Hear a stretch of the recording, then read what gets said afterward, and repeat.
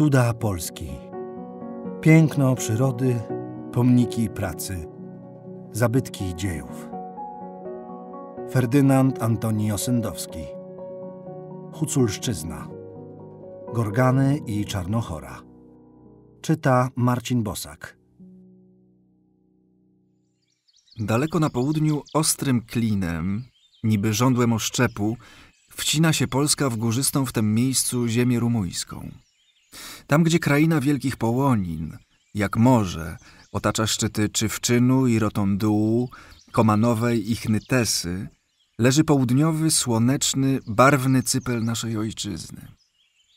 Na skraju jego, ze spychów gór, zacienionych świerkowym borem, wypływa perkałap, aby wchłonąwszy warkotliwe potoki Szyroki, Tonki i Czorny, a potem zarubieżną Saratę, burzliwym i wartkim białym czeremoszem pomknąć na północ, pojednać się ze swym czarnym bratem, zbiegającym ze zboczy palenicy i niby fosą odgrodziwszy ten szmat prastarej ziemi polskiej od sąsiada, wylać się z hukiem i pluskiem do Prutu, a z nim razem do Dunaju i do Morza Czarnego.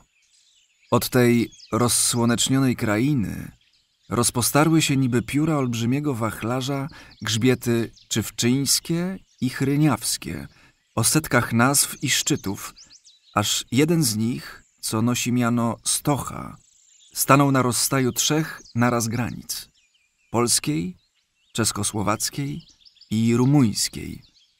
Wielki znak rubieży, u którego stóp rodzi się potok Szybeny. Ten sam, co to niegdyś pozrywał warstwice skalne z gór nadbrzeżnych i jezioro głębokie utworzył.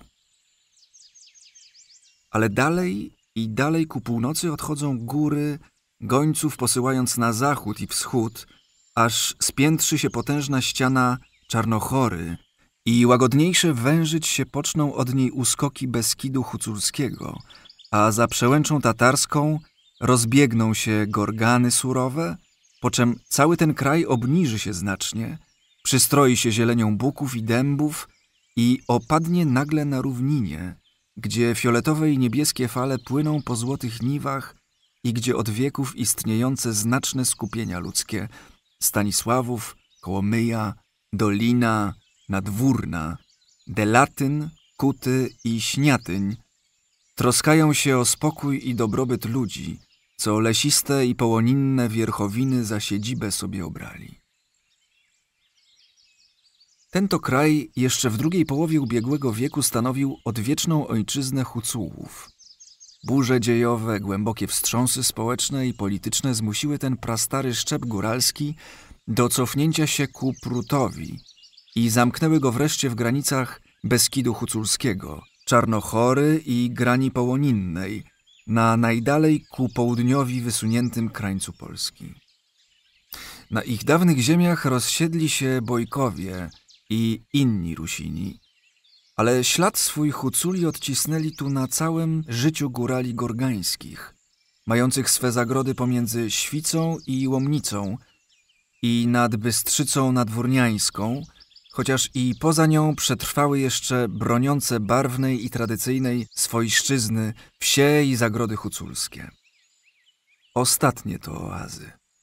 Ostatnie niezdobyte jeszcze reduty, świadczące o dawnych granicach huculszczyzny, w naszych żelaznych czasach odsuniętej za obie bystrzyce, sołotwińską i nadwórniańską. Granice te ogarniają znaczną część Karpat Wschodnich. Dzwona jednego z największych w Europie systemów górskich Alp, łańcucha skalnego, który zaczyna się w okolicach Nicei nad Morzem Ligurejskiem, a kończy się koło Warny, nad Morzem Czarnym. Stanowiąc środkowe ogniwo tego łańcucha, w dwóch miejscach opierają się Karpaty o Dunaj – który przy ich początku oddziela je od wschodnich gałęzi alpejskich przed górzy, a przy końcu pod Orsową od systemu bałkańskiego. Cały ten splot górski przeżył niezmiernie burzliwe dzieje. Wypiętrzył się bowiem nagle w okresie trzeciorzędowym, gdy to potworzyły się wymyślnie powyginane fałdy i płaszczowiny przy nasunięciu jednych warstw na drugie. Wtedy też zdarzyły się liczne potężne spękania, zapadnięcia się w niektórych grzbietach, wylewy law, a na południowych zboczach powstały nawet wulkany czynne. Tam i sam przechowały się jeszcze resztki dawnych gór, które wznosiły się tu przed ostatecznym wypiętrzeniem się całego łańcucha. Woda, powietrze i klimat zmieniły oblicze i zarysy pierwotnego grzbietu, niszcząc go, zdzierając te lub inne warstwy i tworząc odmienne krajobrazy górskie. Jakżeż stare są te szczątki powoli znikających łańcuchów i szczytów. Nieprzerwanym korowodem przepłynęły nad nimi burzliwe czasu potoki. Kataklizmy gigantyczne wstrząsnęły niemi, targały i przerażały niepowstrzymaną powodzią zmian najprzeróżniejszych, a tak mocarnych, że nowe oblicze nadawały ziemi. Nie zapomniały o tem góry sędziwe. Przechowały w pamięci zjawiska gwałtowne i groźne, bo zdawało się wonczas, że w posadach swoich runie miotana niemi planeta nasza. Igraszka sił przepotężnych. Strachem objęte i osłabłe poddawać się ją mocom pomniejszym, a niedostępnym i upartym, aż kruszyć się poczęły stare wierchy i pękać masywy skalne. Nie zdzierżyły w walce z siłami ziemi i słońca i zapadł wyrok nieodzowny, wyrok śmierci. Natura wykonywa go nielitościwie, acz miliony lat trwa owe wykonanie. Rok po roku głębsze i szybsze zachodzą zmiany w zgrzybiałych cielskach prastarych gór pierwotnych i nic już zaleczyć i zagoić nie potrafi ich ran śmiertelnych i blizn rozwartych. Już wnętrza gór otwierać się poczęły i zdradzać minionych epok tajemnice. Dociekliwy umysł ludzki już przejrzał wszystko i wszystko zbadał. Na złomach skalnych, na warstwicach pogiętych i w miale piargowym odnalazł hieroglify tajemne i odczytawszy to pismo kosmiczne, zrozumiał sędziwość tych gór, ich milczące przerażenie i tragiczne etapy bezkresnego konania. Piaskowce, skały starszych okresów i miejscami utwory wulkaniczne składają się na masyw systemu karpackiego na naszym południowo-wschodnim pograniczu podzielonego na trzy osobne grupy górskie – Bieszczady z najwyższym szczytem Pikuj, dosięgającym 1405 metrów, Gorgany pomiędzy rzeką Świcą a Prutem, uwieńczone wysoką na 1812 metrów Sywulą i wreszcie Czarnochorę, nad którą panuje Hoverla z wysokości 2058 metrów. Górzysta ta kraina w głębi swej kryje znaczne bogactwa, w małym zaledwie stopniu przez ludzi od niedawna wykorzystywane.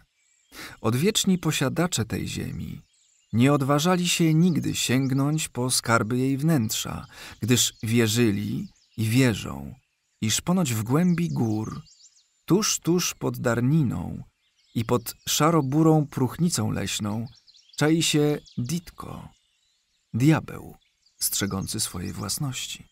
To też nie tylko liczne rozpyszcza, banie, lecz nawet i złoto, o którym głośno było niegdyś na Bukowinie, nie pociągały ku sobie Hucułów. I nie tylko na Bukowinie rozpowiadano sobie nęcące gadki o skarbach wierchowiny zielonej.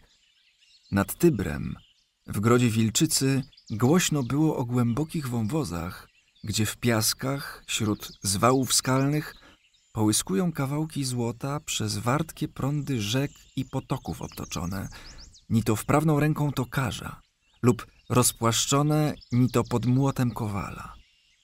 Te wieści przynosili legioniści Cezarów, co na najdalszych krańcach ziemi zatykali srebrne signa, kohort z orłami rzymskimi. O złocie ukrytym w spychach górskich – Słyszano w grodziskach gotów surowych, gdzie o podboju tej krainy marzono, aż nastał dzień upragniony, gdy zbrojni mężowie północni, słonymi wichrami morskimi owiani, do źrenic synów Karpat Słonecznych groźnie i chciwie zajrzeli. Na Rusi Kijowskiej i Moskiewskiej gwarzono o złotonośnych potokach i o kamieniach złotymi pociętych żyłami. Na wschodzie, gdzie imię Allaha sławiono i dla niewiernych wykuwano zagładę, sam Padiszach i wielcy kalifowie chciwem uchem chwytali wieści drażniące o złocie przez Ormian kupczących i niewolników w jasyr porwanych roznoszone po krajach proroka.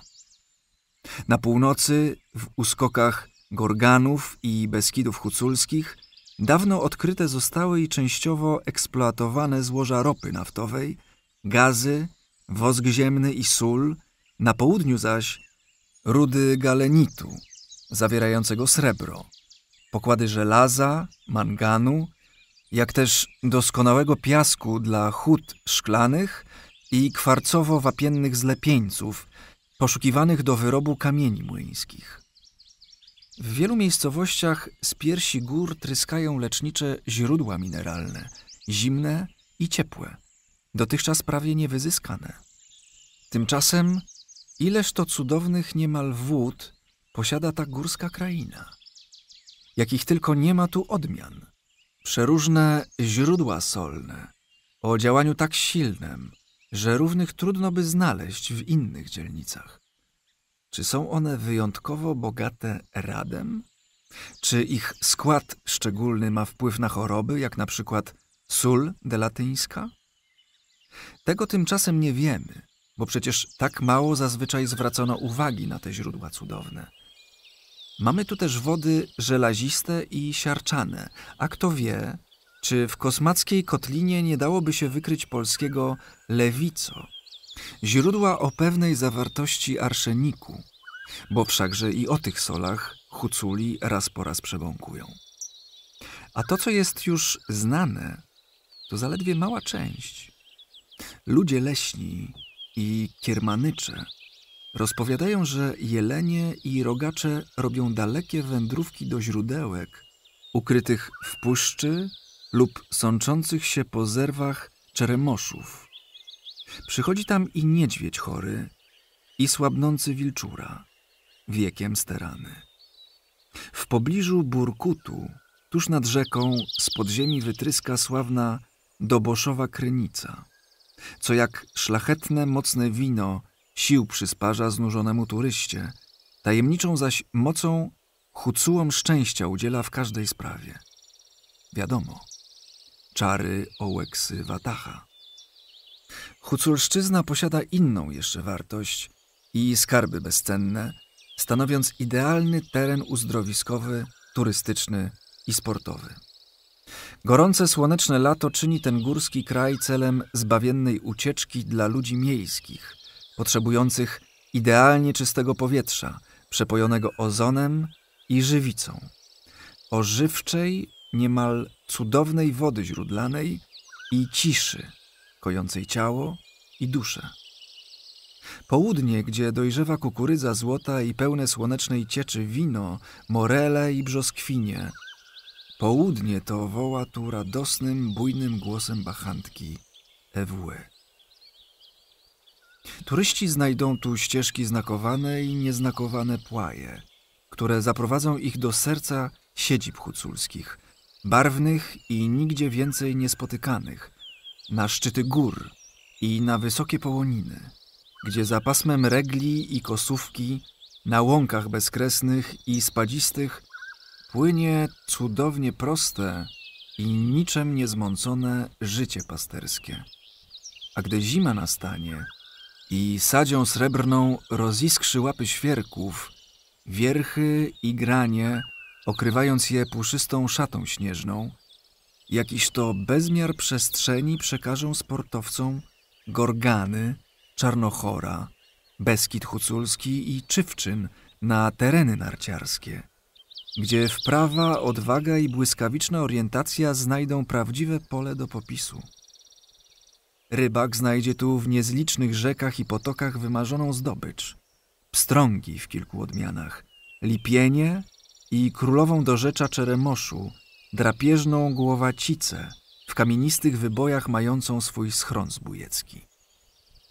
Myśliwy. Któż nie słyszał, że Gorgany i Huculszczyzna to błogosławiona ziemia wspaniałych łowów? Jeleń o najpotężniejszych wieńcach, kozły o widlastych, bogato uperlonych porożach, dziki cięte i szabliste, tokujące po borach na zgrzewkach wiosennych głuszce górskie, okazalsze i namiętniejsze od ich nizinnych pobratymców, jarząbki furkotliwe, w mroku borów się gnieżdżące, a wreszcie plamisty zbójnik, ryś i tot wełyki, niedźwiedź bury, wróg watachów i juchasów, postrach bydła na pastwiskach, gdy z otoku czarnych lasów wynurza się ze swej gawry, barłogu i porywa daninę księciu puszczy należną. I jeszcze inną wartość posiada ten kraj. Wartość, co najsilniej pociągać tu musi mieszkańców wielkich miast, ludzi żądnych zdrowia, wypoczynku, ale też i wrażeń, których dostarczy sam lud huculski, jego życie pierwotne, proste, a pełne wewnętrznej treści, mądrego zadowolenia i nieodgadnionej tajemnicy. Watachowie i Juchasi na Połoninach, patrzący w oblicze nieba i słońca i z rzadka tylko spostrzegający u stóp swoich gór z lekka pogardzane życie, płynące w nizinach. Barwni, potężni i zuchwali kiermanycze, wartem rzek prowadzący tratwy, daraby, odwieczny kłusownik, szukający w pościgu za zwierzem ujścia dla burzącej się w nim krwi dziadów, opryszków, zbójników, gazda, spokojnie gospodarzący w swej grażdzie, niby w kasztelu średniowiecznym i wreszcie natchniony artysta, co jakieś echa dalekie, wspominki bujne lub rzewne wczarowuje w swe przeróżne, barwne pisania. I ten to lud bajecznie barwny, o kipiących w głębi jego duszy i serca namiętnościach i porywach, gniazda swe pobudował w najdalszym kącie Rzeczypospolitej, gdzie wysokim murem stanęły jedyne na całej jej przestrzeni prawdziwe, niedostępne granice naturalne wierchowiny karpackie. Wykochane w gadkach i pieśniach huculskich, po tysiąc razy rozsławiane od zielonej chnytesy aż po szare kopuły Chowerli i Sywuli, po zgiełkliwe kołomyi i kut targowiska.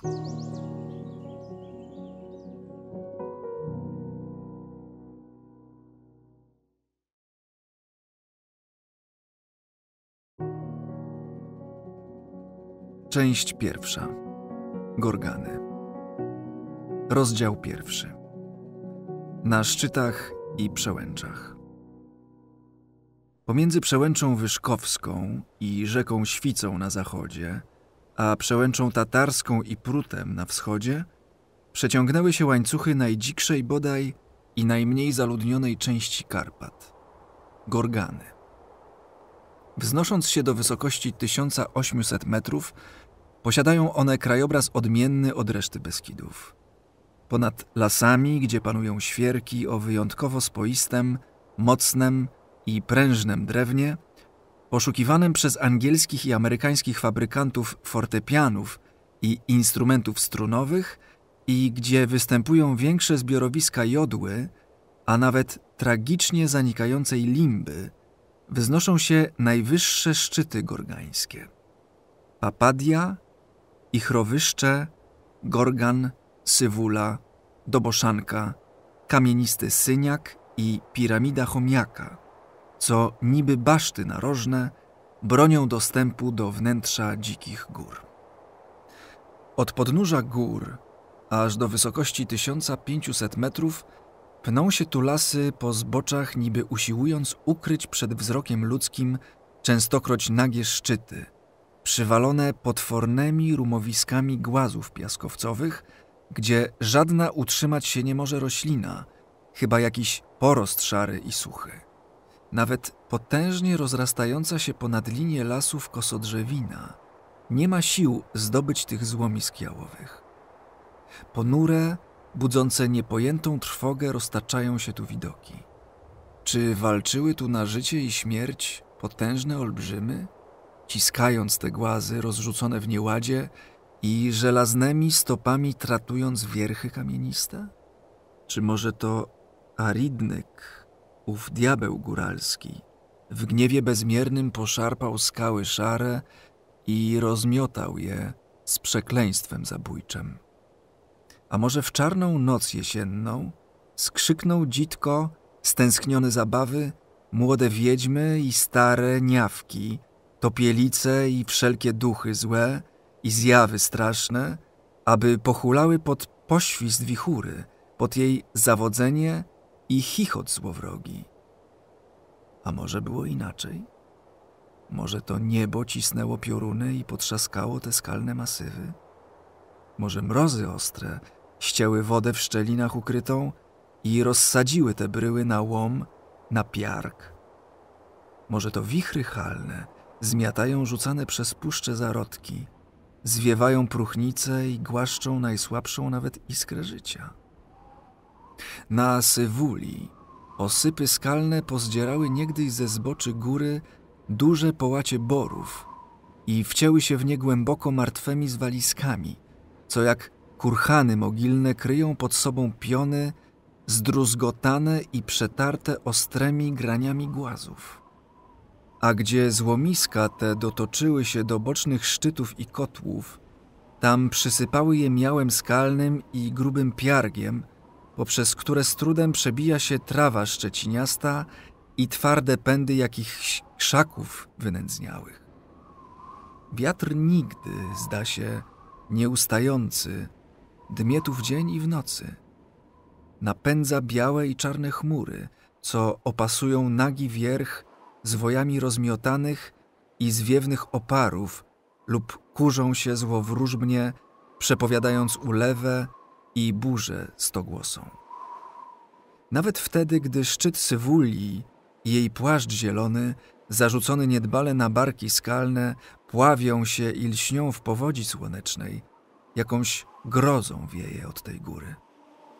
Być może ona i jej siostrzyca, dobuszanka, taka też naga na kopule i niegościnna, widziały niegdyś coś strasznego niewymownie, co jak orkan przemknęło nad gorganami, a one zapamiętały wszystko na całe swe życie, aż do chwili, gdy na piark rozsypią się ich cielska kamienne. Kiedyż to i jakie zdarzyły się tu wypadki tak straszne i ponure? Być może wierchy gorgańskie przechowują w pamięci długie, przerażające lata, gdy przez te góry i puszcze przedzierały się nieznane hordy – od wielkiego trzonu wędrówki ludów oderwane, niby wichrem złamane konary. Czy może wtedy, gdy krwawe zagony Mongołów Batuchana kopytami koni stepowych tratowały czarną połoninę i przełęcz tatarską, aby wpaść do ludnej i bogatej doliny Prutu i Dniestru? Któż potrafi odpowiedzieć na te pytania? Należy raczej dostrzec inne szczegóły i zrozumieć wtedy to, o czym myślą posępne nagie wierchy tych łańcuchów górskich. Oto po zboczach Sywuli tkwią do dziś dnia zasieki, gdzie na pniach zbutwiałych rdzewieje sieć drutów kolczastych i ciągną się rowy strzeleckie, straszliwe legowisko udręki i śmierci żołnierskiej. Szalały tu bowiem w pierwszych latach wojny światowej krwawe duchy mordu i zagłady. Pod Sywulą też biegną na zachód i południe słupy, wyznaczające granicę naszą z czeskim sąsiadem, a wkopane tu po długich, niestety i groźnych sporach. Dalej, na zboczach Doboszanki, przez bór świerkowy, przez gąszcz młodej porośli i nieprzybytego podszycia leśnego, wije się niby wąż, droga dylami przed laty wymoszczona. To nasza żelazna brygada legionowa ciągnęła tam działa i tabory krwią znacząc każdy swój krok i wykuwając zwycięstwo, bo ku niemu tylko dążyły szare szeregi młodych, natchnionych żołnierzy, brnąc przez zaspy śnieżne po rozłogach i urwiskach górskich. Całą otchłań męki ludzkiej, całą głębię rozpaczliwego wysiłku młodzieży polskiej, zwracającej ojczyźnie ten kraj gór i puszcz, widziały podówczas Gorgany. I dlatego to zapewne wierchy ich są tak nasępione i tak chmurne, że nie zdołały ich rozradować nawet piorunujące zwycięstwa pod Rafajłową, Zieloną, Pasieczną i Pniowem, bo dane im było widzieć i wyczuć męczeństwo i nadludzkie wyrzeczenie się własnych celów i własnego życia tych, co tu polegli i tych, co zapędzili się daleko, daleko. Teraz trawa wysoka i gąszcz krzaków coraz bardziej ukrywa te miejsca ofiar i zmagań krwawych. Nikt już nie znajdzie miejsc, gdzie ziemia przyjęła w swoje łono kości żołnierskie. Rdzewieją druty, a ptaszęta wolne wyśpiewują na ich swoje hymny proste, a pełne radości życia, zachwytu w obliczu słońca i wolności bezkresnej. Hen. Od szczytu do szczytu przeciągnęła się tam niebieska i złocista droga, a tamta, co wabi łagodną barwą fioletu, biegnie w niziny zielone. Inna znów, szafirowa, wiedzie w tajemny puszczy mrok. Śmierć odleciała stąd od dawna, lecz ślad jej pozostał. Lemieszem krwawego pługa pocięte bruzdy rowów strzeleckich. Gniją w nich stojaki i pułapy. Osypują się skarpy, a chwast i trawa bujna, wypierając z gleby, krwią użyźnionej zarasta już wężową linię okopów. Z rokiem każdym w niepamięć przechodzą te odcinki wielkich bojów i pozostało tylko wspomnienie o tych górach, bohaterstwem stokrotnie wsławionych. Ale nie. I tam, i sam – Osierocone matki i dumni, mimo że smutek ściskał im serca ojcowie poległych, biegną myślą ku Sywuli i Doboszance, ku przełęczom gorgańskim i słonecznej Dolinie Bystrzycy, gdzie wierni ojczyźnie synowie oddali swoją krew i życie młode, górne, a chmurne.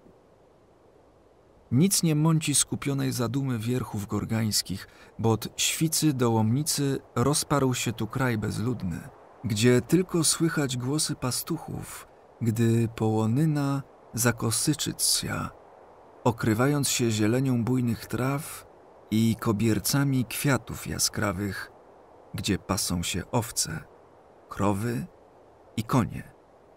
Marżyna górala – który nie spuszczając z niej oka stróżuje jej w dzień i w nocy. Czasami też dobiegać pocznie łomot siekier w puszczy i nawoływania drwali. To człowiek obcy tej ziemi posłał ludzi gór na poręb lasu, aby spuszczali świerki strzeliste i zwozili je do leśnej kolejki, zbiegającej ku Osmołodzie. Ta jedyna tu większa osada leżąca na zlewisku Mołody i Łomnicy jest prawdziwą stolicą drwali – ukrytą w otoku borów, ponad którymi, niby kopce nad grobami olbrzymów, piętrzą się szczyty wysokiej, grofy i popadii, ale i załomnicą, aż do złotej i czarnej bystrzycy, dziki, bezludny, przez człowieka ledwie tknięty, rozpościera się kraj gór i borów i takim pozostaje aż do wsi Rafajłowej. To też nie dziw, że obszary te stały się prawdziwym matecznikiem, łowiskiem najznakomitszym, terenem uważanym do niedawna za dziewiczą puszczę, a jakżeż malowniczym i różnorodnym. Na wilgotnych glebach, w głębokich dolinach śródgórskich, nad brzegami rzek i potoków tłoczą się chaszcze olch szarych, przystrojonych zielenią jesionów, a tam, gdzie tworzyć się poczęły torfowiska, bladością liści i bielą pnia, błyska brzoza omszała i strzałę ku obłokom wypuszcza władca tej krainy, świerk. Wyżej i wyżej wznoszą się regle, a do szaty leśnej dochodzą buki, jodły i świerki nieustępliwe.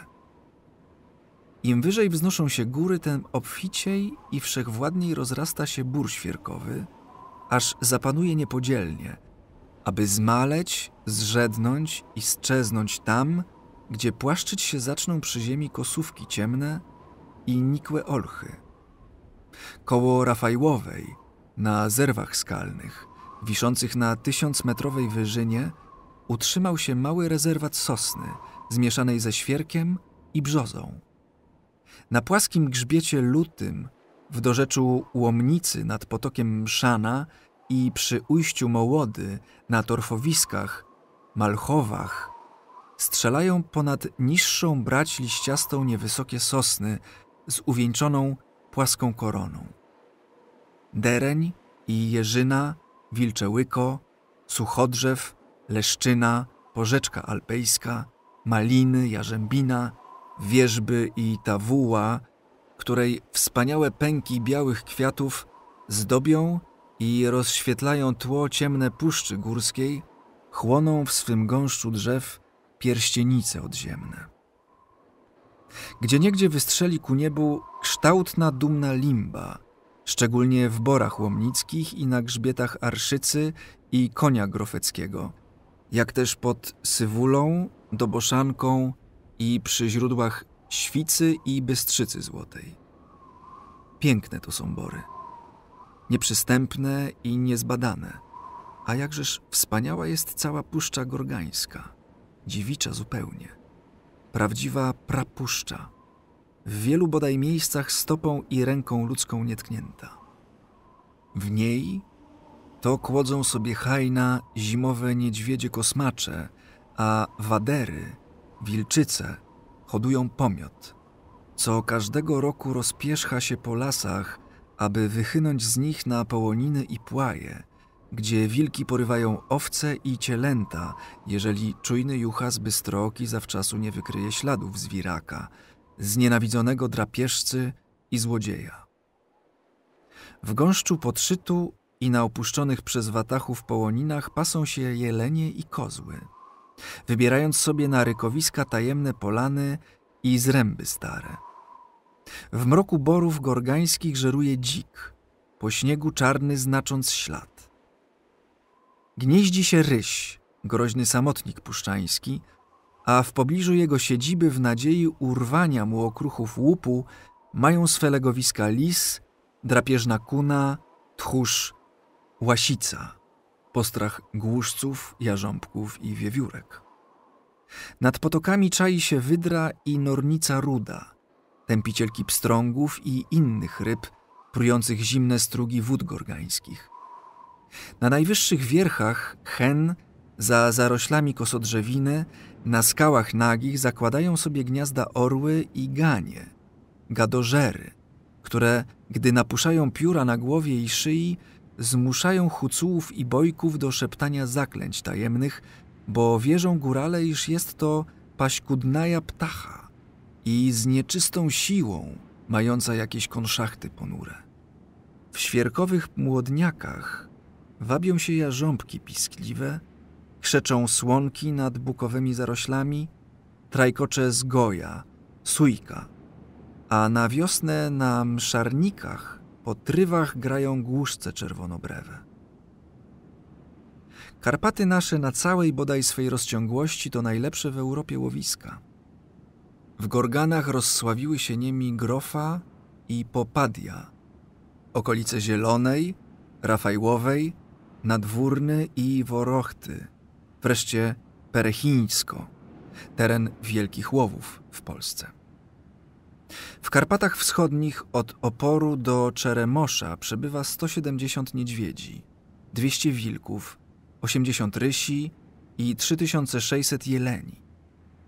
Obfitość królewskiej zwierzyny, jako też malowniczy teren i niezwykle działające na wyobraźnię warunki łowów spowodowały, że jeden z najsławniejszych myśliwych europejskich, syt polowań w Afryce Środkowej i Indiach, Powiedział, iż wyżej ceni wspaniałość i urok rykowiska w Karpatach niż strzał do pręgowanego drapieżnika nad Gangesem.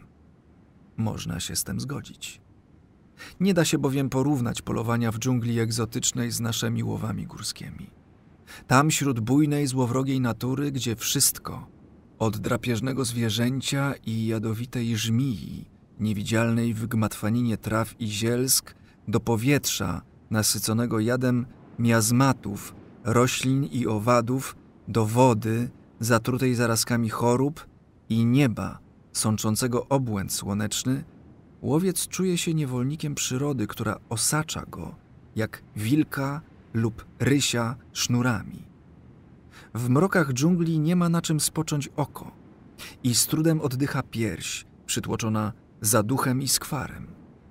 Inaczej jest w naszych górach, gdzie znużonego myśliwca świeży chłodzi powiew, gdzie życiodajne orzeźwiają go potoki, gdzie niebo uśmiecha się radośnie i ciągnie ku sobie dal nieogarniętą i te szafirowe skrzydła borów. W Karpatach naszych przetrwała do dziś najprawdziwsza i najistotniejsza kolebka zwierzyny.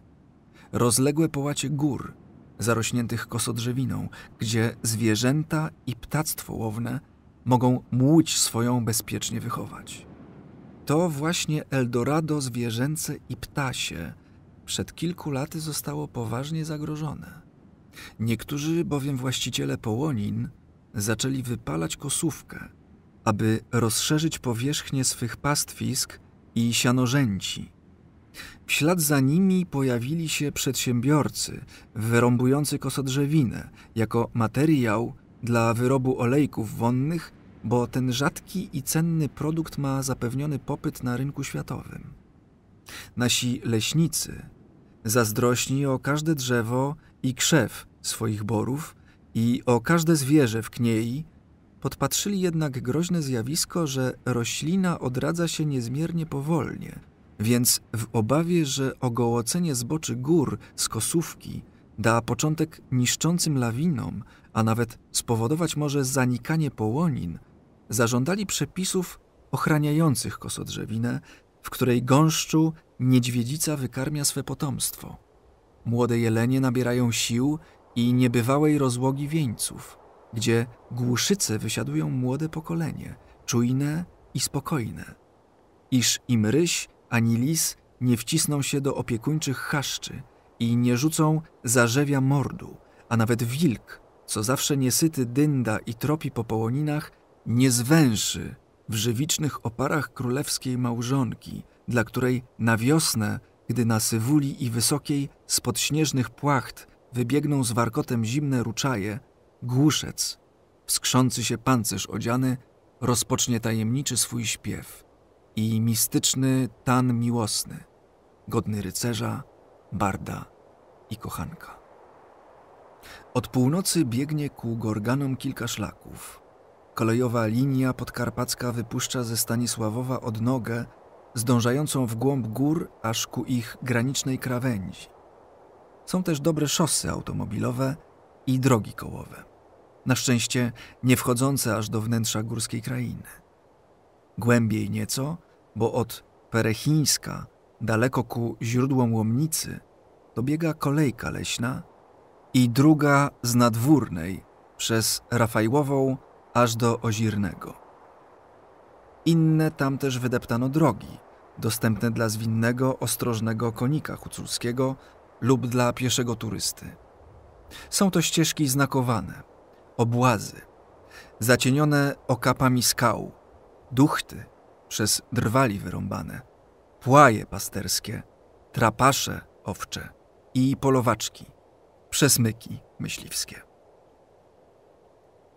Na północy Gorgan znaczne obszary należą do właścicieli prywatnych z grecko-katolicką metropolią na czele i do przedsiębiorców leśnych i oni to przecięli drogi przez knieje, a zbocza gór zeszpecili żałosnymi łysinami wagaszów, starych zrębów, gdzie tkwią szare, martwe pnie i butwieje ruda leżanina. Na to pobojowisko z rozpaczą spogląda smutna sychła, cienki, wysoki świerk, niedobitek z wieńcem gałęzi u szczytu strzały. Watach połoninny i najprostszy nawet skotar, pastuch, czarny od słońca, wiatrów i dymu, wrogie ciskają spojrzenie na przedsiębiorców leśnych, bo zdaje im się, iż rychło przyjdzie czas, gdy na wszystkich sutuchach gór rodzimych padną na ziemię bory świerkowe o pniach gładkich i dziwnie srebrzystych. Ale ludzie połoninni, pasterze odwieczni, nie wiedzą tego, że leśnicy śledzą bacznie, aby siekiery nie trzebiły puszczy i żądają, aby na nagie zręby rzucano nowy siew świerkowy.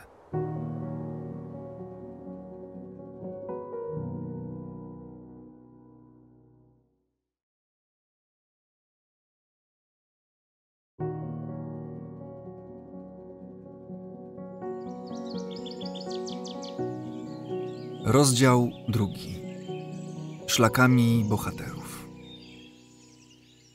Pomiędzy Sywulą a Bratkowską przetrwały do dnia dzisiejszego prabory.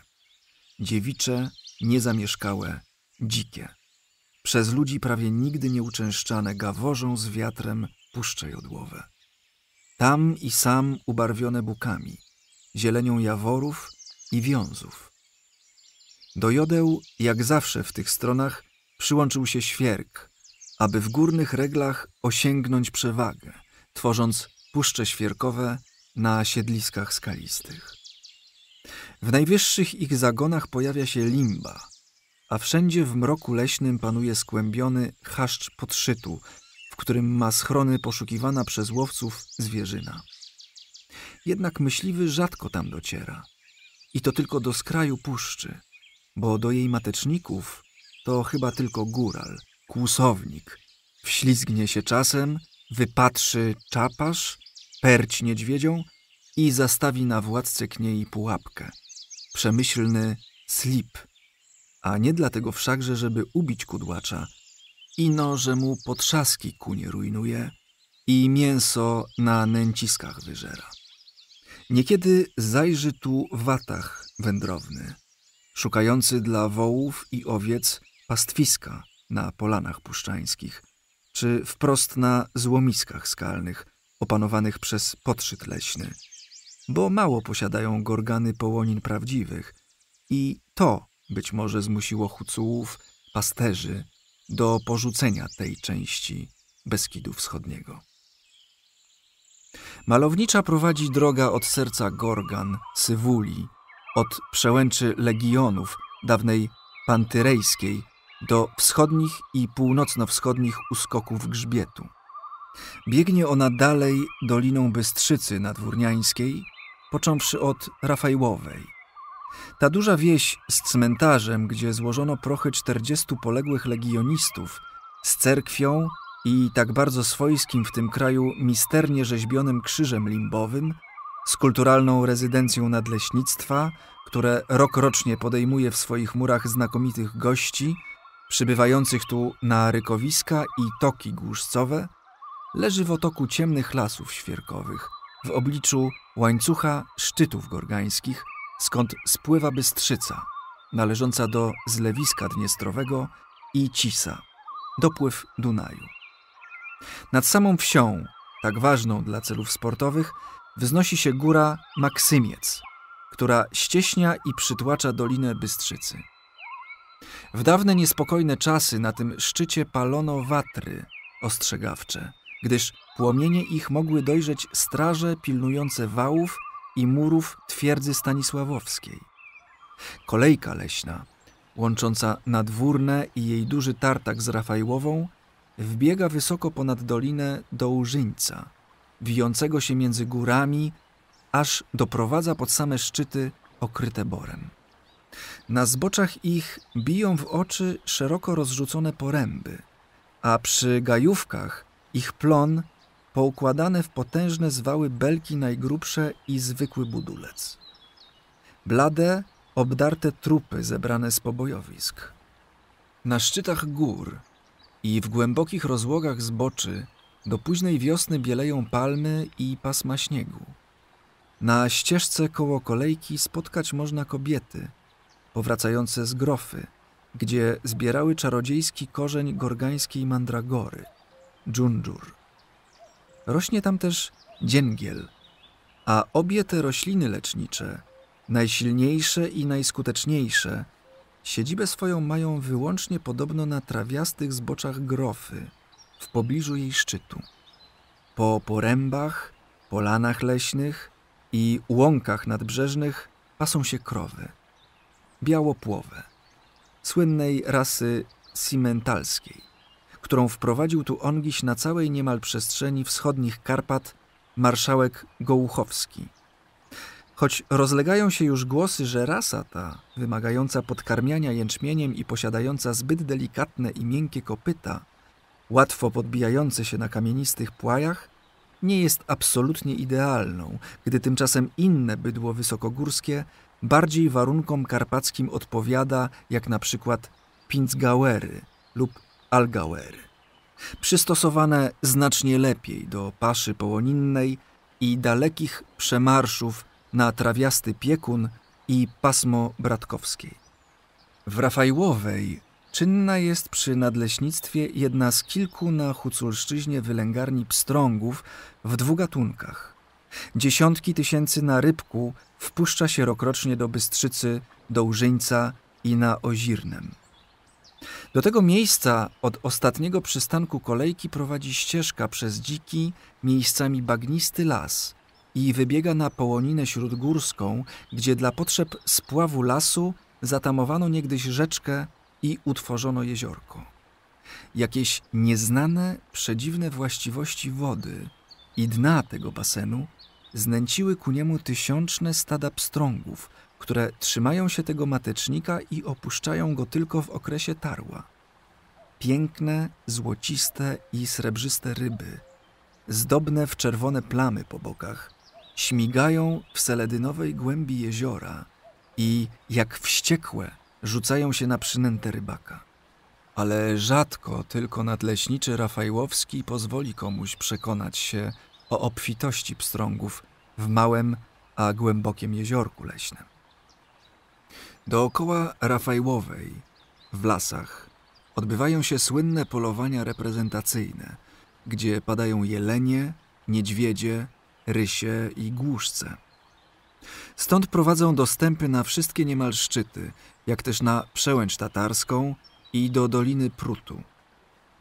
Wzruszający jest szlak na przełęcz pantyrską i sąsiednią Rogodze gdzie pierwsze oddziały przez wodza Józefa Piłsudskiego powołane do walki czynnej o wolność ojczyzny przeszły swój sławny chrzest bojowy, wieńcząc go zwycięstwem.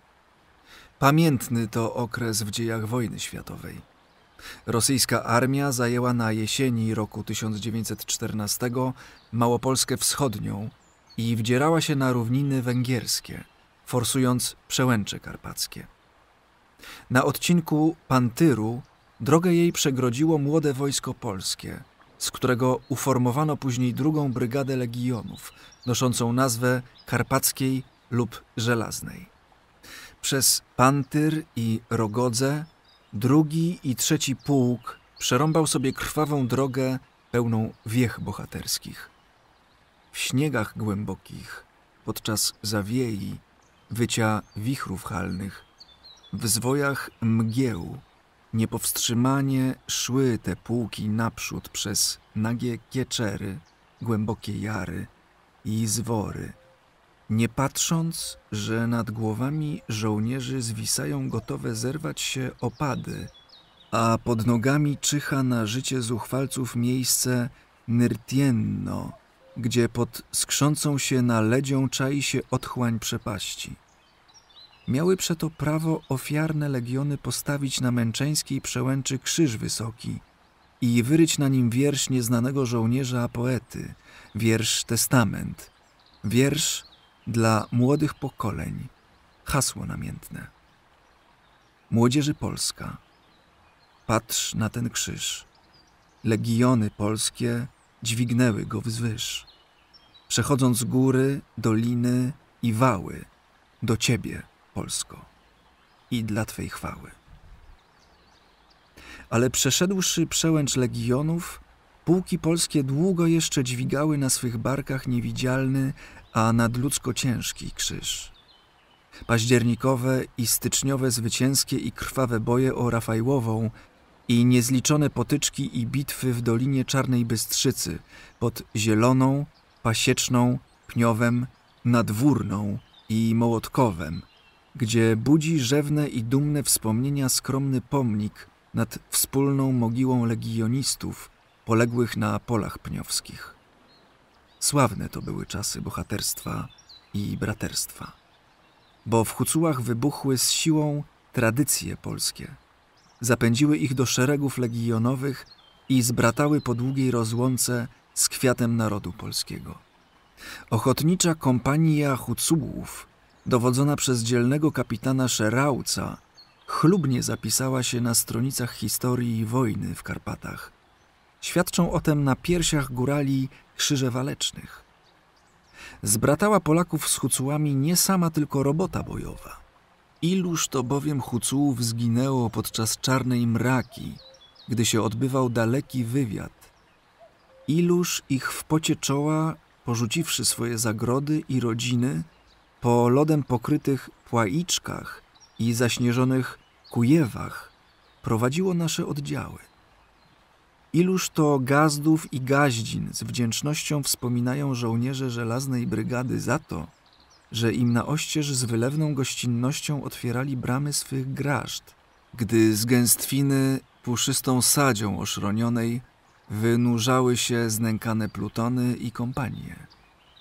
Nie skąpili im wtedy huculi ani mamałygi, ani brędzy i mleka, ani sera, rozgorzałego szczerem oddaniem wielkiej sprawie odzyskania Polski niepodległej.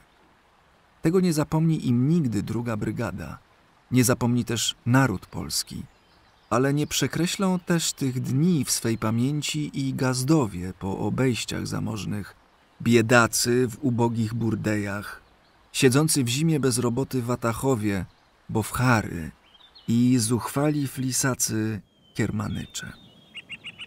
Doliną Bystrzycy sunęły drugi i trzeci pułki legionowe, gdzie brzegiem rzeki wije się teraz droga z Rafajłowej, biegnąc przez rozrzucone po łagodnych zboczach gór wsie Zieloną, Pasieczną z jej kopalniami ropy i otoczony żyznymi polami pniów aż do Nadwórnej. Zaśnieżone w zimie góry, gdzie biały ślad tną narciarze, w lecie zielenią się i rozkwiecają kobiercami łąk – gdzie widnieją stada dorodnego bydła i rozciekają się ruchliwe kierdele owiec, przepędzane przez juchasów z miejsca na miejsce, gdyż wiedzą oni, że dalekie chody najlepszy to sposób na tłuste mleko, z którego będzie bunc najlepszy i bryndza najprzedniejsza.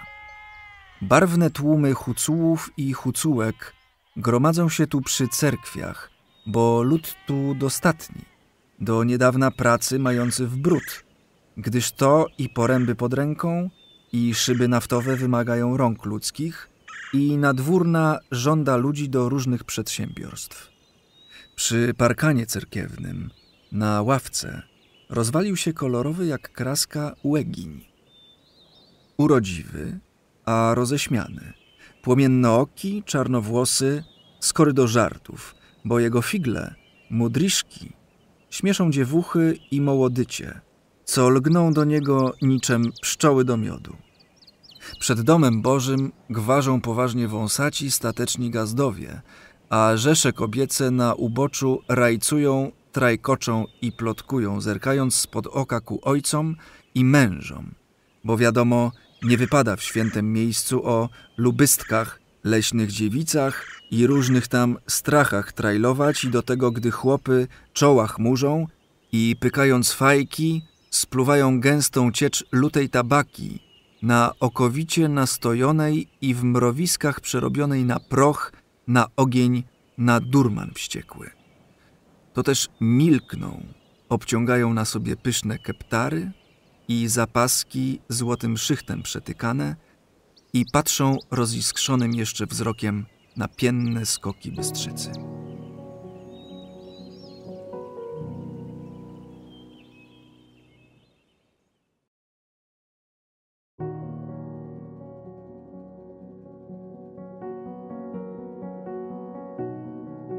Rozdział trzeci.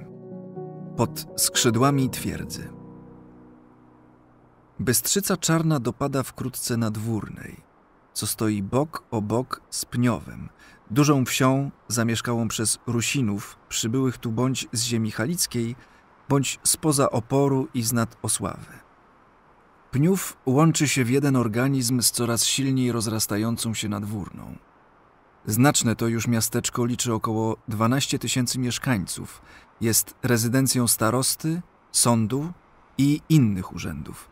Posiada kościół katolicki i cerkiew, piękny szpital, ochronki dla dzieci i stadion sportowy, szeroko rozgałęziony handel i przemysł oparty na ogromnym tartaku, rafinerii nafty, elektrowni i szeregu warsztatów obsługujących ruch automobilowy, kolejkę leśną i potrzeby ludności. Całe Gorgany wschodnie i środkowe, a nawet część Beskidu poza Prutem ma naturalne ciążenie do nadwórnej. Rozpoczęło się ono od dawna, a istniały poważne na to powody. Niedaleko od szosy, na wysokim wzgórzu, widnieją tam okazałe ruiny zamku. Baszty, przyczółki przy zburzonej już bramie i mury, na ogół znakomicie przechowane, resztki kaplicy, koszar dla załogi i lochy głębokie świadczą o roli, jaką odgrywała ta jedyna na wschodzie Gorgan twierdza, która skutecznie bronić mogła dróg zbiegających z dalekich przełęczy, jak też tych, co wiły się przez równinę naddniestrzańską. Istniały tam co prawda drobniejsze i słabsze zameczki jabłonowskich w Dolinie, Perechińsku, Strutyniu i Rożniatowie, ale te zaledwie bandom opryszków i to nie zawsze mogły stawić czoło. Któż to i kiedy wzniósł zamek pniowski? I jakież były dzieje tej twierdzy potężnej, której nikt zdobyć nie mógł, aż do godziny zdrady czarnej. Zamek ten istniał już w wieku XVI i straż tu trzymała rodzina Kuropatów, Można i Rycerska. Z tego gniazda wyszedł starosta Sandomirski, który to wraz z dworzaninem Olechnowiczem z nieszczęsnej bitwy pod Chojnicami przemocą uprowadził i od niechybnej śmierci wybawił króla Kazimierza Jagiellończyka. W połowie wieku XVII Kuropatwowie byli postrachem dla wataszków z Pokucia, którzy jak na przykład szlachcic z Otynii, Semen Wysoczan i inny, Łeś z Berezowa, kilkakrotnie napadali na zamek, lecz łamali sobie kły o jego mury obronne. Nawet straszliwy Krzywonos, wierny towarzysz Chmielnickiego, nie zdobył tej twierdzy gorgańskiej. Zdobyła go jednak zdrada bo niejaki Prokopeczek, pachołek dworski, wskazał opryszkom miejsce, gdzie podkop można było zrobić łatwo. Batacha dowodzona przez chłopa Chrynia Kardasza i szlachetkę Łesia Berezowskiego dostała się w nocy do wnętrza kasztelu, poraniła właściciela zamku, dziedziczkę porąbała, majętność zagarnęła. Wiele mówi i budzi domysły proces przez kuropatwów wytoczony później Tęczyńskim. Błahym bowiem wydaje się powód, wskazany w aktach sądowych grodzkich, że pan na zamku pniowskim skarżył panów na Tęczynie dlatego jedynie, że w bandzie Łesia w opryszkach chadzali ich poddani, ludzie z Pęczeniżyna i Słobody Rungurskiej. Wiemy jednak, że szlachta pokucka w swych sporach i najazdach Nieraz, niestety, posługiwała się lotnymi oddziałami zbójników z naszej i wołoskiej strony. Po ostatnim napadzie sława zamku gaśnie, lecz widocznie odbudowano go i umocniono, gdyż opierał się on skutecznie czambułom tatarskim. W roku zaś 1676 silny turecko-tatarski oddział, wysłany na zdobycie go, zmuszony był zdjąć oblężenie, po czym Piotr Kuropatwa jeszcze potężniej miał go ufortyfikować i wspaniale ozdobić. Dowiadujemy się też, że po wygaśnięciu Kuropatwów władali ich zamkiem Cetnerowie, Telefusowie. Aż przeszedł on w końcu w ręce Potockich, którzy jednak nie podtrzymywali go i stary, zasłużony zamek w końcu XVIII wieku został porzucony i pozostawiony na pastwę wszystko niszczącego czasu. Do stóp wzgórza zamkowego z jednej strony tulą się domki należące do potomków zdrajcy Prokopeczka, z drugiej zaś zaścianek szlachty, dawnej służby dworskiej i towarzyszy chorągwianych, kolankowskich, rogińskich, bidzińskich, skowrońskich i bednarskich. Ludzie ci i ich domy głęboko wrosły w ziemię korzeniami swemi i nic stąd ich wyrugować nie zdołało, bo nawet pożar, który tuż, tuż przed wybuchem wojny światowej zniszczył całą nadwórną, oszczędził tylko kościół i ten zaścianek szlachecki. Równina zadniestrzańska sięga ponad Wórną, lecz z trzech stron półkolem podchodzą już ku miasteczku Przedgórza Gorgańskie. Pod opiekuńczymi skrzydłami zamku Kuropatwów rozrastały się spokojnie i szczęśliwie bogaty w ziemię żyzną Pniów, sławiony bitwami żelaznej brygady, i Maniawa, duża wieś, uczęszczana przez turystów z powodu pięknych wodospadów na rzece i imponujących ruin skitu prawosławnego. Ciekawe to miejsce. Ortodoksyjny Atos, ostoja prawosławia, rzucił tu najdalszą swoją placówkę dla walki z Unią. Klasztor ten zbudowali bazylianie, dyzunici na początku wieku XVII i obsadzili go uczonymi mnichami, najznakomitszymi na Rusi. W głębokim wąwozie, wśród lasów, czaił się ten skit, ukryty od oczu ludzkich, otoczony grubymi murami, a przed zagonami Tatarów broniony przez silną twierdzę pniowską. Przechowały się tu mury wysokie, szare, pleśnią, tą patyną wieków poplamione i baszta, być może dzwonnica, czy też wieża strażnicza, spędzącym u jej stóp potokiem. Na bramach i baszcie widoczne są jeszcze freski, wyobrażające świętych greckich i kijowsko-pieczerskich, Jana, Teodora i Antoniego oraz symbol opatrzności boskiej, oko w promieniującym trójkącie nad gwiazdem. Skit maniawski oddziaływał zapewne silnie na wyobraźnię ludności i miał na nią nieprzeparty wpływ polityczny po pierwszym rozbiorze Polski, co dało powód cesarzowi Józefowi II do zamknięcia tej oazy chrześcijaństwa bizantyńskiego. Cenne i starożytne sprzęty kościelne zostały przeniesione do okolicznych parafii. Ikonostas, słynne dzieło sztuki, do cerkwi w Bochorodczanach, skąd go zabrano do ruskiego muzeum w Lwowie. Dzwon zaś zawieszono w cerkwi w Nadwórnej, gdzie podczas pożaru roku 1914 stopił się w płomieniach. Z pagórka nad Skitem, w głębi Doliny Potoku, pouczający przedstawia się obraz. Obronne to było miejsce, gdzie zaczaił się ten klasztor prawosławny. Z trzech stron ukrywały go i broniły puszczą okryte góry, dla stepowych wierzchowców tatarskich prawie niedostępne. Jedyna to była tam droga, wąska dolina potoku, wylewającego swoje wody do rzeki. Zwykłe zasieki, zalanie terenu za pomocą tamy i wreszcie wał, spoza którego żygały ogniem strzelby obrońców, zamykały tę drogę do skitu. Wreszcie potężne jego bramy, mury i baszty przeciwstawić się mogły znacznej nawet hordzie, gdyby zwęszyła klasztor słynny z bogactwa. Historia podobno nie odnotowała napadów tatarskich na skit maniawski. Z tego też miejsca, spoglądając na ruiny porzuconej placówki prawosławia, mimowoli przed oczami wstają, jak żywe, klasztory na południu Rosji, wzdłuż szlaku tatarskiego budowane.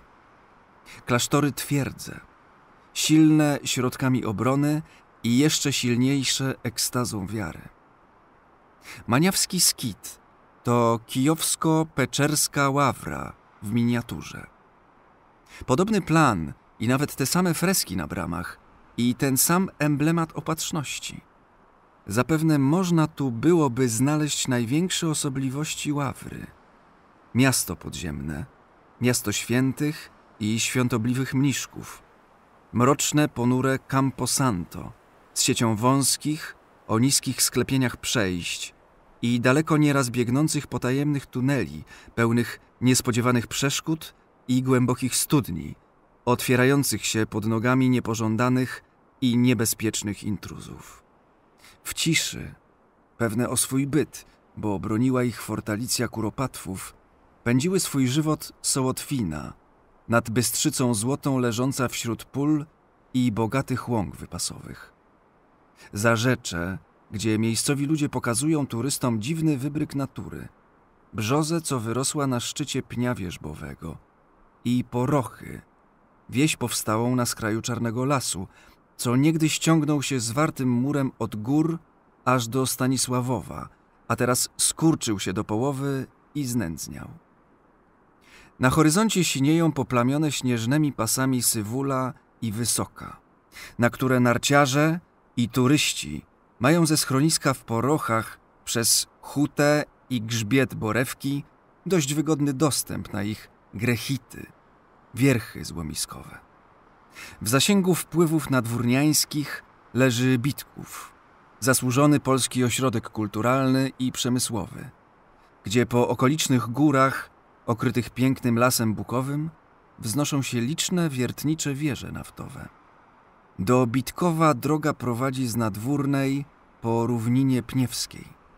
Nad Bystrzycą widnieją prostopadłe, silnie sfałdowane skały, gdzie na łupkach przechowały się odbitki ryb i małżów oligoceńskich. Potoki i rzeczki, pluszcząc po skokach, wpadają do niej. Bitków umieścił się wysoko w szerokiej rozłodze wśród gór lesistych, a jego malownicze, kulturalne zabudowania, kościół i szkoła odcinają się bielą ścian od zielonego ekranu okolicy. Kolejka górska wspina się po zboczu grzbietu. Wszędzie, niby wyprężone, nabrzmiałe żyły, występują rurociągi na ropę i gazy ziemne, które płoną piekielnym ogniem w paleniskach kotłów parowych.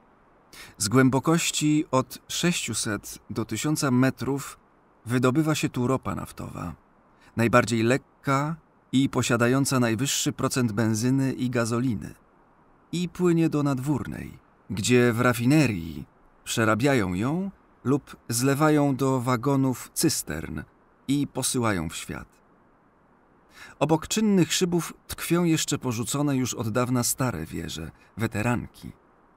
W podziemnych zbiornikach natura zgromadziła tu znaczne jeszcze zapasy ropy i gazów, które oczekują warunków sprzyjających pełnemu ich wykorzystaniu.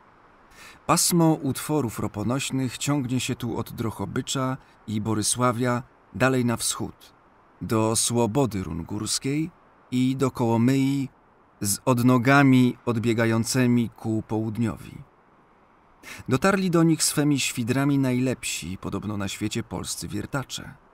Zapewne najlepsi, bo w przeciwnym razie nie ubiegano by się o nich na Jawie i Sumatrze. Nie pracowaliby oni w Kanadzie i Meksyku, a nawet w Japonii, gdzie cudzoziemiec liczyć może na dowolną ilość uprzejmych uśmiechów, ale ani na jeden marny grosz zarobku. Piękna jest okolica Bitkowa, a jego lasy obfitują we wszelką zwierzynę. Szczególnie często spotkać tu można kozły, nieraz o pięknym porożu, a podobno nie boją się one ludzi, gdyż nikt tu nie poluje. Ropa i wydobywające się z ziemi gazy nie lubią ognia i silnych wstrząsów, więc inżynierowie starannie ochraniają bogactwo, które natura hojną ręką złożyła pod warstwami skał, ozdobionych wysokopiennym lasem bukowym, zielonym w lecie, złotym i szkarłatnym na jesieni i czarnym, gdy zamiecie nagromadzą tu zasp śnieżnych, otulą ziemię ropyszcz i konary drzew białym, skrzącym się w słońcu płaszczem miękkim lub tak skrzepłym, że pod nartami aż zgrzyta i dzwoni jak szkło. Z pokładami Bitkowa związana jest Starunia, gdzie w podziemnych schowach wykryto wosk ziemny, a z niego wydobyto przechowane znakomicie cielska olbrzymich nosorożców włochatych i mamutów, co w dolinach śródgórskich pasły się tu spokojnie.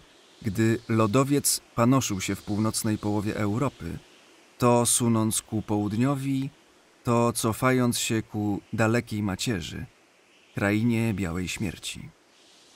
Zapewne wędrując w poszukiwaniu paszy, te wielkie ssaki natrafiły na torfowiska okrywające ropyszcza, gdzie wącza stworzyć się już zaczął miękki jeszcze wosk ziemny i znalazły w nim śmierć, która dała im poniekąd nieśmiertelność.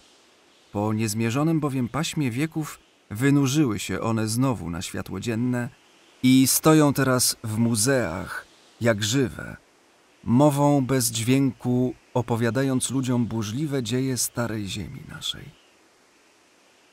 Dawny austriacki trakt rządowy, zwany szosą Kratera, przebiega góry, przecina Dąbrowy i mija wioski, pola, kapliczki i krzyże przydrożne.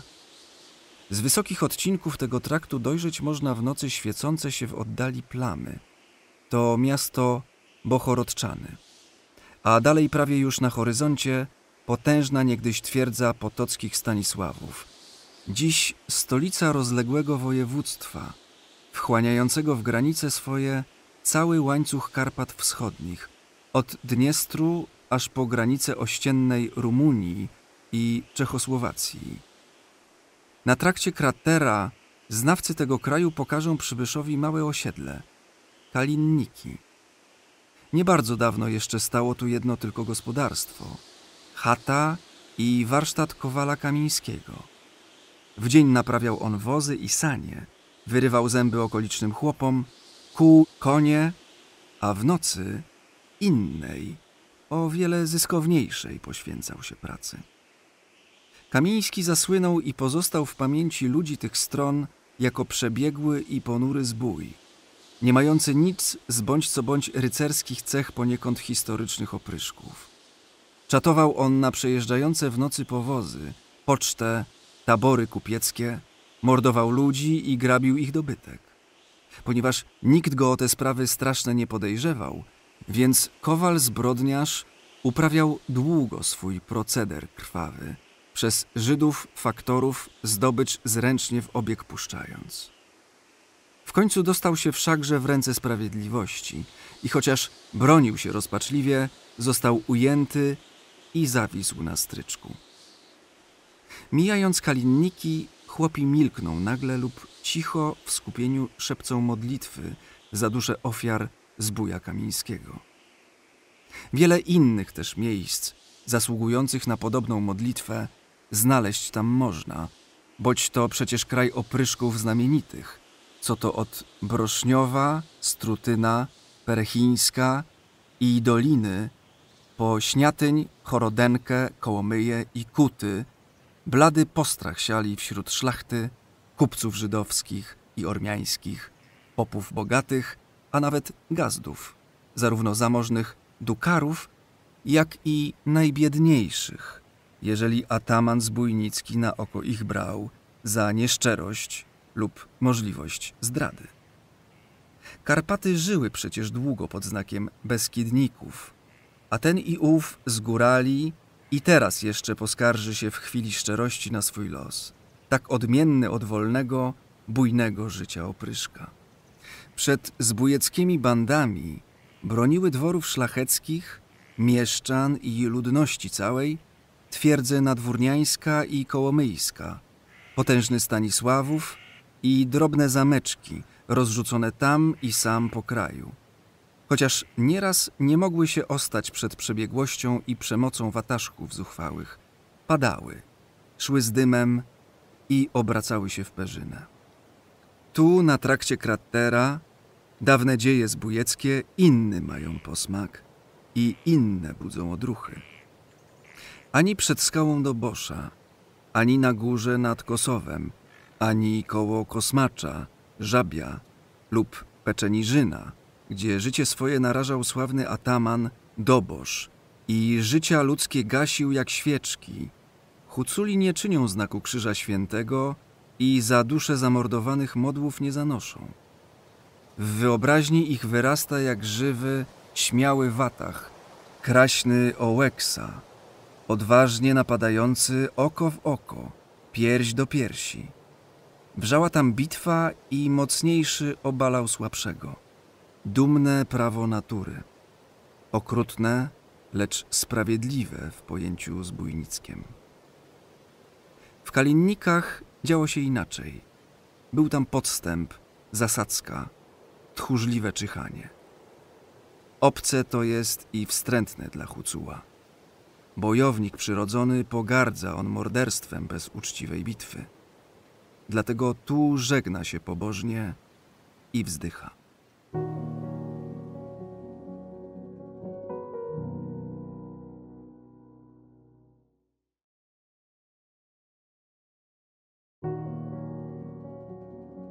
Rozdział czwarty. Z biegiem prutu. Z małych, choć wartkich źródlisk zrodzony na Hoverli, mknie pienny prut w swych brzegach urwistych na północ. Setki rzeczek i potoków przyjmując, z prawa i z lewa, aż przeciąwszy niby nożem stłoczone zbiegowisko domów Delatyna, skręca na wschód, by uradować swym widokiem Kołomyję i Śniatyń, bez wiz i przepustek wedrzeć się do Rumunii, popędzić przez nią, bo taka już mu wypadła droga ku morzu. Od jego groźnego przełomu w skałach twardych piaskowców pod Jaremczem pobiegły ścieżki ku południowi. Tam, gdzie niby siny mur zębaty wyznosi się duma i krasa Karpat polskich, czarnochora, potężna i malownicza, źródło natchnienia dla Hucułów i ich miłości dla tej wierchowiny. Miłości tak wiernej i głębokiej, że pozbawieni jej widoku zapadają na ciężką tęsknicę, która ich nieraz do zbrodni lub samobójstwa doprowadza. U stóp lesistej makowicy, co stromemi spychami opada aż do łożyska prutu, przytuliło się jaremcze, tonąc w otaczających je ze wszystkich stron lasach, rosnących na stromej zerwie ostrej, z olbrzymim spychem, słoniem, na najeżonej skałami zębatej grani jawornika Gorganu i na widniejącym pod nim pocharze. Narciarze omijają Jaremcze, gdyż mało tu dogodnych terenów, ale za to turyści znajdą tu pole do bliskich i łatwych lub dalekich i trudnych wycieczek, zaczynając od pięknego wiaduktu, co niby cięciwa wyprężył się na 65 metrów rozpiętym łuku kamiennym, pod którym mknie prut, skacząc po głazach i skrząc się w migotliwej łusce szypotów. Od wodospadu, gdzie w głębokim biało-zielonym wyboju, w kipieli mętnej od piennych wirów, strągi walczą z syczącą zwarą, stale zasilaną nowym narybkiem z wzorowo urządzonej pstrągarni rządowej. Od przełomu prutu, gdzie jego wart zwyciężył skalną pierś gór, przebijając ją i zrzucając głazy podmyte wściekłymi strugami. Od Pogoru i Czarnochoricy do bezdroży i złomisk na szczycie Makowicy, do Połonin pod wierchem Sinieczki i przez zarośla kosodrzewiny do ponurego jawornika Gorganu. Kto stąd dopiero zwiedza Gorgany, ten może z Jaremcza zdobyć szczyty Syniaka, Chomiaka, Doboszanki, a z wyżyny wierchów napatrzeć się dosyta na wesołe kaskady w łożyskach potoków, okiem ogarnąć groźne pola arszyc gorgańskich i daleką, ciągnącą ku sobie panoramę Czarnochory i Świdowca, który poza naszą pozostał granicą. Romantycznie i tajemniczo wygląda koło Jaremcza olbrzymi głaz, co na pewne stoczył się niegdyś z grani spychów pobliskich. Ten, co tkwi przy torze kolejowym i zwraca na siebie uwagę krzyżem wieńczącym ciemną skałę. To kamień do Bosza, herszta opryszków, przez legendę wyniesionego na szczyt bohaterstwa narodowego. Tam mają spoczywać jego kości – ale inne też są gawędy o jego grobie. Inne, mniej romantyczne niż ten prawie czarny kamień i ukryte w lesie komory do bosza, głębokie szczeliny, ciemne wnęki wśród potwornych bloków skalnych. Tam mógł istotnie mieć bezpieczny schron dla siebie przesławny zbójnik huculski. Rycerski i tragiczny Ołeksa Dołbuszczuk. I tu gromadzić i ukrywać swoje skarby między złomami, spowitymi gęstym płaszczem borówek, czernic, paproci, orlicy i wrońca. Nad wartem prutu pochylają się gałęzie szarych olch i jesionów, a na zboczach górskich w dolnym reglu panują buki, jodły i świerki. Wyżej same świerki. A w paśmie jawornickiem sosny w znacznych skupieniach. Ludne to miejsce i rozbudowane, owe jaremcze, wspaniałe letnisko wypoczynkowe, rozrastające się szybko i pomyślnie, bo wszystko temu sprzyja. Klimat, okolica, opieka rządu i przedsiębiorczość hucułów. Jednak mimo woli westchnienie podnosi pierś, gdy przed oczami przepływa panorama tego malowniczego zakątka. Budynki, najczęściej brzydkie i tandetne, ani w treści, ani w formie swej nie mają nic wspólnego z charakterem pięknego krajobrazu, którego zeszpecenie ostateczne zrównałoby się zbrodni. Szosa, wykuta w skałach przełomu Prutu, przebiega wieś Jamną, koło której w czeluści doliny małego potoku z wysokości 15 metrów spada cienka struga wody i niby srebrna nić babiego lata, to znów niby szkliwie ruchome, spływa na kamienne podnoże. Jest to wodospad Kapliwiec. W upalne dnie mały, a w chmurne i dżdżyste szumny i gniewny. W zimie znów zdobny w fantastyczne roziskrzone stalaktyty i w zwisające ze skał zasłony lodowe. Dalej rozbiega się po łąkach rozrzucona szeroko wieś Mikuliczyn, gdzie kwitnie przemysł, gdyż kolejka z lasów nad Prudcem Czemegowskim dowozi świerki do tartaków i do fabryki wełny drzewnej. Na łagodnych zboczach Jaworowej i Neresnego w chatach huculskich spędzają lato zmęczeni i chorzy ludzie z miast. Słonecznym, zasłoniętym od wichrów Mikuliczynie powstały sanatoria szkolne i związków zawodowych. Stacje turystyczne, zwabione tu nasłonecznionymi górami, gdzie już panuje swojska rdzennej huculszczyźnie architektura cerkwi, dzwonnic i chat góralskich. Między Strymką, Jachodynkiem i Chreblą w obramowaniu borów świerkowych rozłożył się Tatarów. W czasie ostatniej wojny, jak niegdyś za najazdów tatarskich, niemal doszczętnie zniszczony, lecz odbudowujący się szybko, co zawdzięcza stałemu napływowi letników i istniejącym już tu sanatorium. Nad prutem stoją pionowo skały nadpłytnej. Niedaleko w dzikim wąwozie spada wodospad Tatarowczyka. Dalej na drodze pnącej się ku granicznej przełęczy tatarskiej leży wieś Jabłonica, rozrzucona po spychach, prawie już pozbawionych lasu, gdzie zielenią się łąki, a tam i sam pola orne, gdzie jęczmień się kłosi, złoci się żyto i dojrzewają ziemniaki. Za dawnych czasów osiedli tu Huculi z Mikuliczyna i znaleźli dla siebie stały i niezły zarobek jako przewoźnicy towarów do Węgier. Warunki klimatyczne tej zimowej stacji uzdrowiskowej zależą od gór do Boszanki, Syniaka, Chomiaka i Chrebli, zasłaniających ją od północy. Istnieją tu też znakomite warunki dla sportu narciarskiego. Zachowało się tu kilka charakterystycznych starych graszt, gdzie panuje niemal całkowita samowystarczalność, oparta z jednej strony na hodowli owiec, dających wszystkie niezbędne produkty mleczne, jak brędza i masło oraz wełnę, z której wyrabia się odzież. W kleciach i ambarach tych gazdów można oglądać niemal cały huculski przemysł domowy. Za Jabłonicą, na przełęczy tatarskiej, zbudowano obszerne, dogodne schronisko Polskiego Towarzystwa Tatrzańskiego dla turystów i narciarzy, a od niego, tuż za strażnicami granicznymi, dobra droga serpentyną zbiega w dolinę Cisy po stronie czeskiej, skąd widnieją ciężkie masywy Pietrosa i Hoverli. Woronienka, dawny przysiłek Jabłonicy, zrosła się w jedną całość z Worochtą, bardzo znaną miejscowością uzdrowiskową, leżącą w kotlinie przeciętej prutem i wpadającymi do niego potokami.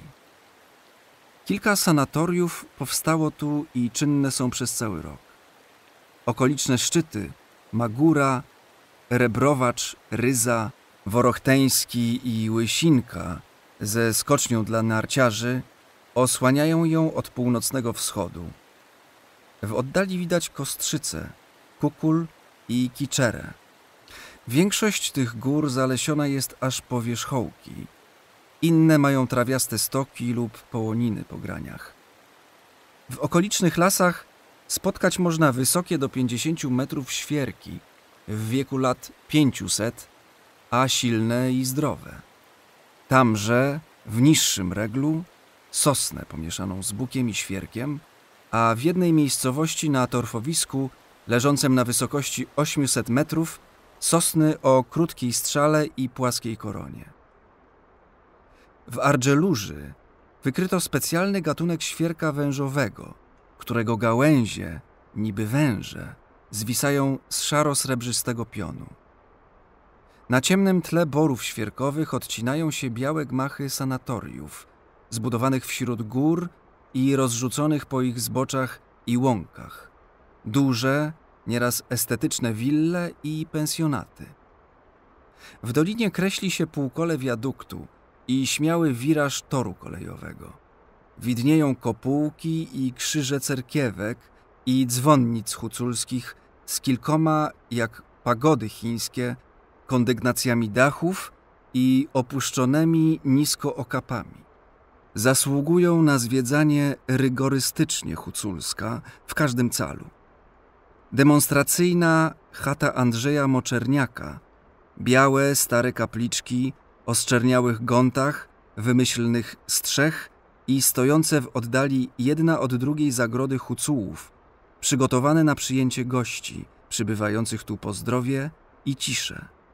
Wesoła, jak urocza mołodycia i niby uśmiechnięta w lecie worochta, nie traci swego powabu i w zimie. Gdy góry okoliczne owiną sobie głowice śnieżnymi peremitkami, a na ramiona narzucą białe, puszyste gugle i keptary, zdobne w cienki, czarny haft konarów olch i buków i zielony, prawie szafirowy, świerków i jodeł. Z nisko opuszczonych okapów chat zwisają wtedy połyskliwe sople lodu.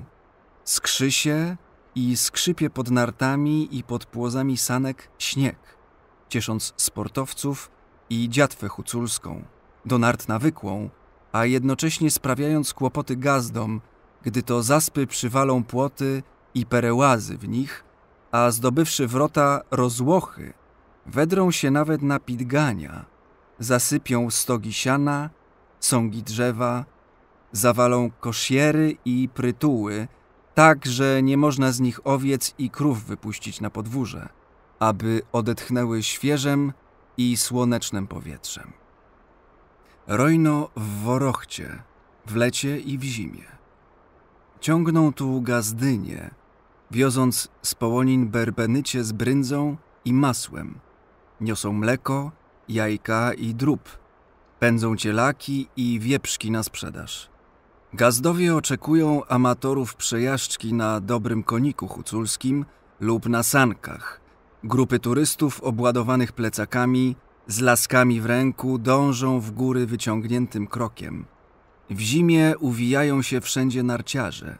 Ci, co się trenują na skoczni i ci, co dalekie i trudne odbywają wycieczki w Gorgany do Beskidu Huculskiego i aż pod Pop Iwana. W Worochcie wszystko już tchnie huculszczyzną, bo świadczą o niej te swojskie dla kraju tego cerkiewki, kapliczki i krzyże przydrożne, architektura zagród góralskich, stroje, nieraz dla efektu i przynęty przesadnie nawet prawdziwe, wędrowni handlarze, bednarze i prodaj flojery, zachwalający swoje fujarki i koszyki cybulenniki, roznoszący po domach cebule. Wnętrza chat z olbrzymimi piecami z barwnych kafli wypalanych, pięknie rzeźbione i pysane statki domowe, skrzynie, meble, półki, namisnyki i obraznyki. Ale wobec krajobrazu, tak bardzo zmodernizowanego już współczesnymi budynkami i przez wszystkich tych łętiuchów i zajdejów, co to nie wiedzieć skąd tu napływają z szerokiego świata, bez obrazy dla uprzejmych i gościnnych górali worochteńskich, wyodrębnić ich można w osobną grupę hucułów ze szlaków utartych. Do tej grupy można by było co prawda dołączyć również mieszkańców innych wsi, a często już nawet takich, co w samym sercu Huculszczyzny leżą. Niestety. Postęp, zapotrzebowanie rynku, cywilizacja i kultura piętno swoje wyciskają wszędzie, zmieniając przede wszystkim cechy charakteru ludności, ale któż przekształcić potrafi wymogi i wpływy ducha czasu? To wdzieranie się postępu ma jednak dla gór i dobre skutki, bo oto worochteńscy Watachowie i Juchasi niebawem już staną się wzorem dla innych pasterzy połoninnych. Zostali oni bowiem częściowo ujęci w karby przez dyrekcję lasów państwowych, z całą stanowczością występującą w obronie najżywotniejszych potrzeb hucułów.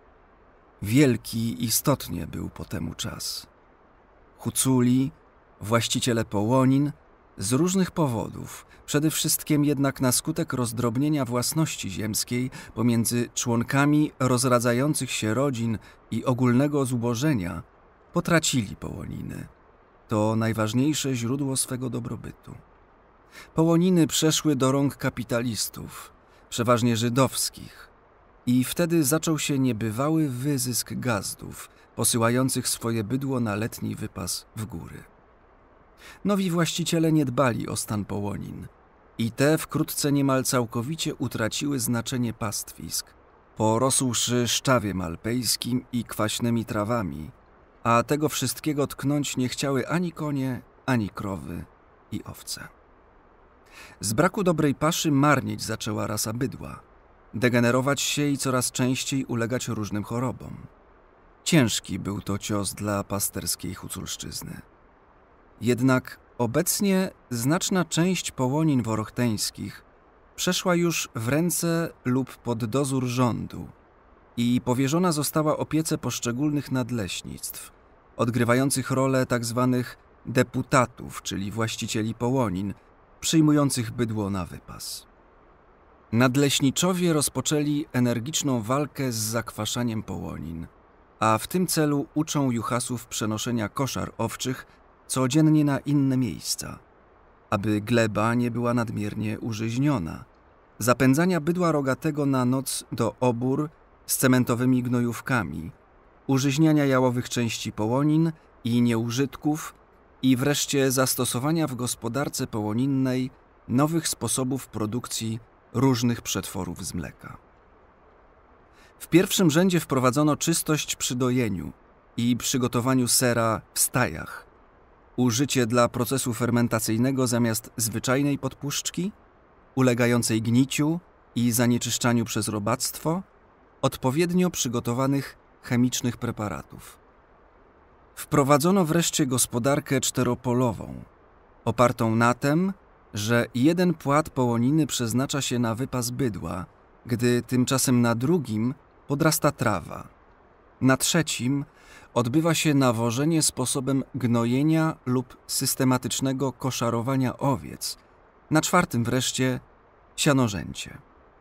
Taki plan gospodarki dał od razu dobre wyniki, a jednocześnie wzbudził zainteresowanie i zaufanie Hucułów, nie mniejsze od tego, jakie spostrzegać się daje w gospodarce leśnej.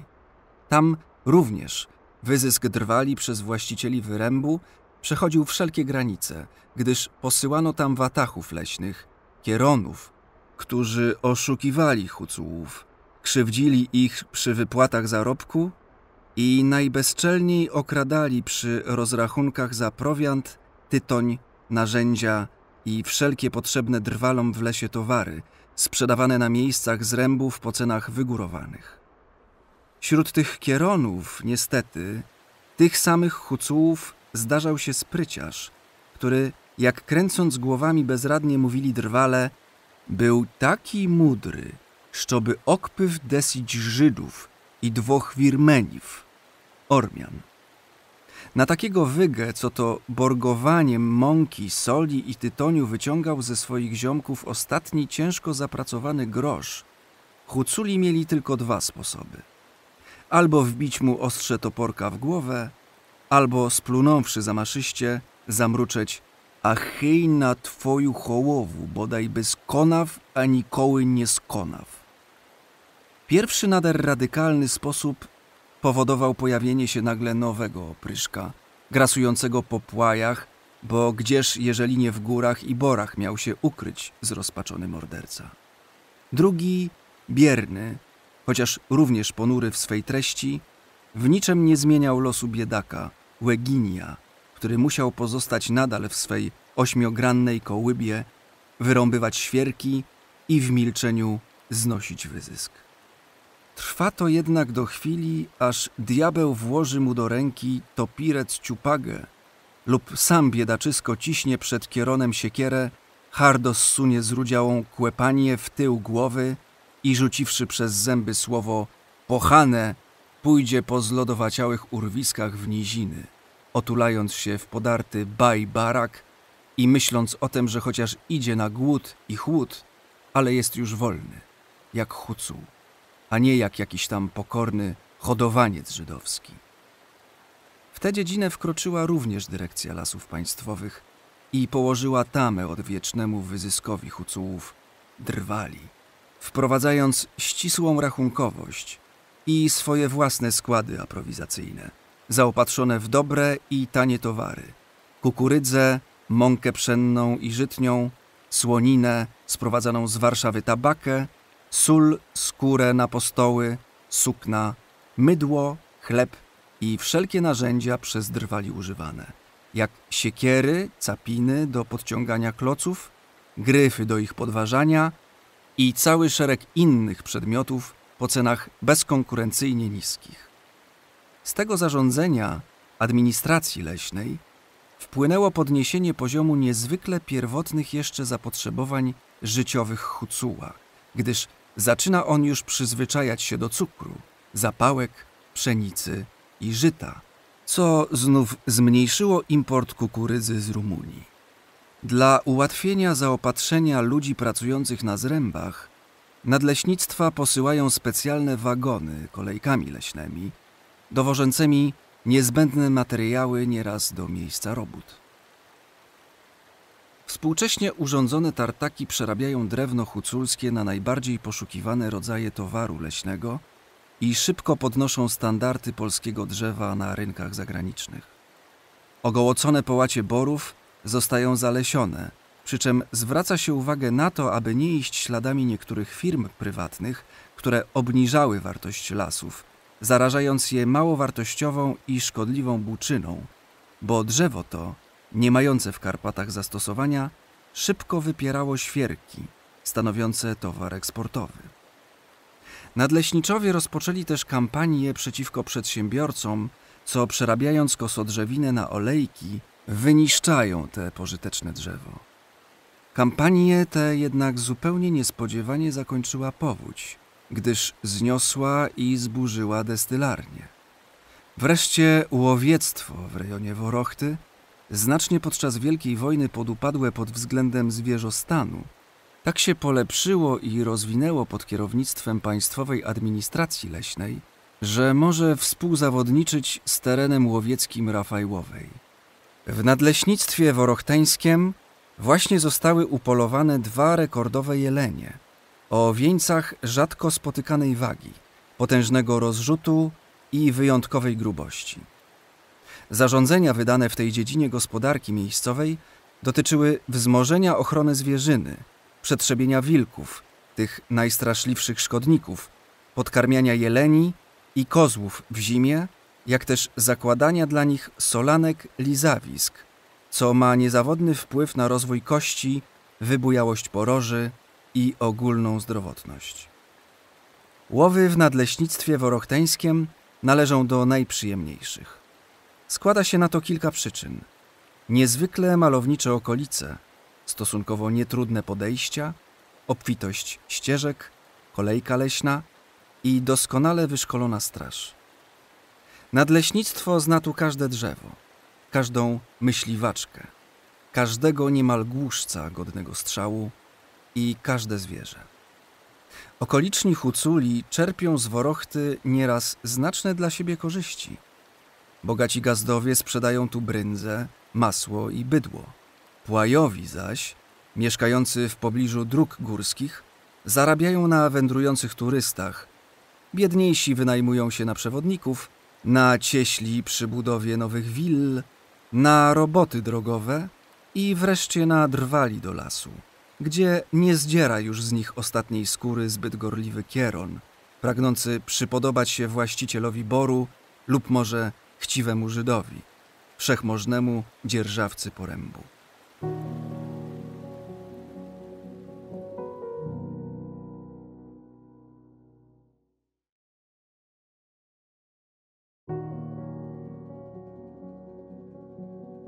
Rozdział piąty. do miast. Koniec jesieni. Ściemniało i stwardniało igliwie świerków i jodeł. Ostatnie złote i koralowe ronią liście buki, brzozy, osiki i olchy. Na zboczach wierchów snują się gęste pasma i kłębowiska mgieł, a gdy je wiatr zmiecie, widać po rozłogach coraz większe plamy śnieżne. Skończono już spławy. Powrócili watachowie z Połonin. Zborów sykmanycze, na jesiennych pracujący po rębach.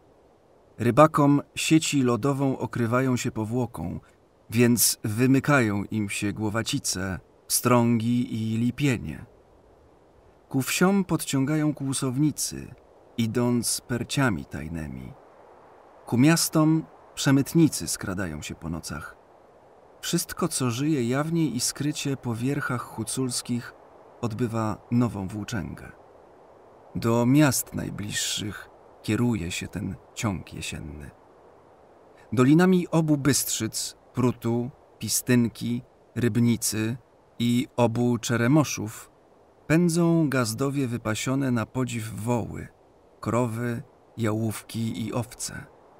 Ten i ów prowadzi koniki o mocnych karkach okrągłych. Troskają się gazdynie o juki z bryndzą, wełną, grzybami i suchymi jagodami. Skórnicy wiozą terkyły, nabite keptarami, tabiwkami, postołami. Bednarze, rzeźbiarze, siodlarze, tokarze, tkacze i garncarze wędrują ze swoim towarem. W dużych wsiach i miastach tu chram, tam jarmark. Gazdowie z Chryniawy, Jawornika, Jabłonicy, Fereskuli i Uścieryk, gdzie spotykają się bracia Czeremosze, dążą do Kut. Z Beskidu Huculskiego do Kosowa i Kołomyi, Prudcy Dolinianie do Delatyna, Nadwórnej i samego Stanisławowa nawet. Jedni jadą i idą, aby użyć życia, inni znów aby zdobyć coś na życie, gdy śnieg okryje dachy chat, a przy Woryniach i Pidganiach nagromadzi wysokie zaspy, kurzące się na wietrze. Kuty to prawdziwa stolica południowo-wschodniej Huculszczyzny, bo jeszcze w końcu wieku XVIII stanowiły klucz starostwa niegrodzkiego, obejmującego puszcze i góry aż po Chryniawę. Panowała tu włączas gospodarna Ludwika, z Mniszchów Potocka, Kasztelanowa Lwowska, pomna nakazu wojewody kijowskiego Józefa Potockiego, co troskał się o ów uchłowy kraj ciepły na wzór italskich ziem, a rodny jak żaden inny na Rusi. W pięknej, górzystej, łagodnej, słonecznej okolicy powstały w wieku XV kuty.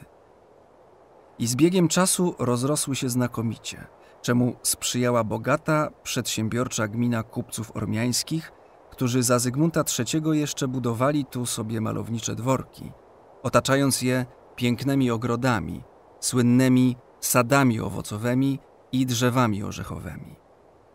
Miasteczko stało się wówczas głównym punktem handlowym z zagranicą i koroną. Ormianie, mając swoje filie w Lwowie, Stanisławowie, Przemyślu i Śniatyniu, pędzili przez kuty konie huculskie, bydło, wieźli sól, kiełbasy kozie, słynne pokuckie zioła lecznicze i czarowne do Węgier i na Bałkany, dostarczając stamtąd kukurydzy, wełny, ozdób wschodnich, kobierców, broni i win. Ormiański płaj był dobrze znany opryszkom beskidnikom. Ormianie pozostali na pokuciu, lecz nie grają już dawnej roli, wyparci przez nawałę żydowską. Będąc zawsze lojalnymi obywatelami polskimi, długo jednak przechowywali swoją odrębną obyczajowość i język. Lecz od czasu, gdy zerwały się wszystkie więzy z ojczystą Armenią i pobratymcami przebywającymi w Turcji i Rosji i z patriarchą w Eczmiadzinie, spolszczyli się zupełnie. Starcy tylko pamiętają coś niecoś z historii Ormian, o ich wspaniałej literaturze i władają jeszcze mową ojczystą. W niewielu zaledwie rodzinach przygotowują na Wielkanoc katchę, obrzędową paschę pszenną z miodem i wielkopostny machoch, lecz niemal całkowicie zapomniano już o odpustach w dzień Kirkora u świętego Grzegorza Światłodawcy, apostoła ormiańskiego i świętego Kajetana. Za to dzień świętego Antoniego obchodzi się niezmiennie. Pchezak, dawny ślub tradycyjny i związane z nim uczty Thegin, gdy to na rachunek gospodarza Cyrulik golił brody gościom i obiad, gdy podawano szczawiową zupę, ganjabur z uszkami pilaw i dołme, czyli mięso zawijane w liście winne lub kapustę. Wszystko to uległo wielkim zniekształceniom.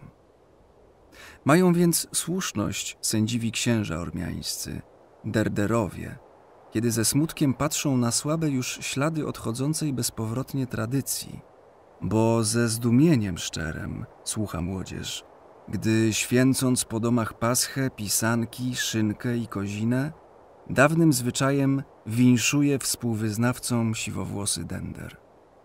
Tok tok, amendari, parą hasnik paskan dun, machochtus. Nie rozumieją już Ormianie, że po polsku tak brzmi to pobożne życzenie. Kołataj do Boga co roku, a doczekasz szczęścia wnieść paschę w dom, pozostawiwszy placek postny na dworze. Gdzie niegdzie tylko stara babka, rzucając na strych wypadły ząbek wnuczka, zamruczy stare zaklęcie. Mukhy, mukhy, arzbudugy dur indzi argytche, jest khezi oskhyre. Myszko, myszko, weź garnek, daj mi ząb żelazny, a sobie bierz kościany. Cóż na to poradzić? W kutach nad Czeremoszem, niedaleko okazałego mostu, stoi dworzec kolejowy. Dokoła brzmi mowa polska, a oknami i drzwiami wdziera się cywilizacja autobusów, kinoteatrów, radia, dancingów, sportów. Kościoły katolicki, ormiański i cerkiew odcinają się malowniczo na zielonym tle okolicy. Po wojnie powstało w mieście kilka pokaźnych gmachów współczesnych. W kutach odbywają się zgiełkliwe i tłoczne jarmarki, gdzie można podziwiać barwną ceramikę, wyroby koszykarskie i skórzane, bogate keptary żabiowskie i bukowińskie, siodła, taszki, wory do juków i mnóstwo innych wyrobów rzemieślników kuckich i obcych. Uskoki grzbietu Chomeńskiego, szczyty Krzemienicy i góry Owidiusza, niby olbrzymi parawan – kilimowo-barwny w lecie i czarno-biały w zimie, bronią kut przed zimnymi wiatrami, czyniąc z tego malowniczego, przytulnego miasteczka najcieplejszy obok Kosowa, jak wskazują tabele meteorologiczne, zakątek naszej ojczyzny. Dobra szosa biegnie z Kut do Kosowa. Coraz rozleglejsze ciągną się połacie ziemi ornej, gdzie rolnicy sieją pszenicę i kukurydzę, a zagrody wieśniaków toną w sadach owocowych. Jednak nie widać już tam posetków huculskich, gdyż zwyciężyła tu pospolita, mało pociągająca chata podolska. Pomiędzy Kutami a Kosowem wyczuwa się już żyzną glebę Zadniestrza i osiadłe, jednostajne życie oraczy. W zieloności tonie Kosów znaczne, liczące 12 tysięcy mieszkańców miasteczko, wyciągnięte po obu brzegach Rybnicy, z imponującym na wiosnę wodospadem, hukiem u lesistego podnóża Michałkowa. Znawcy wróżą miasteczku świetną przyszłość winnic polskich i plantacji najbardziej wyszukanych w naszym klimacie owoców brzoskwiń i moreli. Stare to osiedle, od dawna słynące źródłami solnymi, przy których trwa do dziś dnia salina rządowa w starannie utrzymanym parku. Powstał tu popularny zakład przyrodoleczniczy doktora Apolinarego Tarnawskiego, polskiego Lachmana i energicznego propagatora klimatyczno-uzdrowiskowego znaczenia pokucia. Miasto to stało się ważnym ośrodkiem przemysłu lokalnego, a między innymi pracowniami słyną tu warsztaty wykładanek artystycznych i wyrobów korzuszniczych. Nad miastem wznosi się miejska góra – gdzie można ongiś szlachta kosakowscy miała siedzibę obronną nazywaną w aktach fortalicją. Stoi tam teraz krzyż żelazny, obok zaś drewniany, wystawiony ponoć przez zbójnika do Bosza nad grobem zabitych towarzyszy opryszków. Widnieje stąd w mglistej dali skrawek Karpat na Bukowinie. Niżej rozrzucone zbiegowisko domów miasteczka – i piękne nieraz wille po wzgórzach, wpół ukryte za drzewami. Szosa prowadząca do Kołomyi przecina Pistyń, gdzie turysta z zainteresowaniem obejrzy sławną pracownię garncarską w zdobieniu swych wyrobów posługującą się motywami wspólnymi całej Polsce, a może nawet Słowiańszczyźnie. Natomiast odrębna jest kompozycja rysunku na kaflach ceramicznych, gdzie występują sceny rodzajowe z życia wojska, szlachty, opryszków, nieraz pełne humoru, a nawet nie lada zjadliwości. Świeże tam po dziś dzień stare tradycje polskich garncarzy Kowalskiego, Baranowskiego i Bachmińskiego, którzy wprowadzili do życia huculskiego garncarstwo ozdobne i wysoce artystyczne. Rozwija się ono nieprzerwanie i po dawnemu w warsztatach polskich garncarzy. Stara cerkiew, zbudowana podług najsurowszych kanonów cerkiewnego budownictwa huculskiego, posiada kilka misternych sprzętów roboty szkryblaków, triicie, krzyże i małe qui pro quo.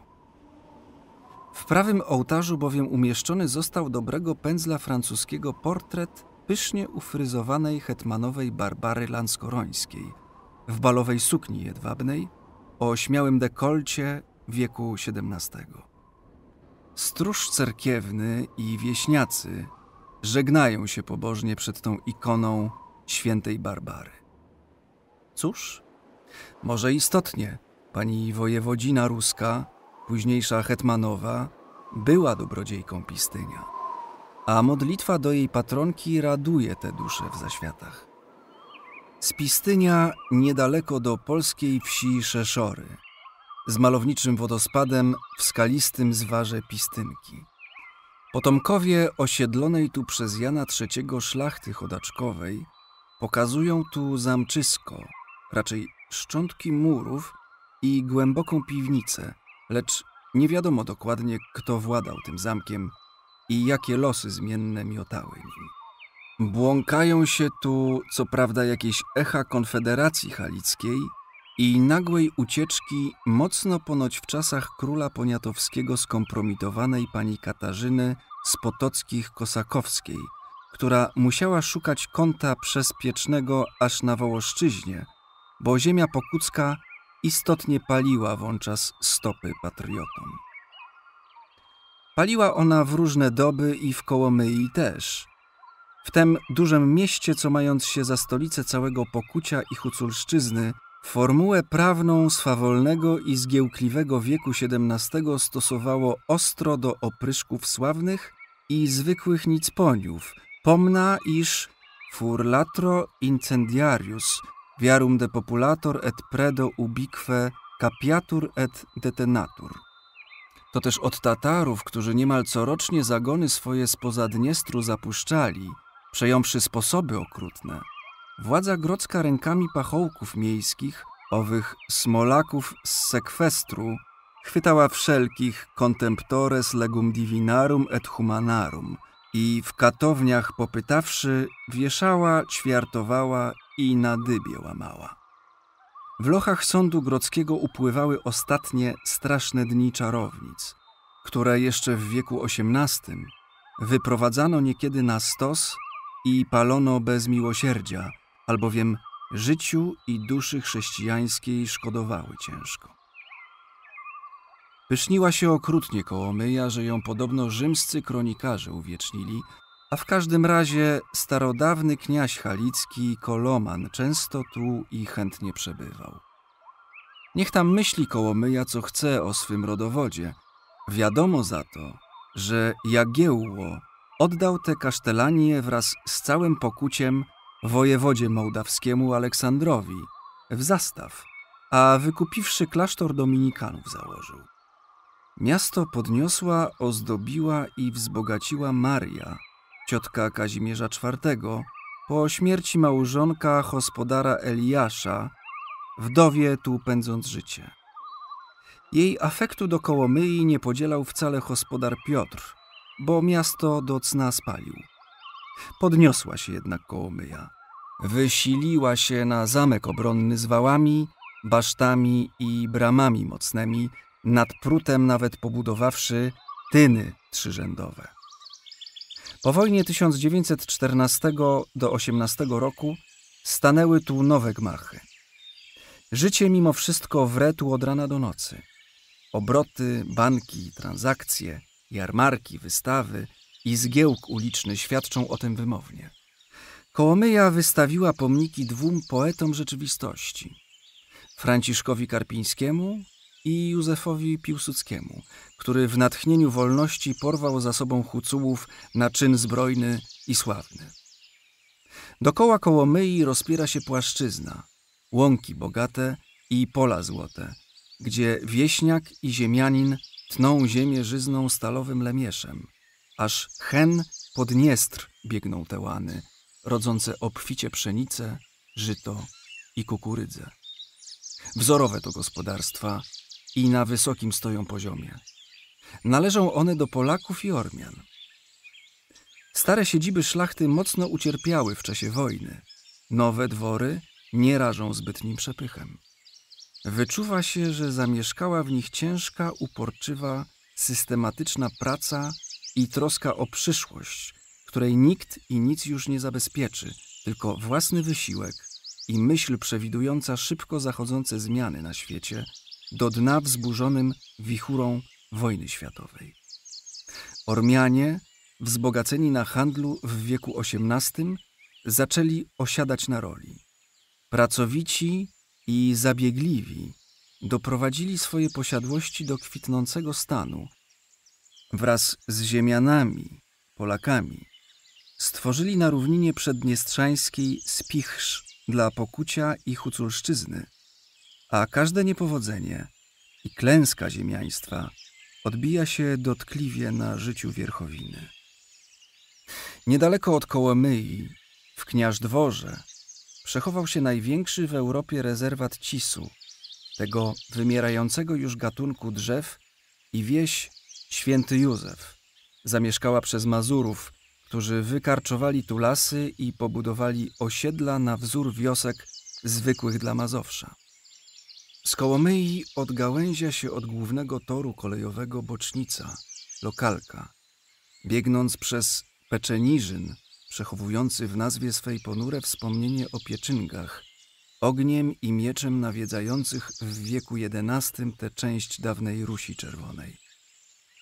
Dochodzi ta staroświecka kolej do kopalń ropy w Słobodzie Rungurskiej. Przemysł naftowy zapoczątkował tu w ostatniej kadrze wieku XIX patriota gorący i myśliciel Stanisław Szczepanowski. W łagodnej miejscowości, wśród zielonych gór, widnieją tam rozrzucone chaty, domki, przytulne wille i kaplica patronki górników świętej Barbary, należące do wsi i osady fabrycznej. Najświetniejsze czasy tego ropyszcza minęły już, ale praca tu nie ustała wszakże. Nieprzerwanie pracują trójki, pompami wyciągając ropę z żył ziemi i napełniając nią wagony cysterny. Nad kotliną, przeciętą małą rzeczką, panuje najwyższa tu góra Ostapiuk. Po stokach bezleśnych rozparły się wspaniałe łąki o trawach bujnych, żyznych i kobiercach z dzwonków, wonnych świeczek, koniczyny olbrzymiej, niezapominajek i bratków polnych.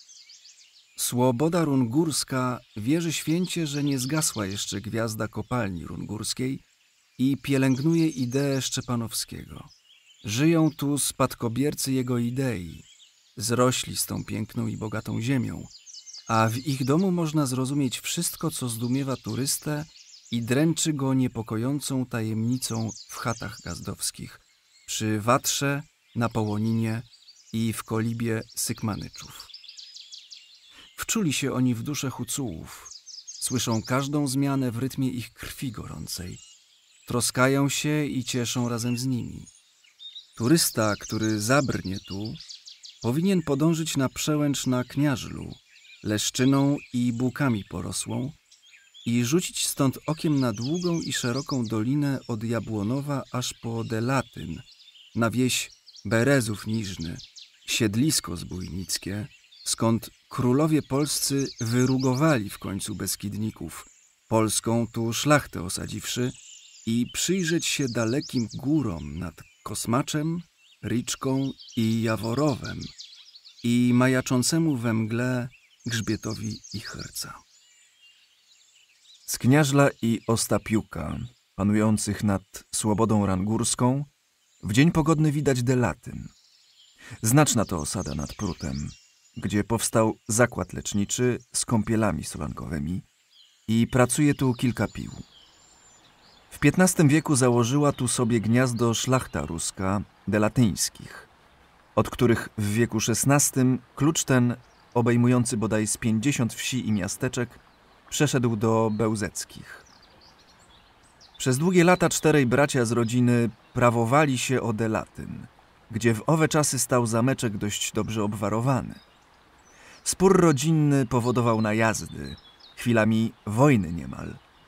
I to demoralizowało okoliczną ludność, tym bardziej, że bełzetcy potajemnie posiłkowali się opryszkami i w pewnych wypadkach uzbrajali swoich poddanych, zachęcając ich do grabieży po dworach przeciwników.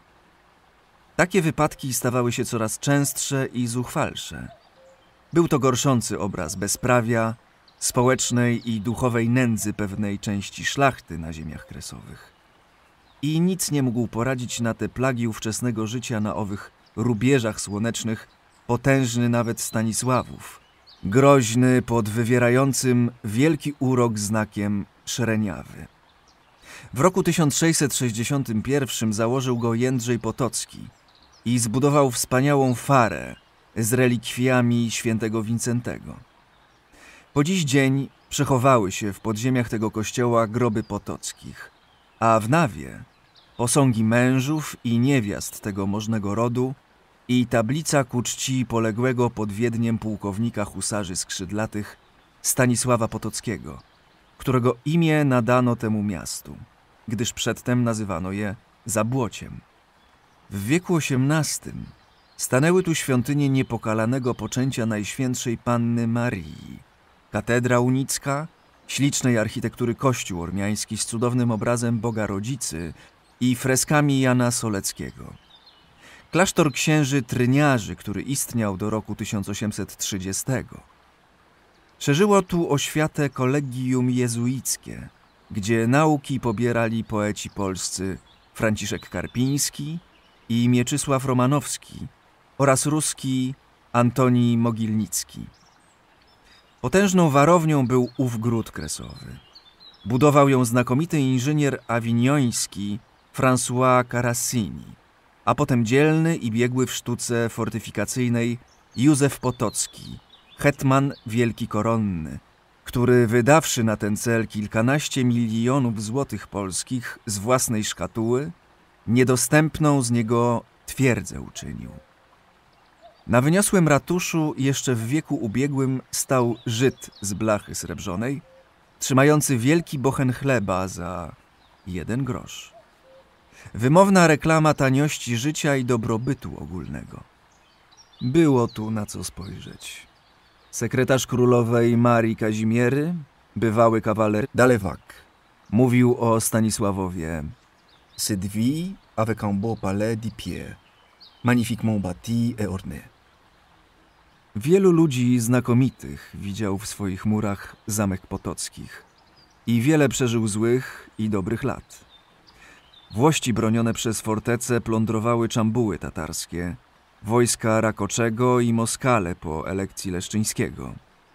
Długo pamiętano tu napad Adama Sieniawskiego, stronnika Sasów. Srożyły się tu dżuma i niszczące pożary.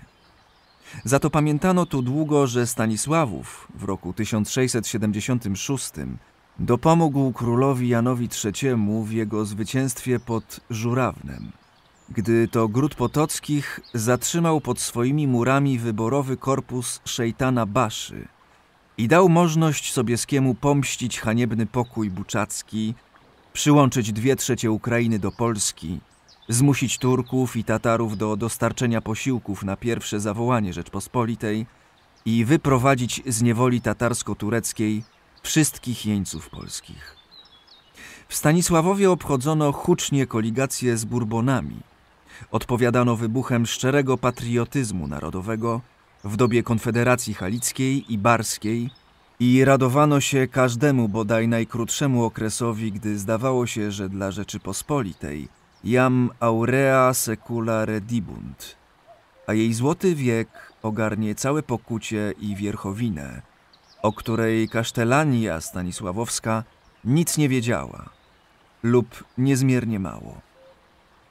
Rok 1801 był rokiem tragicznym dla Stanisławowa.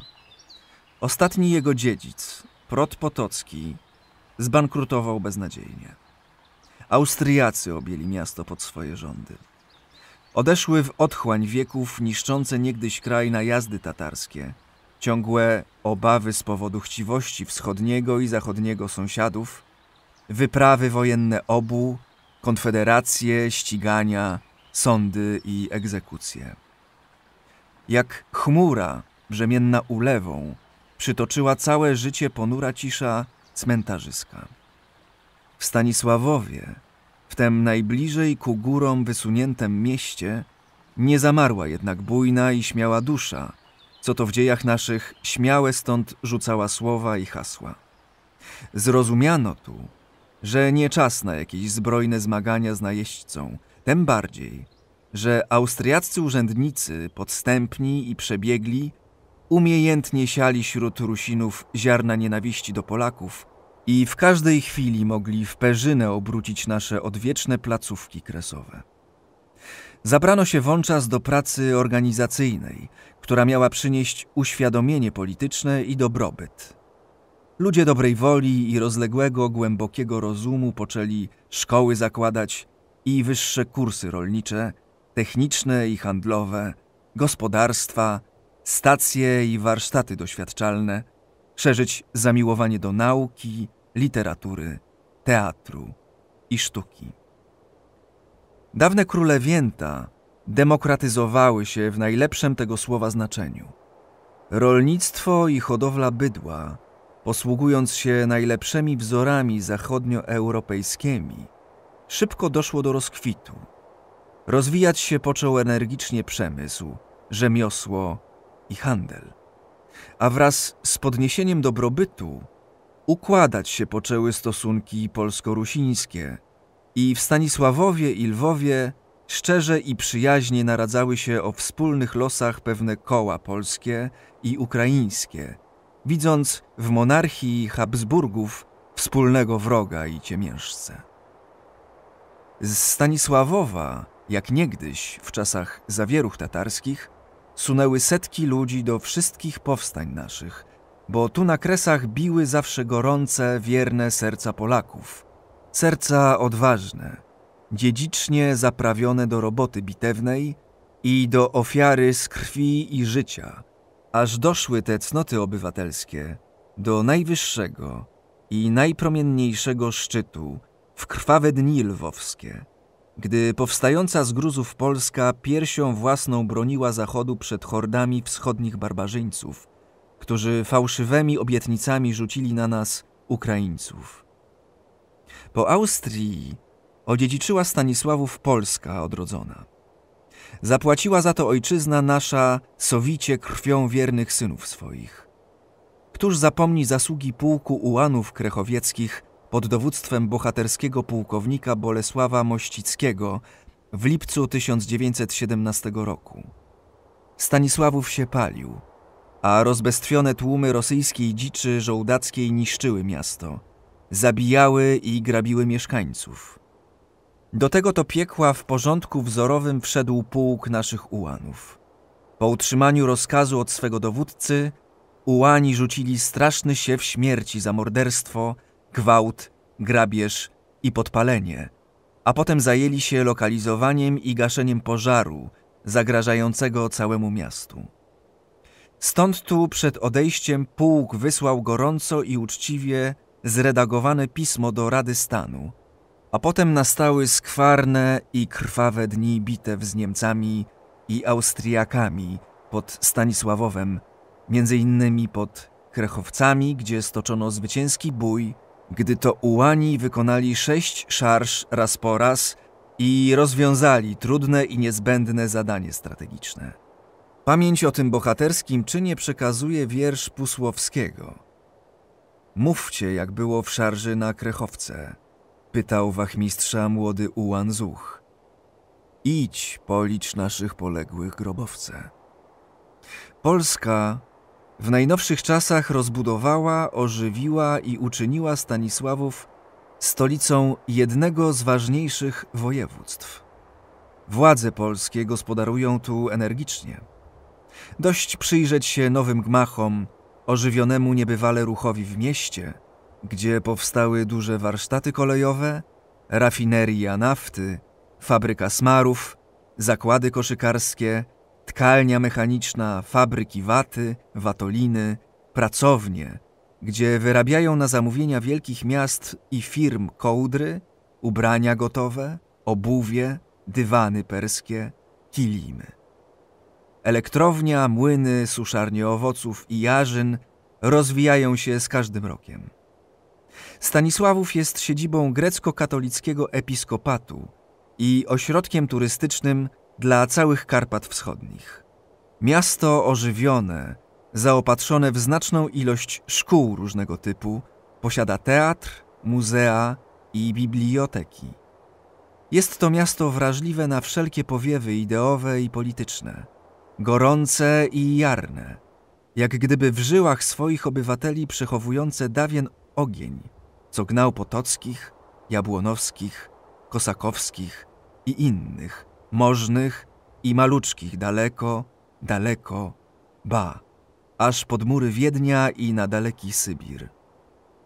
Teraz w nowoczesnej Kasztelanii wiedzą o wszystkim, co się dzieje na Huculszczyźnie, od Gorganów do Śniatynia i od Przedgórza aż po dalekie rozłogi południa i groźny mur Czarnochory. Rozumieją nawet marzenia i porywy górali beskidzkich – a ich przejawy w wytworach sztuki ludowej przemawiają z gablot Muzeum Stanisławowskiego, pomyślanego i ochranianego z pietyzmem prawdziwym i wnikliwością głęboką.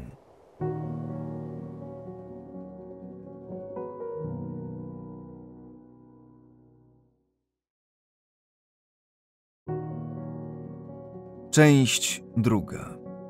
W Beskidzie Huculskim. Rozdział pierwszy Zagadki bez rozwiązania. Na wschód od Prutu rozpostarły się łańcuchy górskie Huculszczyzny Rzechłej, tej najprawdziwszej, wykochanej przez gazdów, watachów, juchasów, kiermanyczów, sykmanów, spuszczających świerki po ryzach i tych wszystkich, których od dziada pradziada pociąga ku sobie, karmi, poi i raduje ta ziemia urocza i piękna nawet wtedy, gdy groźna jest i gniewna.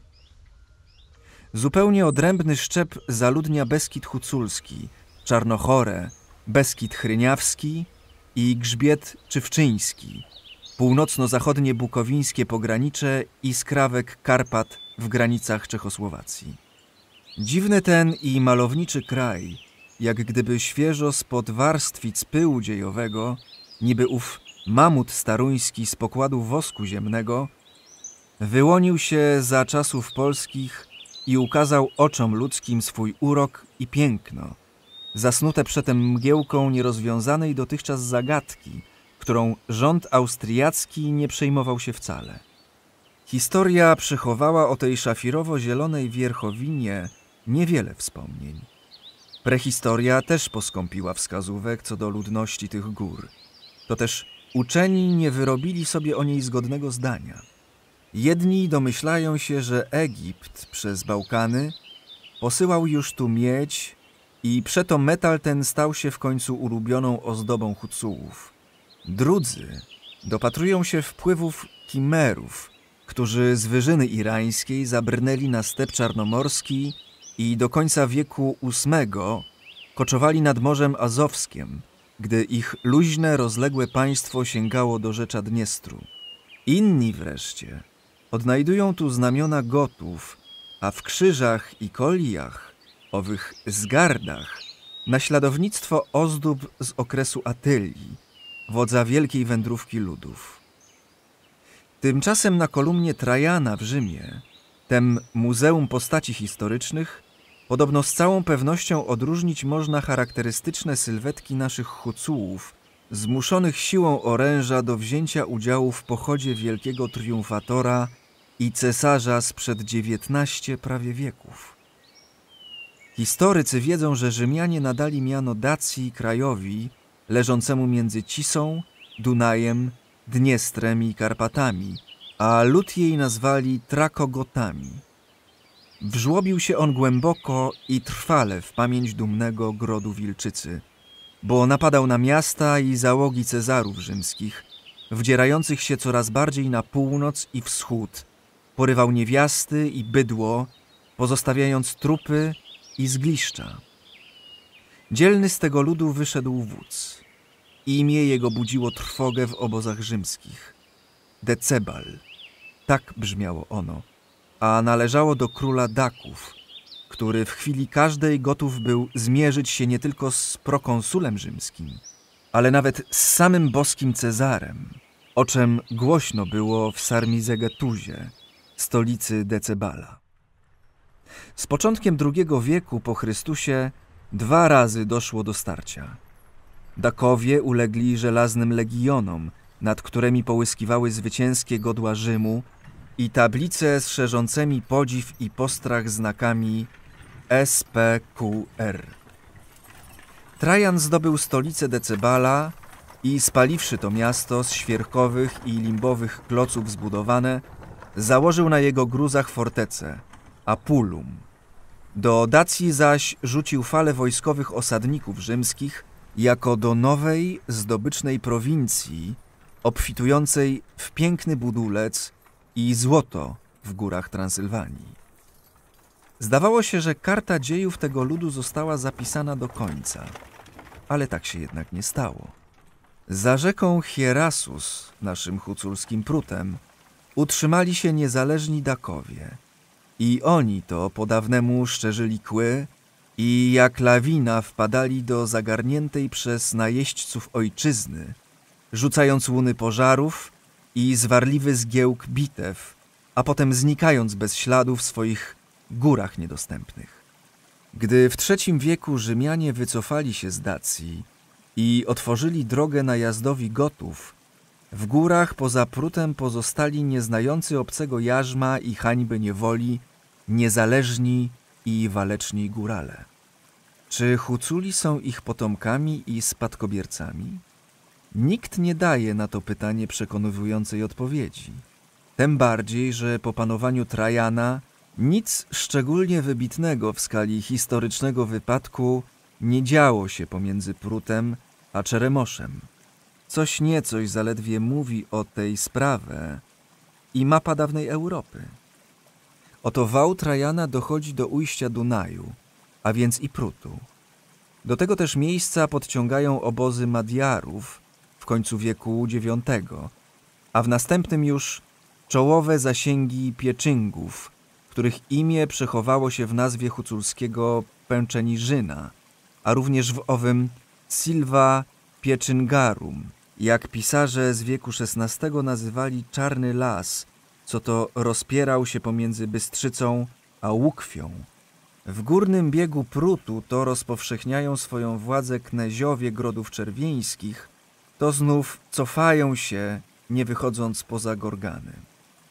W XII wieku dwie fale uderzają jednocześnie o karpackie podgórza. Torki Berendeje i Połowcy, czyli Kumani. W wieku XIV od zachodu wdzierają się tam Madiarzy, od południa Bułgaro-Wołosi, aż nadciągnie horda tatarska, która odrzuci Ruś Czerwoną i stratuje przełęcze, połoniny i doliny karpackie. Wkrótce po tym krwawym okresie, za Kazimierza Wielkiego, Polska odziedziczyła całe pokucie i huculszczyznę teraźniejszą i włada niemi przez cztery wieki, aby utracić tę ziemię w roku 1772 i odzyskać je wraz ze swą wolnością w Wielkiej Wojnie. Na przestrzeni tych 400 lat Huculszczyzna nie stała się areną jakichś bardziej wybitnych wypadków dziejowych. Może nieco głośniej przemówiła ona, gdy Wołosi złożyli tu w roku 1415 hołd Jagielle, a potem podczas nieudanej wojny wołoskiej za Olbrachta, wojny kozackiej i wreszcie Konfederacji Barskiej. Zresztą pokucie z Huculszczyzną, leżące na skraju Polski, żyło własnym życiem, aczkolwiek częstokroć niezmiernie burzliwym, a niezmiennie barwnym, romantycznym i namiętnym. Już te pomruki dawnych wieków, przemawiających z map historycznych, pozwalają domyślać się, że szczep huculski jest niezwykle pstrym zlepkiem różnych ras i ludów. I tem się tłumaczy odrębność jego zarówno fizyczna, jak i duchowa. Huculi, niby te stare płyty na grobowcach, papyrusy zbutwiałe i pergaminy spleśniałe, przechowali w sobie wierzenia, zamiłowania, zwyczaje i żywe jeszcze echa tych ludów, po których w pamięci ludzkiej nazwy nawet nie pozostało. Trwają i żyją. Sędziwi, lecz mocni i zdrowi, jak ta samotna mudryna, jasnozielony modrzew, stojący tam, gdzie teraz bezleśna rozparła się halizna. To też Jan Karłowicz robi słuszną uwagę. Siedzące na górnym prucie, na pokuciu, wielce charakterystyczne, odmienne plemię Hucułów, jeśli nie jest gałązką wołoską, zruszczoną tylko, to na pewno odłamkiem Rusi, mocno przesiąkłym krwią wołoską. Nie ma też powodu odrzucać stanowczo możliwości jakiegoś dopływu wśród Hucułów krwi połowieckiej i turskiej w ogóle. Tym bardziej, gdy się przypomni, że całe późniejsze mołdawskie Zadniestrze dla nas, Huculszczyzna, była wieki całe zajmowana przez Pieczyngów, a następnie przez Połowców. Mniejsza już, czy i sama nazwa Hucuł nie jest przetworzeniem tylko nazwy Us, jaką nadano niektórym plemionom koczowym, Torkom. Stare też są nazwy różnych miasteczek i wsi pokuckich i huculskich, bo niektóre z nich, jak Kuty i Rybno, należały do synów niejakiego Zygimonta, nadane im przywilejem Jagiełły. Dragosynowiczowie władali Żabiem i Kosowem z daru Świdrygiełły, rządzącego z ramienia Jagiełły niektórymi ziemiami halickimi. Peczyniżyn był włością kasztelana Iwana Koli już w roku 1440. W tym samym czasie Berezów pozostał w rękach drobnej szlachty ruskiej. Akta z roku 1579 wspominają już o Rungurze i Kosmaczu. Wewnętrzne życie tych starych osiedli porywało za sobą bezimienne wtedy gniazda górskie i to tak burzliwie, że echa tych wypadków, nawet w ważnym w naszych dziejach i zgiełkliwym wieku XV, obijały się o królewskie mury Krakowa. Wielkie bowiem powstało larum, gdy prosty chłop, mucha, do zbroi i do boju zawzięty, na czele dziewięciu tysięcy ludzi, po części zaciągniętych za mołdawską rubieżą, po części zwerbowanych spośród drobnej szlachty ruskiej z Podkarpacia, ni to płomień niszczący, przebiegł od Śniatynia aż po Halicz i Rochatyn. Król zmuszony był wówczas zwołać pospolite ruszenie, a dowodzący niem wojewoda rozbił watachę muchy nad Dniestrem, jego samego zaś, zdradzonego przez kobietę, schwytał i przywiózł do Krakowa, gdzie w lochu więziennym urwała się nić życia tego niepospolitego buntownika. W rok później na arenę dziejową wypłynął zuchwały samozwaniec Andrzej Baru z Mołdawii. Ten znów pretendował do tronu Rusi Czerwonej, z Polską związanej przez króla Kazimierza Wielkiego, lecz grasował krótko, bo pojmany przez kasztelana halickiego, stracony został w Krakowie. Niektóre badania doprowadzają do wniosku, że Huculszczyzna nie jest ani archaiczna, ani też niesłowiańska, gdyż większość osad huculskich nie sięgnie poza wiek XVII. Być może, ale wiemy, że karpackie granice nasze długo były płynne, a pasterski ten lud, być może, nie zakładał osad stałych, zanim nie zniewoliło go do tego życie.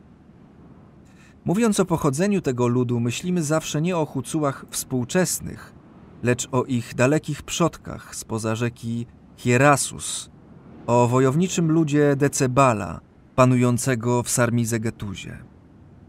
Czyż samo życie ludzi Wierchowiny nie przechowało tych prastarych ech? W najnowszym okresie Huculszczyzna rozsławiła się najbardziej, gdyż stała się areną zbrojnych czynów żelaznej brygady i ochotników huculskich. Tymi czynami historia rozpoczęła dalsze dzieje współżycia Karpat Wschodnich z Polską. Współżycia, które nie było nigdy ciężarem dla mieszkańców tego kraju. Wielcy i możni panowie polscy od piastowskich czasów mieli tu swe włości, rozległe niby udzielne księstwa.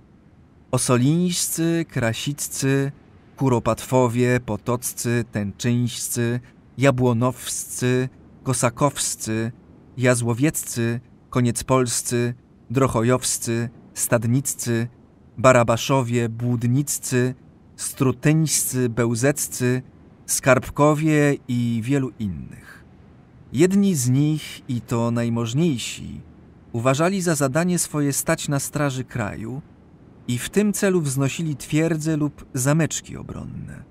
Drudzy w ten lub inny sposób wykorzystywali ziemię i lud tej dzielnicy.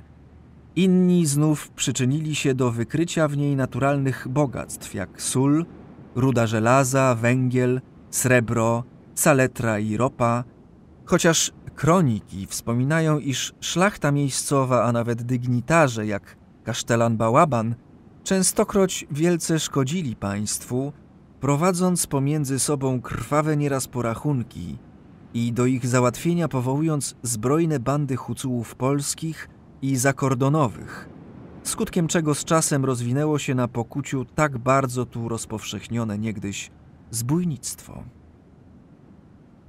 Rzecz znamienna, że poza Stanisławowem i Kołomyją, szlachta polska nie wysiliła się tu, jak to widzimy na innych kresach naszych, na wznoszenie okazałych siedzib świątyń i klasztorów dla zakonników prowadzących pracę cywilizacyjną.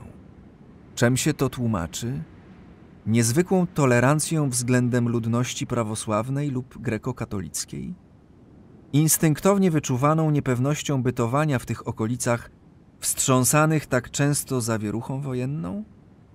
A może właśnie zrozumieniem rasowej, szczepowej i psychicznej odrębności Hucułów, o czym tak wymownie świadczyły wtedy i świadczą dziś jeszcze te niebywale charakterystyczne typy ludu pokuckiego, bijące w oczy swoją różnorodnością. Przy pierwszym już bowiem wejrzeniu na tłum podczas jarmarku lub święta w cerkwi odróżnić można wśród hucułów typy sarmackie, jak gdyby wyjęte z portretów staropolskich, wołoskie, węgierskie, tureckie, tatarskie, cygańskie, ormiańskie, ba, nawet murzyńskie. Gdy się patrzy na tę dziwną mozaikę typów, w pamięci powstają dawne obrazy z dziejami tego kraju ściśle i nierozerwalnie związane. Huculi przecież pędzali swoje bydło i konie przez Węgry i Wołosze do Turcji, więc łatwo mogli umknąć sobie stamtąd jakąś krasawicę turecką lub z rodziny poturczeńców i ona to dała początek odmiennemu od ościennej Rusi typowi tak samo, jak przyprowadzone spod Adrianopola i z Macedonii konie tureckie stały się protoplastami znakomitej rasy mądrych i krzepkich koników huculskich. Tatarzy jeszcze dawniej i to nie jeden raz dolewali swej krwi do żył beskidzkich, boć przecież batuchanowe czambuły ciągnęły przez Jaremcze, Mikuliczyn, Tatarów i Jabłonice ku przełęczy przechowującej do naszych czasów nazwę tego ludu mongolskiego. Cyganie przybywali tu z Węgier i jak się skarżyli starostowie śniatyńscy i kołomyjscy królowi Stefanowi Batoremu, koczowali tu długo, a wyzbyć się ich władze nie mogły, gdyż Huculi ukrywali tabory koczowe. Ogniści tancerze i tancerki, natchnieni śpiewacy, weseli lub smętni i namiętni grajkowie – wprawnikowale, znachorzy, czarownicy i wróżki, tułacze odwieczni, bogaci w opowieści tajemne i porywające, przypadli do serca góralom, którzy noszą w niem i tęsknotę, nieznaną ludziom nizinnym, i namiętności płomienne, ni to żar zaczajony pod szarym popiołem watry. Nikt więc nie dziwił się, gdy do grażdy huculskiej wszedł i pozostał rozkochany w dziewczynie góralskiej, pełnej uśmiechów słonecznych, a chorzej i śmiałej, włóczęgań zimne. Cygan czarnooki, wiotki i zdrowy, jak kydryna rozrosła, co każdą przetrzyma nawałnicę. Nieraz zapewne zdarzało się, że w młodej cygance, zwinnej jak wąż i jak wąż zakradającej się do serca i krwi, niby urzeczony lub miłosnym triłem napojony, zadłużył się łegiń w atach i z połoniny wysokiej, gdzie w obliczu słońca, nieba i milczących wierchów, wykochał ją sobie do śmierci. Na jesieni do chaty ojcowskiej przywiódł ją, kraśną jak maki łąkowe i pokłoniwszy się ojcu i matce do ziemi, nieugiętym głosem, niby przysięgę rzuciwszy, powiedział iż bez tej cyganichy żyć już nie potrafi. I żydowska też, też niestety nie aryjska, domieszała się tu krew. Z tej to domieszki krwi semickiej powstało zapewne trudne inaczej do zrozumienia, bo na niczym nie oparte zaufanie Hucułów do Żydów, choć każdy góral na palcach przeliczyć może, ilu widział ich nędzarzami, gdy jeszcze jako torbeje chadzali a teraz na ufności i prostoduszności górali do kapitałów wielkich doszli i całą niemal wierchowinę zagarnęli. Przy takiej mieszaninie i odrębności ludzi miejscowych dawnej szlachcie naszej istotnie mogła odpaść ochota do prowadzenia roboty polonizacyjnej. Cieszono się z tego, że Huculi żyją spokojnie, płacą daniny, odrabiają pańszczyznę i chętnie dopomagają panom w zbrojnych najazdach na sąsiadów, bo to lud bitny i okrutnie odważny, do trudów wszelakich zwykły. Tym bardziej w górach stosunkowo mało uspokajała szlachtę ta okoliczność, że typów czysto ruskich spotyka się mniej nawet niż ormiańskich, bo są i tacy Huculi, a nawet mają nazwiska Ormian Manugiewiczów, Dunigiewiczów i innych, od dawna na pokuciu osiadłych i zupełnie już spolszczonych. Mimo, że Huculi posiadają w swych żyłach sporo krwi polskiej, przechowali oni jednak wyraźne tradycje swego pochodzenia lechickiego wyłącznie w dwóch tylko miejscach w Berezowie Niżnym i Szeszorach. Gdyby można było znaleźć jakieś odczynniki chemiczne na każdą poszczególną krew, wykryć tu udałoby się niezawodnie domieszkę rzymską, niemiecką i południowo-francuską, gdyż sporo cudzoziemców w dawnych i nowych czasach schuculało kompletnie, bo taki już to urok mają te góry i ludzie, mieszkający w kurnych chatach samotnych, rozrzuconych po spychach lesistych, po rozczołynach i łąkach wśród borów świerkowych. Schuculało zaś tak doszczętnie, jak ci Tobiasze, Juchasy i Sztercle, co to przekradali się do wojska Kossutcha, zaciągając się do węgierskiej husarii. A gdy na Pantyrze popadały im konie, ugrzęźli w Rafajłowej i stali się teraz lojalnymi obywatelami polskimi, do rdzenia kości jednak nasiąkłymi huculszczyzną, tą najprawdziwszą, leśną, połoninną i nadrzeczną. Hucuł to chociaż pasterz osiadły, lecz w mniejszym lub większym stopniu koczownik. Świadczy o tym najwymowniej brak w nim instynktu gromadności. Nie lubi on zbyt bliskiego sąsiedztwa i nie znosi tłoku. Zagrody swoje buduje z dala od dróg, w środku swojej ziemi, aby być dalej od sąsiada i w tym celu wybiera na chatę miejsce szczęśliwe, jednak takie, gdzie coś zasłonić je może od oczu ludzkich. Pasmo boru, cypelek skalny lub zbocze grani górskiej. To też trudno dotrzeć do społeczeństwa huculskiego, bo społeczeństwem jest tu każda osobna rodzina. Stanowi to przeszkodę dla prowadzenia jakiejkolwiek pożytecznej czy też szkodliwej agitacji, która nie działa rychło na niepodatną namową naturę Hucułów. Zmienia się to jednak, bo kryzys i zubożenie zniewoliły już Hucułów do wspólnego wypasu bydła na deputackich czy rządowych połoninach, do zbliżenia się do miast i wielkich dróg, gdzie łatwiej o zarobek, wreszcie do rolnictwa, które najbardziej stanowczo wymaga życia zbiorowego.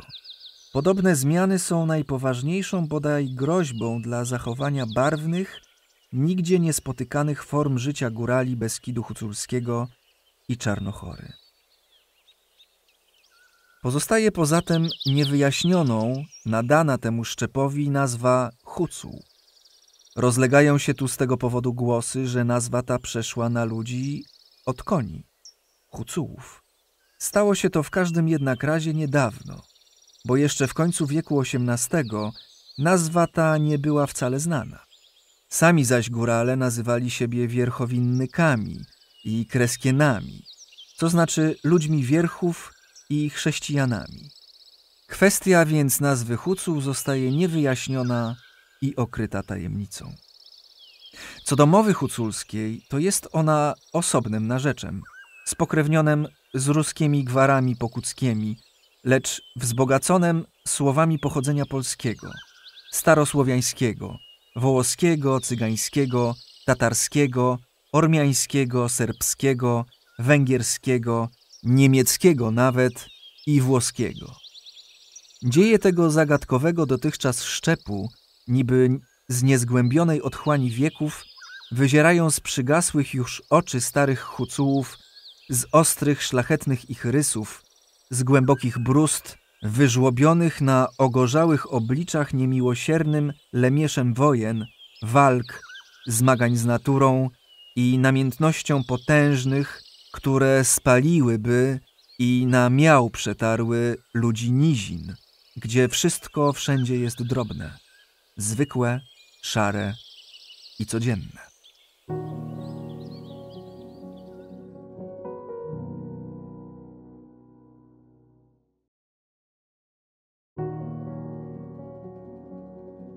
Rozdział drugi. W stolicy Huculskiej.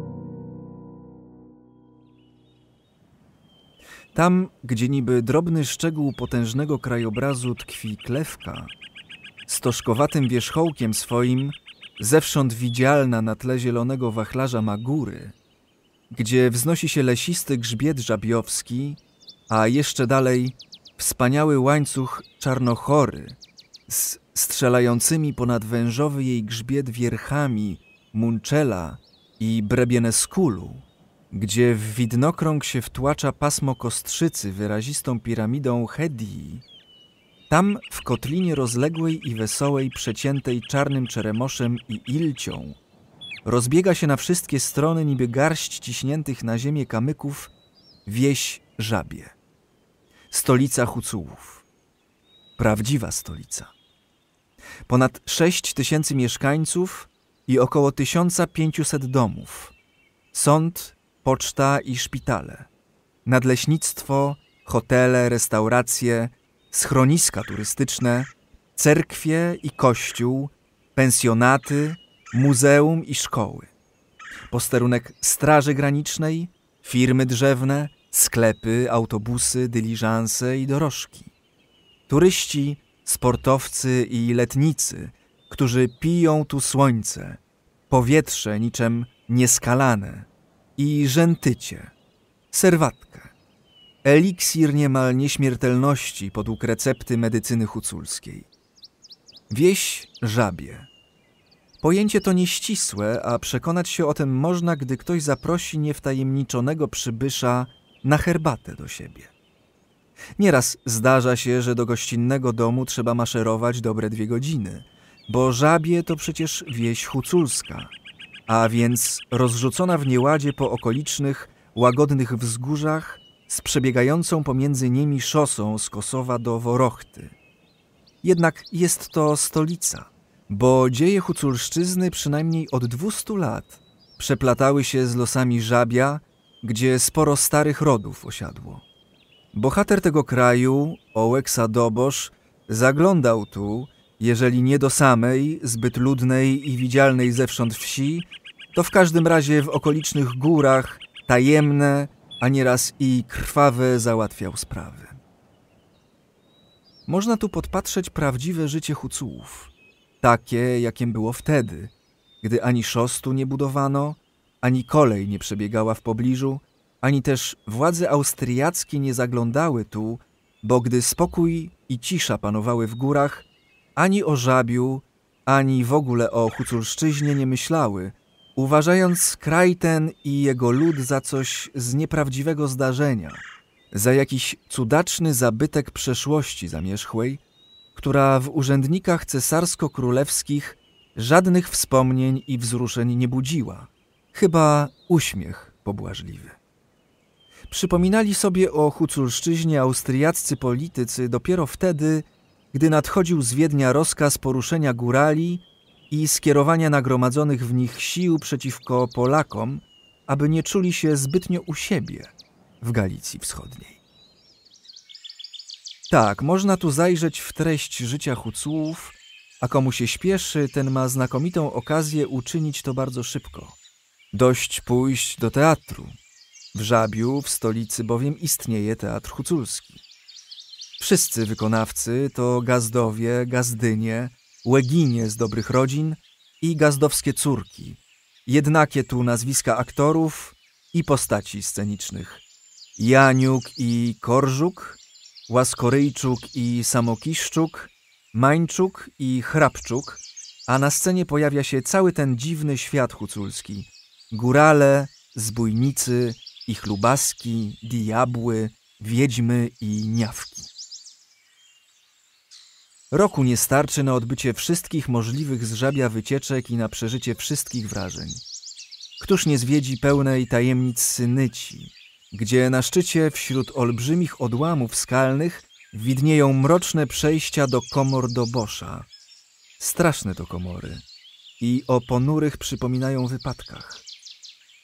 Koło żabia po jakimś zuchwałym napadzie ukrywał się pewnego razu Ołeksa Dobosz a wtedy to zamożny i odważny gazda Mykoła Diduszko przyobiecał pełną czapkę czerwonych za głowę opryszka, a i sam przygotował pistolety dla zgładzenia wroga bogaczy. Dobosz przyjął wyzwanie i nie zwlekając długo, napadł na grażdę Diduszki, a schwytawszy go przy watrze, gdzie gazda strzygł owce, zamordował wroga. Odciętą głowę jego, okutą żelazną obręczą, aby się nie rozpadła, Dobosz powiesił w pierwszej komorze na synyci i umieścił w niej duży diament, który oświetlał tę mroczną kryjówkę. W innych złożył Ołeksa swe skarby, a na straży ich postawił żertwę, smoka ognistego. W dalszych komorach, w korytach limbowych, zalanych oliwą, ukrył ataman drogą broń zdobyczną. W kadziach zaś srebrne talary i dukaty złote w beczkach dębowych. Dziwna rzecz. Chociaż stało się to prawie 200 lat temu, Huculi twierdzą, że jeden z towarzyszy Ołeksy, zgrzybiały starzec, niewidomy już i ni to dąb zbutwiały, mchem porosły, niczym legendarny zbój Madej, żył jeszcze niedawno i kto wie, być może żyje i teraz, kryjąc się w miejscach ustronnych, prawdopodobnej na tej samej Synyci lub w innych uroczyskach, gdzie wycisnął swoje ślady dobosz.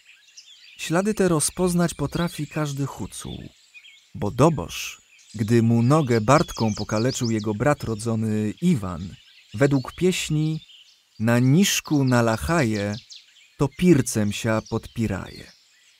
Nie trudno zatem odnaleźć ślad chromonogiego atamana, tem bardziej, że pod jego mocarnymi stopami pękały i kruszyły się piaskowce najtwardsze, jak na przykład dziwne, okryte wydrążonymi, okrągłymi zagłębieniami i szczerbami skały pisanego kamienia, gdzie pozostały znaki widome potężnego skoku do Bosza. Tak silnie odbił się on z rozbiegu, by poprzez góry ujrzeć Jawor w Czarnochorze, pod którym urodził się niegdyś, co zresztą nie zgadza się z aktami sądowymi i z metrykami cerkwi w rodzinnym dołbuszczukowym Peczyniżynie. Ale nie tylko z powodu legendy warto tu zajrzeć. Jak okiem sięgnąć, rzeźbi się na horyzoncie zębaty łańcuch czarnochory. Tam znów, w dali, w przemgleniu, zielenią się łuchy ponad lesistym pasmem za watonarką. Płajami, granią i łąkami od potoku żabiowskiego snują się ścieżki na szczyt krętej, skąd bliskim wydają się smotrec czarnochorski, kanciaste rebra i iglice szpyci. W dole czarne, głębokie doliny Bystrzca i Dzembroni, a w mgiełce niebieskiej i złocistej wesołe, słoneczne połoniny chryniawskie, daleki, inny świat. Z żabia wyraźnie odróżnić można w głównym trzonie czarnochory potężny garb Dzembroni, a nazwa ta ma swoją legendę, zapewne z wieku XVII. W borach, na zboczach tej góry, miał swoją kolibę gajowy kasztelana Stanisławowskiego, młody, udały hucuł. Polował tu, mięso i skóry przywożąc do pańskiej siedziby letniej w Krasnoile. Celem łowów jego miały być żubry, skąd i powstała sama nazwa góry. Pewnego razu przywiózł on kilka wspaniałych skór żubrowych, czym się tak zachwyciła pani Kasztelanowa, że z Gajowym przez cały ponoć rok polowała w puszczy na Dzembroni. W różne strony rozpierzchły się z żabia z jego części zwanej Ilcia Górna, płaje, płaiczki, trapasze, różne ścieżyny na kityłówkę, białą kobyłę, rotyło, hordię i grachit poprzez bory, rozłogi, połoniny i zwaliska, gdzie pasą się kozy, ledwie widzialne wśród złomów skalnych. Ze wsi Dzembroni wiodą one na popa Iwana, ostatni szczyt w łańcuchu czarnochory, skąd granią jej poprzez cały grzbiet wije się szlak znaczony aż do Hoverli, gdzie na strudzonego wędrowca czeka odpoczynek w malowniczym schronisku Towarzystwa Tatrzańskiego na zaroślaku, do którego można też dotrzeć z Worochty przez Argelużę. Z Żabia trudno wyjechać. Z każdym dniem bowiem pociąga ono ku sobie coraz bardziej. Co to? Słychać muzykę i śpiewy, częstotliwy tupot koni, wesołe okrzyki. Rzępolą piskliwe skrzypce, brzęczą i huczą cymbały. Czasem po dawnemu rozlegnie się chrapliwy głos trębity. To wesele huculskie powraca z cerkwi. Przed orszakiem młodych idzie bereza z drzewkiem przystrojonym barwnikiem, pękami owsa i koralowymi kiściami kaliny. Za młodą parą długi orszak. Ojciec i matka, weselni, drużbowie, goście i tłum gapiów. Na pierwszym koniu jedzie kniachinia, panna młoda, już teraz po ślubie, mołodycia, przystrojona pysznie, bo aż w dwie koszule, długą jubkę granatową z galonami na podole, w nowy haftowany keptar, biały płaszcz, gugle z kapturem i narzuconą na nią czerwoną chustą, pod którą dzwonią kolie z krzyżyków mosiężnych i paciorków.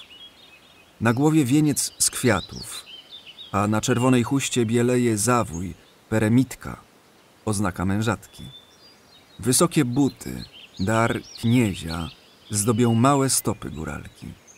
Jedzie milcząca i jak gdyby zasmucona, dotykając talizmanu, kołacza z sera i myśląc o tym, czy udało jej się przed ołtarzem nadepnąć nogę przyszłemu mężowi, bo przecież od tego zależeć będzie jej władza w domu.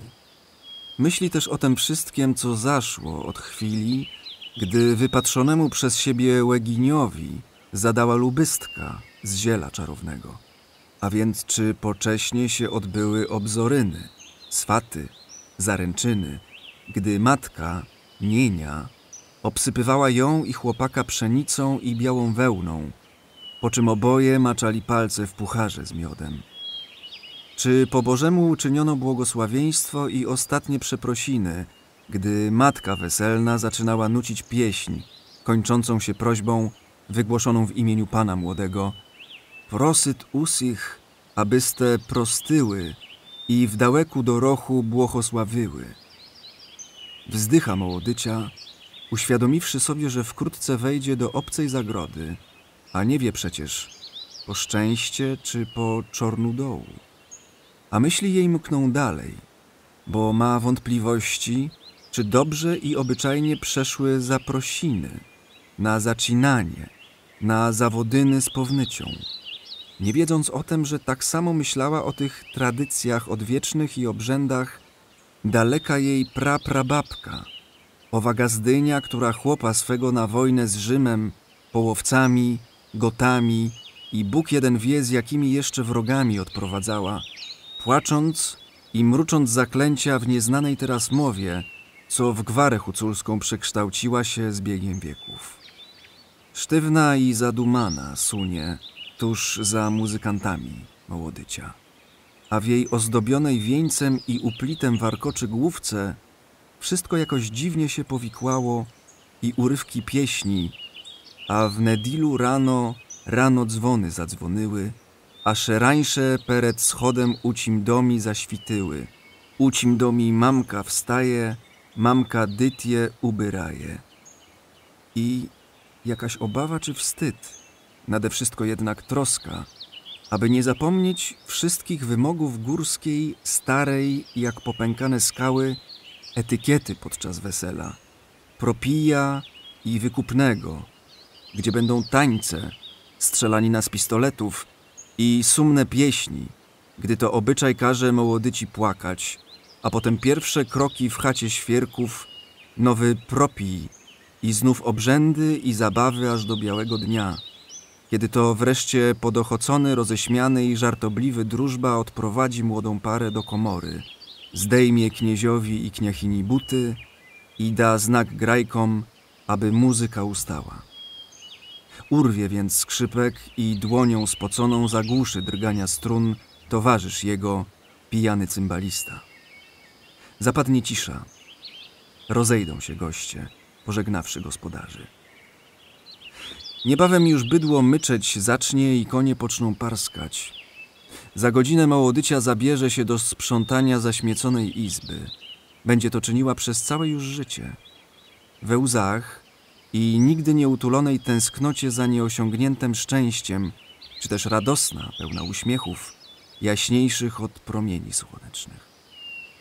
Czy będzie się czuła w tym domu żoną, czy potwierdzi swym losem huculską nazwę kobiety Czelieć?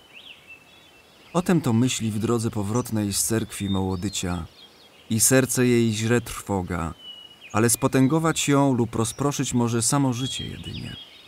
Teraz szuka ratunku w talizmanie, w obrzędowym kołaczu, tym pradawnym symbolu słońca, zaniesionym tu wraz z jakąś krwią mieszkańców nieznanej północnej krainy, tęskniącej namiętnie za cudnym, złotym, szczodrym i wesołym Bogiem o tysiącu imion i milionie potężnych ramion promienistych. Strwożony i zatroskany wzrok Mołodyci ożywia się jednak nagle. Oczy błyszczeć poczynają, rozchylają się lekko świeże wargi, ukazując ostre białe zęby, a pod guglą i keptarem łomoce nagle młode, gorące serce. Wspomnienie to uczyniło. Wspomnienie o przyszłym mężu. Czarniawy, o orlim nosie i ognistym spojrzeniu, z włosami spadającymi na ramiona, wysmukły, śmiały i silny, prawdziwy knieś, jak ten knieś wojownik.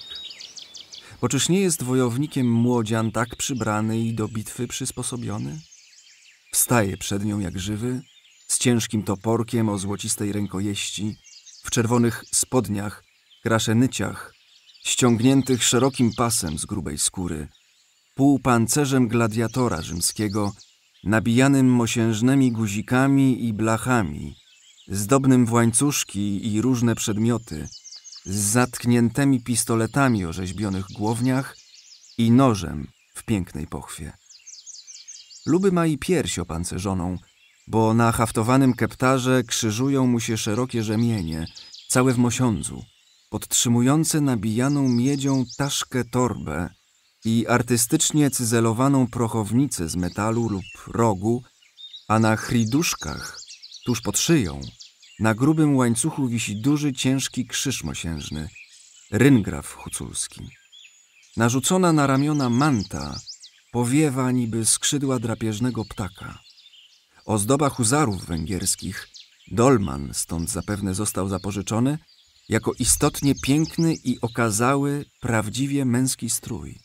Nawet hełm lekki ma na głowie, urodziwy, udały knieś. Ludzie nazywają ten ubiór kresanią, ale szeroka wstęga metalowa na niej chroni przed bocznym ciosem. Barwna zaś, świecąca się kita, trisunka, u każdego hucuła inna, to niby godło wojownika. Radośnie już bije serce mołodyci, a troska odlatuje jak ptak chyży, gość chwilowy. Śmiało wejdzie do chaty męża. Już polubiła ją, tę starą grażdę, mały zameczek obronny, z kloców świerkowych i belek limbowych, ongiś postawiony nad głębokim, stromym jiźworem, wąwozem, przegradzającym dostęp do góralskiej siedziby, osłoniętej opiekuńczą ścianą boru. Zna już ten osedok, zna jego ogrodzenie, worynie ze świeżych drągów świerkowych, z wrotami zamykanymi na kluk z kamieniami na wierzchołkach słupów, aby nie gniły od deszczu. Zna czarny od starości dach, w cztery szary dranicowe, nieśmiertelny, mocny dach z przyczółkami, z wyciętymi w nich krzyżami i z szerokim pidganiem pod nisko opuszczonym okapem. Groźnie i poważnie wyziera ten dach i przydaszki do budówek gospodarczych spoza drewnianego, krytego gątami płotu z szeroką bramą, nabijaną łubami dużych gwoździ żelaznych. Wewnątrz, w chacie, w obu izbach, wszędzie widnieją snycerskie rzezania. Nawet w sieni i w komorze, gdzie wiszą kożuchy, koszule, o bogato haftowanych rękawach, zapaski, keptary, gugle, sieraki, kraszanycie i leżą na półkach kądziel i przędza, kłębki wełny barwionej, bajorki, sznury różnokolorowe do owijania kapeluszy, kapcie, onucze, kapczury pończochy, postoły, zimowe czapy futrzane, chłepanie i szłyki, a po kątach stoją toporki z bartkami mosiężnymi, laski kełefy i stare strzelby.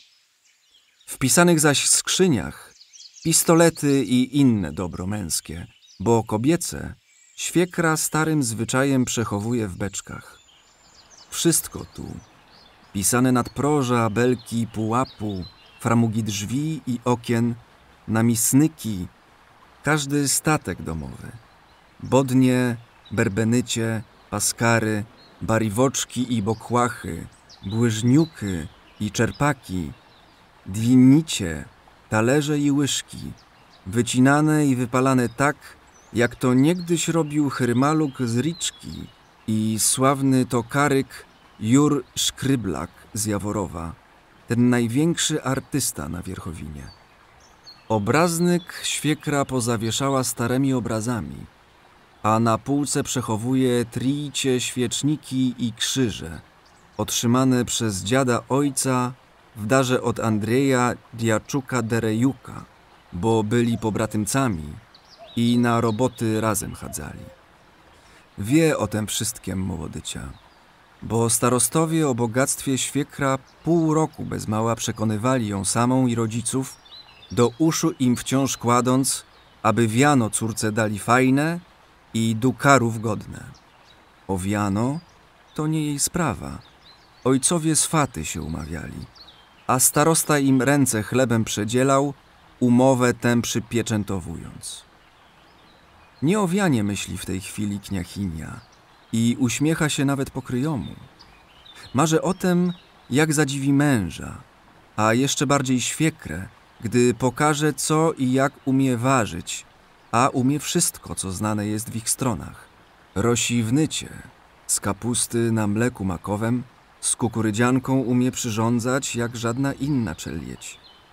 Też kapuściane chołupci, z kaszą, czosnkiem i słoniną, banusz mamałygę na śmietanie z okrasą, smażeninę wszelaką, studenec, kiełbasy, nie wspominając już o kułeszy codziennej, pierogach przeróżnych, knyszach, kaszach, dziubawkach i jajecznicach.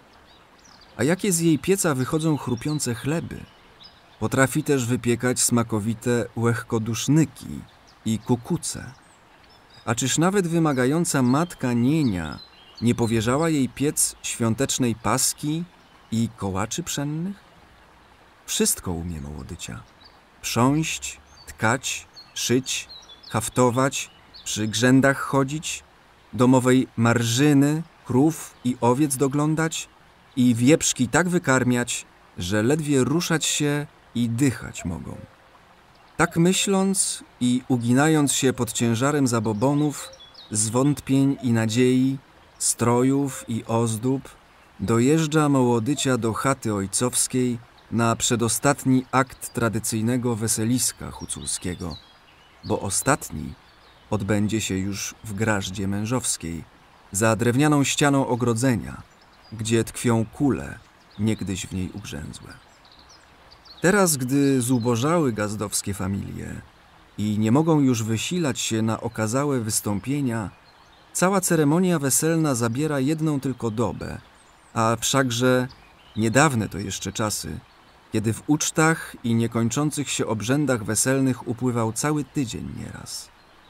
Czasy te minęły bezpowrotnie i wraz z nimi zanikać poczęły prawdziwe, dawne obyczaje, tak dalece, że dróżki, śpiewając stare, jeszcze pogańskie zapewne pieśni, przytupują w takt melodii wysokimi obcasami pantofelków lakowych. Ale jak tu pogodzić tę wdzierającą się kulturę z tem, że do wieńca panny młodej wkładają cztery ząbki czosnku i owoce czarownej kłokuczki, że dotykają kołaczami pleców narzeczonych, przywiązują kołacze do ich rąk, wrzucają pieniądz do obuwia, w którym się bierze ślub że młodzi patrzą w dal poprzez kołacze, przed odjazdem do cerkwi, wróżąc sobie z tego o oczekującej ich doli. O tej doli, o każdym dniu i godzinie życia mówią do hucuła i hucułki zwały chmur, obłoki dziwnych kształtów, drzewa pokraczne, sędziwe głazy, mchem utulone, wartki pęd rzek na ostrych zakosach, skały zaczajone w toni zwarliwej i głosy, głosy tajemne, dziwne i trwogę rodzące, które dobiegają od puszczy połonin, grechitów i głębokich wąwozów. Aby złe odpędzić i od czarnych zabezpieczyć się mocy, ileż to znać trzeba zaklęć, odczynów i formuł magicznych. Wiele, wiele innych obyczajów opartych na pradawnym kulcie słońca i ziemi, jak umykanie i wykup dziewczyny, nawołuje do siwej, mocnej przeszłości, tak bardzo obcej dla taniej, tandetnej jednak współczesności. Smutek zakrada się do serca.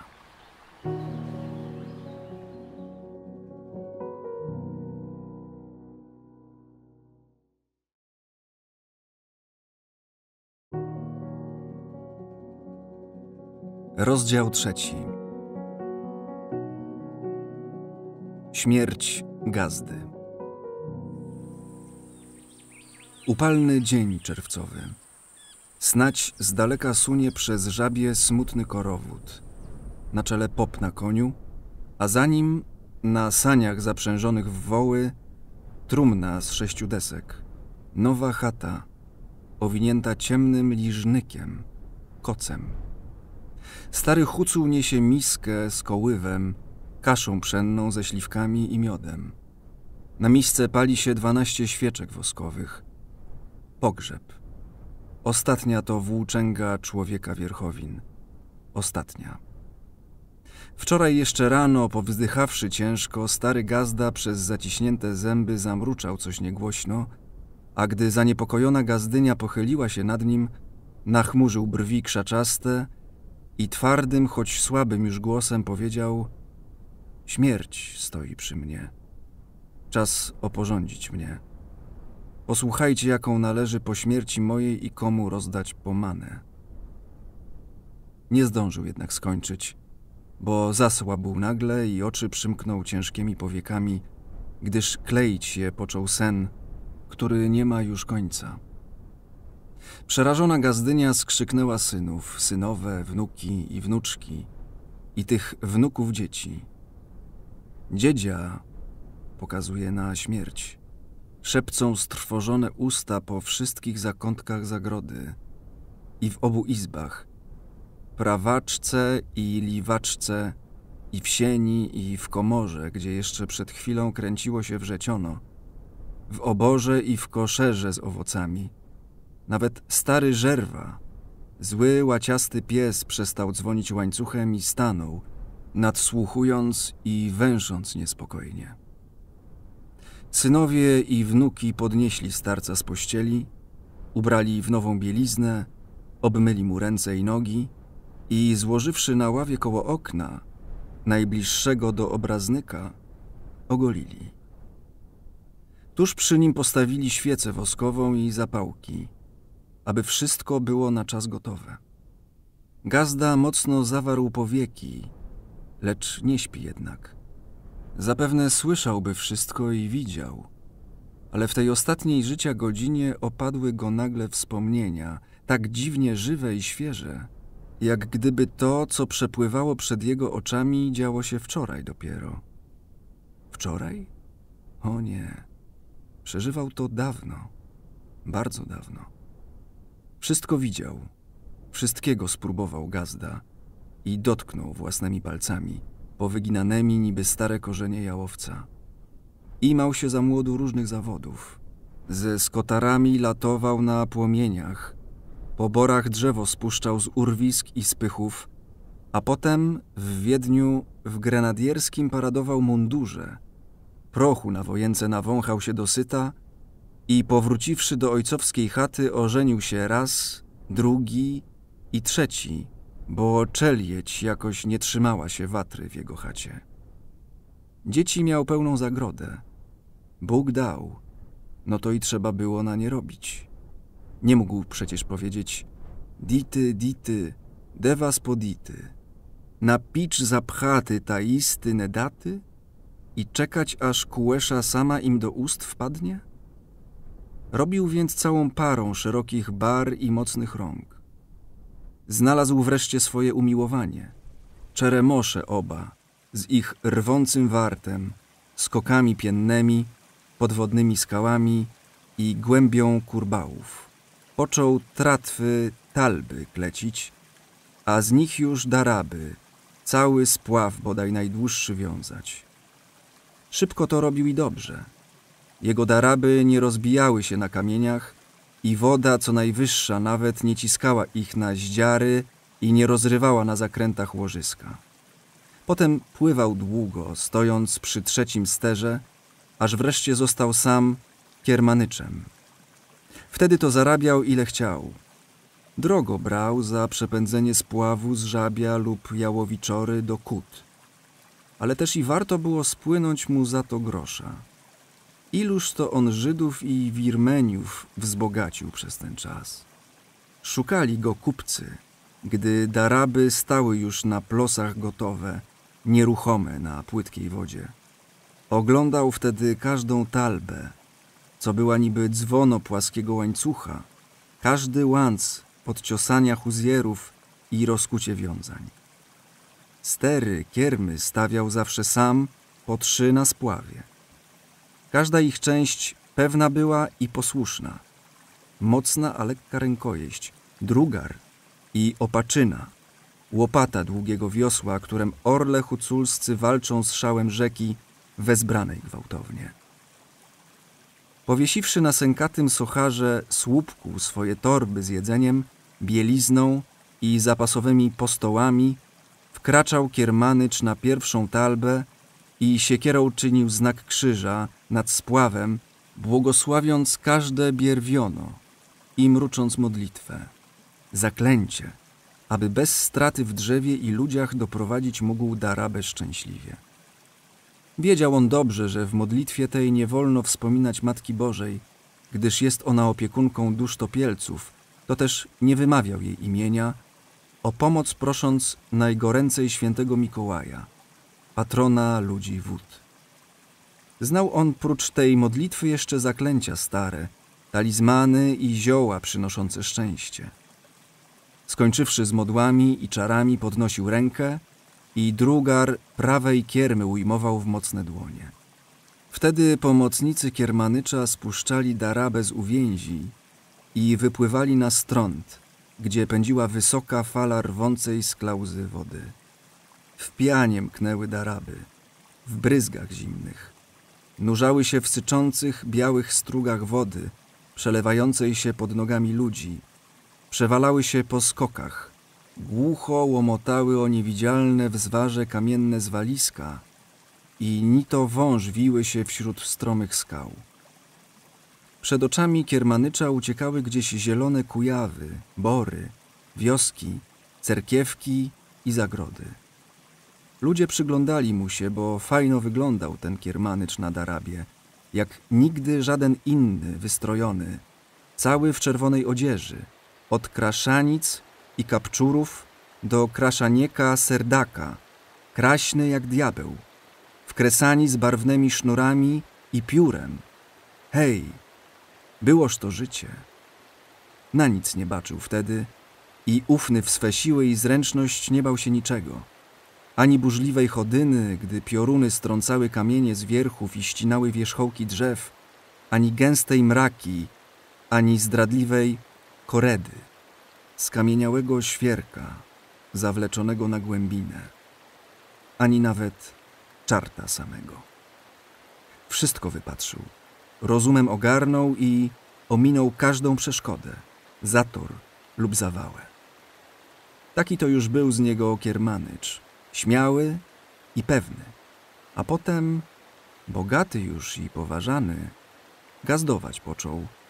Ba, wójtowską laską się podpierał bodaj przez siedem lat. Dobra w komorze miał po wszystkich skrzyniach, beczkach i skrytkach, marżynę na własnych połoninach wypasał, synom od trzeciej żony do szkoły chodzić nakazał, słowem żył po Bożemu i w dostatku. Spodziewał się, że tak do śmierci przetrwa, duży spadek po sobie familii zostawi i dla popa dobrą, godną siebie pomanę przekaże. Inaczej jednak rozsądził Bóg. Może gniewny za to, że raz w sprzeczce druchowi głowę rozpłatał. Och, chce westchnąć gazda. Grzechy nasze grzechy. Tak pogniewał się na mnie Bóg, że aż wojnę zesłał i gdzieś tam w górach italskich chwetka mego i chryńka zabrał mi. Nie powrócili synkowie. Niby Dujawica wściekła przemknęła ta wojna po Wierchowinie. Zniszczyła wszystko. Porujnowała ludzi i mienie. Musiał sprzedać stary gazda połoniny i bydło, opróżnić skrzynie, a nawet do babskich dobrać się schowków, gdzie miały dawniejsze zgardy ze złotych monet i wisiorki złote. Jęknął boleśnie i oczy z rozpaczliwym wysiłkiem rozwarł szeroko. Posłyszała to gazdynia i pochyliła się nad nim, coś szepcąc do ucha umierającemu mężowi. Z trudem sunie po piersi pomarszczona, czarna, spracowana ręka gazdy i wolno, mozolnie czyni trzykrotny znak krzyża. Ostatni to był wysiłek na tej ziemi człowieka wysokich połonin, borów ciemnych i piennych kipieli rzecznych. Nagle płaszczyć się zaczyna i wyciągać strudzone jego ciało. Żąda wypoczynku. Starszy syn zapala świecę i zaciska ją między palcami konającego. Zaostrzyły się dziwnie rysy. Mocno zwarły się powieki i wargi gazdy. Powoli usypia na zawsze. Nikt nie śmie płakać, bo starzec miałby ciężkie konanie. Cicho szemrzą słowa modlitwy. Ojcze nasz, któryś jest w niebiosach. Kobiety w pośpiechu wynoszą z izby nasiona i pszczoły, aby wraz z nieboszczykiem nie zamarły. Płomieniem jarzy się świeca, bo dusza lubi światło, jak gazda kochał słońce, na które patrzał z grani górskich i w pianie wirów, gdy pędził spław po Czeremoszu. Aniołowie wlatują przez okna i drzwi, bo na oścież już rozwarła je czelieć.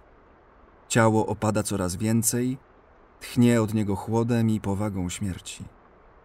Życie nigdy już nie powróci, bo dusza opuściła to ciało, znękane pracą i długiem życiem sterane. Świeca dopaliła się. Koło zmarłego krzątają się mężczyźni, obmywając i ubierając go w najlepszą odzież, po czym układają wygodnie na ławie i przykrywają sztuką płótna. W głowach nieboszczyka kobiety stawiają garnuszek z wodą dla obmycia go przed pogrzebem. Mężczyźni zapalają przy zwłokach gazdy świece i kładą jego czapkę zimową. Ktoś wywiesił nad oknem ręcznik. Na drodze przed wrotami zagrody chłopcy rozkładają ognisko. Wełyku watru, na znak, że w posetku leży nieboszczyk. Wkrótce dzwony cerkiewne oddzwonią zgasłe życie górala, a smutne te dźwięki zawrócą duszę jego stułaczki po znanych jej płajach i bezdrożach i wleci ona do chaty. Rozgłośnie i przeciągle zawyją trębity, bliskim i dalekim przyjaciołom i krewnym posyłając na wierchy i w niziny smutną wieść.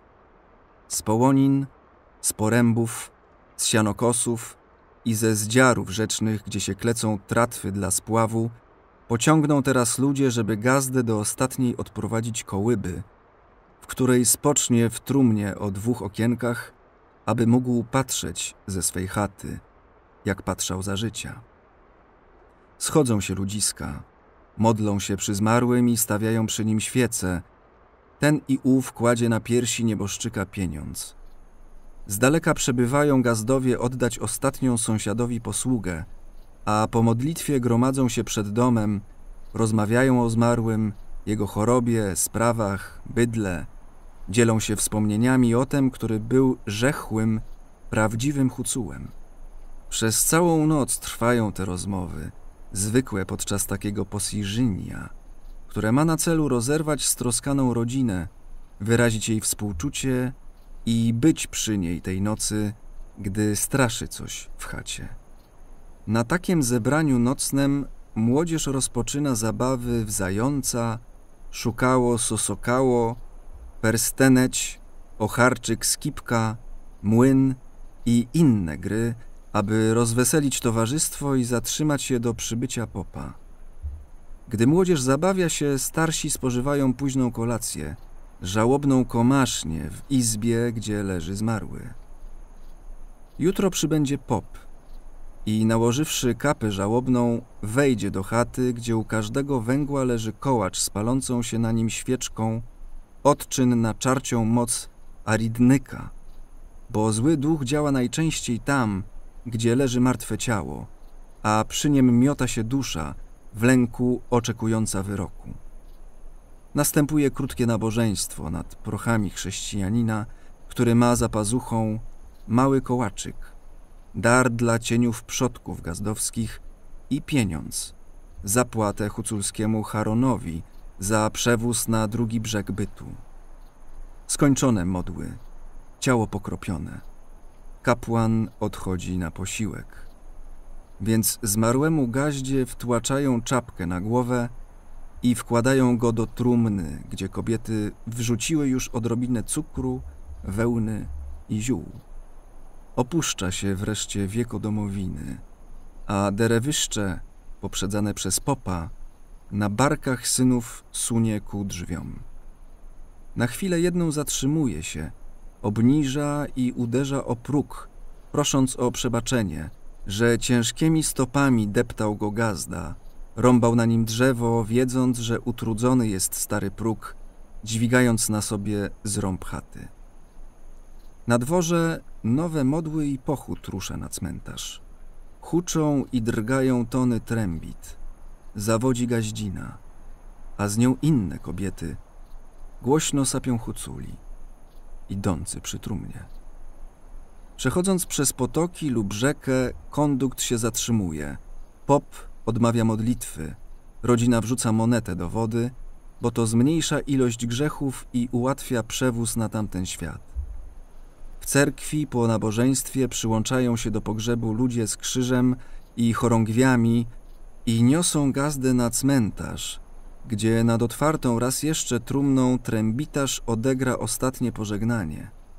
A potem ludzie zabiją wieko, opuszczą prochy do dołu, wrzucą tam po trzy monety i trzy grudki rodzimej ziemi kamienistej.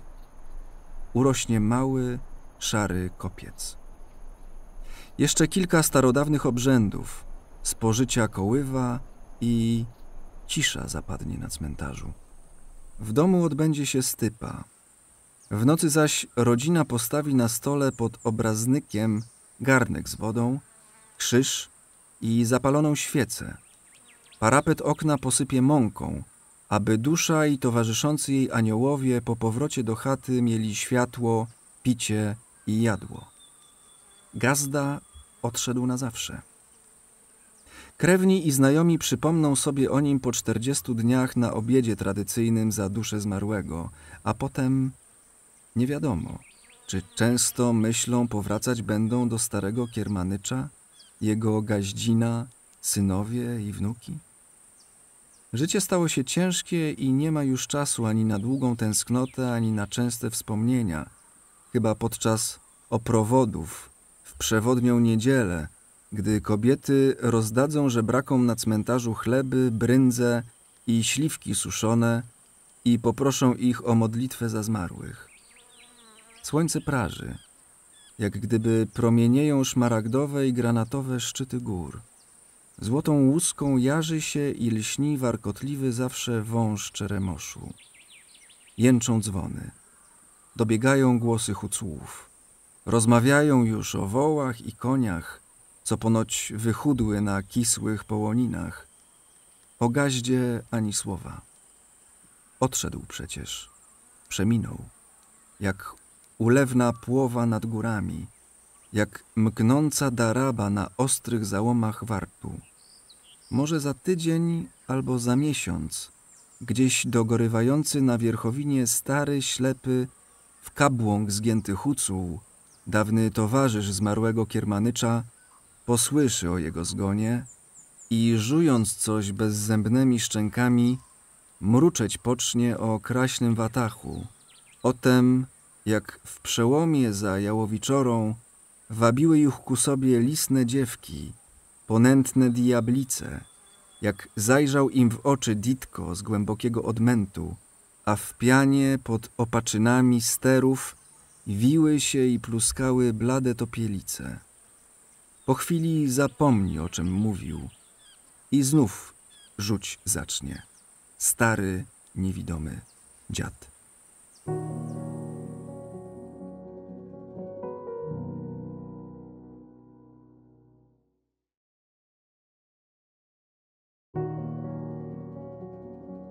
Rozdział czwarty. Legenda o Ołeksie Doboszu. Coraz trudniej wyjechać z Żabia, Słupejki i Ilci. Wszystko pociąga do tej dawnej siedziby huculskiej, bo na każdym kroku tchnie ona tajemniczą przeszłością. Cerkwie zbudowane w kształcie krzyża, wewnątrz zaś przechowujące skarby sztuki góralskiej, każdy szczegół budowli, od zrębu i wiązań belek świerkowych na zamek z długimi wystającymi węgłami, od kilkurzędowych dachów, kopuł i krzyży na nich, do nadproży rzeźbionych i swołoków, okien, szczytów, ikonostasów, obrazów, świeczników i każdego sprzętu z drzewa, żelaza i miedzi sporządzonego. Wszystko to zająć może poczesne miejsce w muzeach najwybredniejszych i tu istotnie powstaje już Muzeum Huculskie.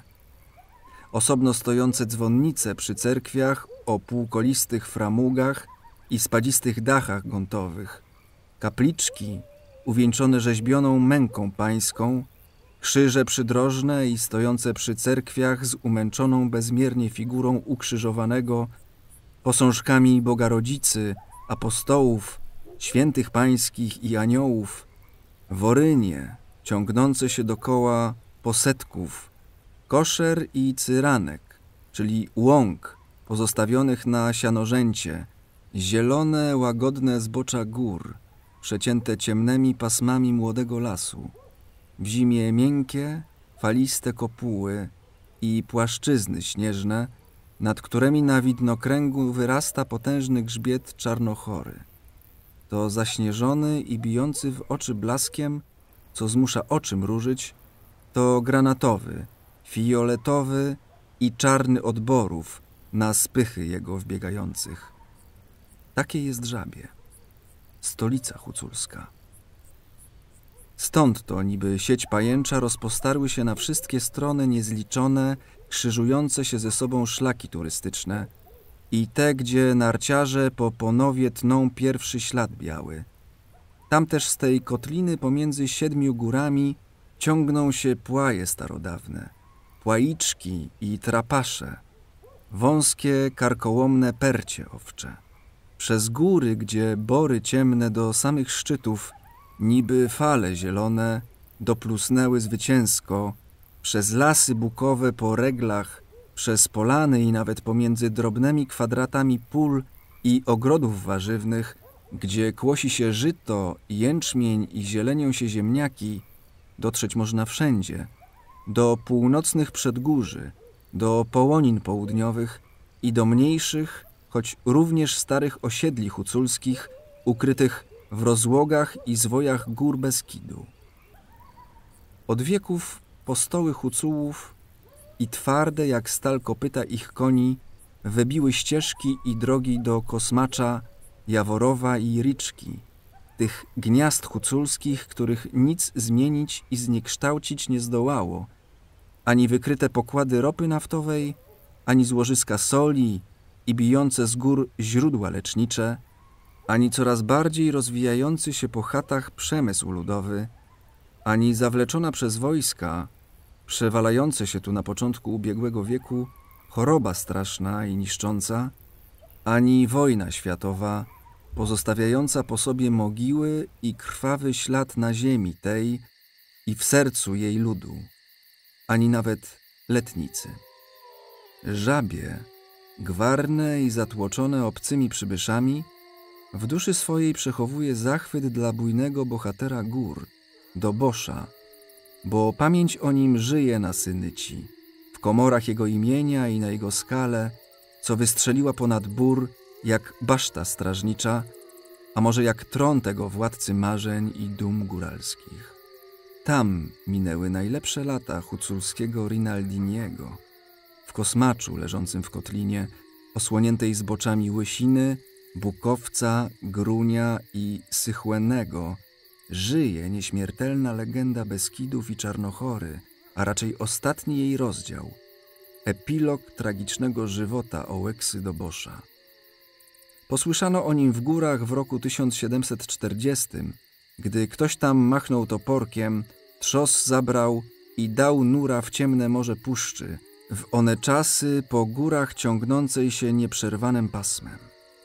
Głośno było o nim, a to, co mówiono, budziło niepokój, niejasną tęsknotę za minioną przeszłością wielkiej, złotej wolności gazdów i łeginiów, gdy to wyprawy zuchwałe czynili, spadając jak orły na wsie wołoskie i węgierskie, Turczynowi łuną w oczy świecąc, a nawet i dawniej, gdy wojowali z nieznanymi ludami, a ostrzami toporków dzwonili być może o hełmy i pancerze zakonnych kawalerów krzyżackich, którzy w XIII wieku z rozkazu papieża pomiędzy Cisą i Maruszą po swojemu ogniem i mieczem szerzyli naukę miłości bliźniego.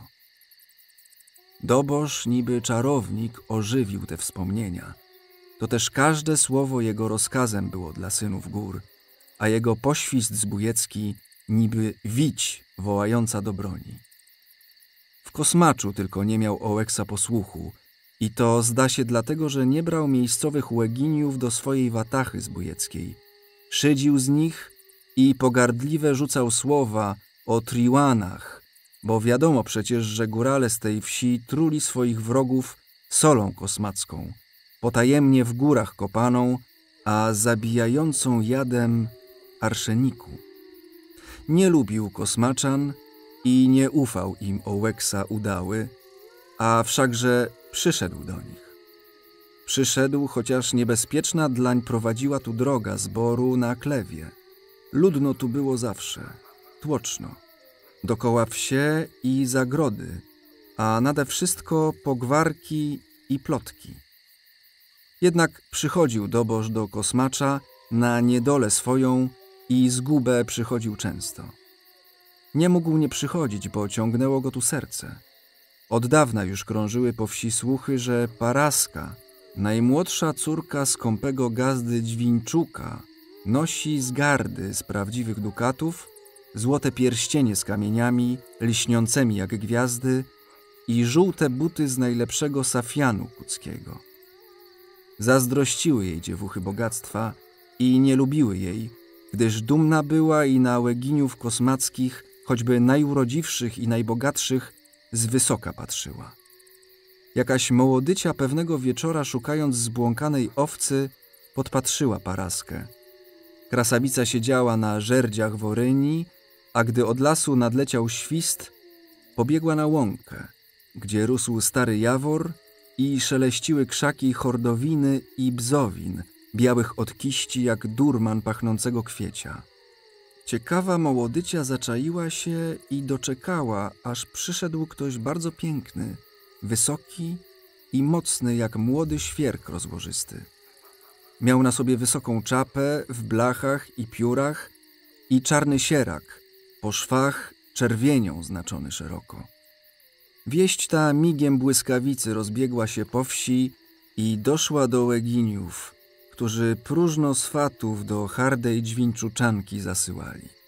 Dwóch z nich zmówiło się odpędzić wilka, by do cudzego nie zakradał się stada, gdyż własne wilczury ostrzą na nie kły. Rzucili się Łeginie z zasadzki na przechodzącego w pobliżu wilka i już toporki nad nim furknęły, gdy on, jak ten wilk, błysnął kłami i uśmiechnąwszy się pogardliwie zapytał. Ho, cóż to durnyje? Ołeksy nie poznaliście? I więcej ani słowa nie powiedział, a oni jak psy przed wilkiem rozbiegli się, bo wszak z doboszem ciężka byłaby rozprawa. Długo jeszcze potem na ową carynkę kwietną chodził zbójnik rozkochany, bo jak ta lisna, co wysysa serce męskie, zaczarowała go, w niewolę wzięła, kapryśna, dumna, dźwięczuczanka. Przychodził aż do przymrozków, gdy w złocie i szkarłacie stanęły buki i jarzębiny na klewie, a trawy na łące zczerniały. Pewnego wieczoru Ołeksa nie znalazł paraski pod jaworem, chociaż obiecał przynieść jej kolczyki zdobyczne i sztukę jedwabiu. Nie wiedział ataman, że od ostatniego pocałunku, którym żegnała go dziewucha na skraju lasu, zaszły wypadki stanowiące o jego losie. Rano bowiem, gdy krasawica szła do źródła biegnącego srebrną strugą po ciurkale, zastąpił jej drogę jeden z łeginiów i uśmiechając się zjadliwie szepnął Lepsze są od ciebie dziewki na wierchowinie, bo twój lubas pokochał, słysz, tym czuczkę spod jarszycy i ołeneczkę jakowiczankę z zielenicy. Nie będziesz teraz taka harda, ty. Rzucił obelżywe słowo, zaśmiał się głośno i poszedł pogwizdując. Dziewczyna tegoż dnia tajemnie pojechała do babki, bo powierzyła jej była swoją tajemnicę. Musiała teraz naradzić się z nią i zemstę obmyślić, płazem bowiem zdrady i hańby gazdowska córka puścić nie mogła. Starucha była matką drugiej żony starego Stepana Dźwińczuka, który zrodził z córką jej paraskę i nie lubiła Stepana, bo ożeniwszy się po raz trzeci, nie zwrócił jej wiana. Długo szeptały do siebie kobiety rzeczy straszne i tajemne, gdy to niby syk żmii, głośniej padały słowa ponure. Sól kosmacka, pistolet, nóż. Aż w końcu coś uradziły. I Paraska odjechała, płonąca zemstą, skupiona i skamieniała w nienawiści. Tegoż dnia do obozu Ołeksy w uroczysku na Makowicy przybył jakiś malec – obdarty i niespełna rozumu. Seplenił coś, bryzgał śliną i śmiał się. Z trudem zrozumiał Doboż, że wzywa go do siebie Paraska i że oczekiwać go będzie w krzyworówni, u babki Anny. Ołeksa długo namyślał się i wahał, gdyż coś szeptało mu nie chodź, nie chodź. Po północku dopiero kazał opryszkom przenieść watrę do wąwozu, gdzie biegnie Waratyn wśród puszczy ciemnej, sam zaś poszedł do chaty staruchy. Anna spotkała go przed zagrodą i z płaczem opowiedziała, że Stepan Dźwińczuk bił córkę i groził, że wraz z pobratymem swoim, Moczerniukiem, schwytają opryszka i oddadzą go w ręce kata. Widząc, że dobosz spłonął cały gniewem i rozpaczą, szepnęła jak żmija pomści na Stepanie krzywdę swoją, Paraski i moją. Odnalazł wataszka towarzyszy nad Waratynem i usiadłszy przy ich watrze długo milczał i przyglądał się każdemu z osobna. Strwożeni wielce stali dokoła Pawlo Ofreniuk z Jamnej, Stepan Rybczyk z Zełenej, Iwan Kwieczuk z Porochów, Wasyl Bajurak z Dory, krzywonogi Anały Serb i Chryć Martyszczuk z madiarskiej strony. Stali i oczu oderwać nie mogli od postaci Ołeksy, bo piękny był tej nocy niezwykle i pyszny, niby z godów wrócił. Czerwone miał na sobie ze złotymi naszyciami kraszanycie, buty też czerwone z safianu ormiańskiego, biały keptar złotem sutoszyty i zielonym jedwabiem – z wierzchu kraśny sierak z lamowaniem złotem, a na to wszystko biała manta ze złotymi sznurami i wysoka czapa z piórami pawiemi, gęsto nabijana blachami ze szczerego złota. Taszka, jak i prochownica połyskiwały złotem, Złote klamry i guzy świeciły się na pasie szerokim do półpiersi.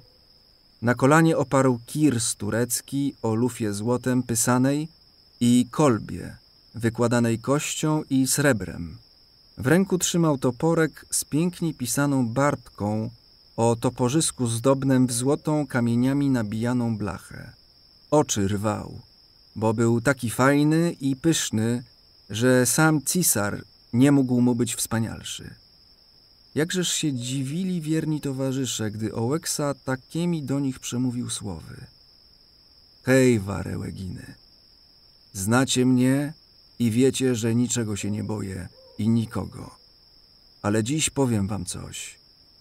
Niech ino liść w puszczy zaszeleści lub zaszemrze suche igliwie, a drgnie moje serce i pyta, czy to nie zdrada czyha w Boże? Czy nie nagonka jakaś sunie z nizin? Gorzkie to życie, kamraty. Radzę temu, kto chce i może, aby odszedł i jął się gazdowania, bo wtedy tylko pewien będzie swego życia. A teraz posłuchajcie opowieści o Ołeksie Dołbuszczuku. Do świtu mówił o tem wataszka, jak to obmierził sobie suchy chleb w cudzym domu w Peczeniżynie, gdzie mieszkał z rodziną i ojcem. Jego wyrzuty, że syn nie lgnie do pracy ciężkiej i jak wreszcie pierwszego dokonał hołownictwa, zabiwszy żupnika. Jął wspominać Ołeksa pierwsze rozboje w małych łuczkach i łanczynie, swoje schroniska na Wierchowinie, zabitych lub straconych towarzyszy, wroga swego Diduszkę, popadje Orynę z Sapochowa, która zdobycz jego przechowywała i wskazywała mu miejsce dla najpewniejszego napadu i inną jeszcze popadje, urodziwą i zuchwałą Marusię. O niej sam ataman pioseneczkę ułożył. Zakuwała zazuleńka ta na perełeci, prysiachała dziewczynońka ta na pystoleci. Długo opowiadał Ołeksa, porwany potokiem wspomnień i tak wzruszony, że aż zdziwiło to i zatrwożyło opryszków. Umilkł wreszcie i skulony przy watrze coś mruczał do siebie, zapewne żalił się komuś, do kogo dążyła w tę noc dusza zbójnicka, która nagle miotać się w nim poczęła, tęsknicą ciemną objęta. O świcie nałożył Ołeksa czarną, łojem i smołą napojoną koszulę, stary keptar i czerwony sierak i skinąwszy na Orfeniuka i Wasylka Bajuraka, poszedł do Jasienia, gdzie mieszkała żona Atamana. Wataszka pożegnał ją wkrótce i ruszył przez góry do Jamnej, do siostry i tu zanocował. Nazajutrz przedostali się do Mikuliczyna, a Dobosz wpadł z nienacka do chaty Moczerniuka i ciężkim tasakiem odrąbał mu głowę. Zabrawszy, co pod rękę się nawinęło i podpaliwszy zagrodę, poszli w góry. W nocy, gdy wszystko już spało, Dobosz z towarzyszami wchodził do kosmacza. Sierpniowe niebo powlokło się chmurami. Mrok, niby czarna lawina, spełzał ze zboczy gór do kotliny. Odnaleźli jednak ścieżkę biegnącą do zagrody Dźwińczuka i podeszłszy pod drzwi chaty, zapukali. Stary Stepan nie odezwał się wcale.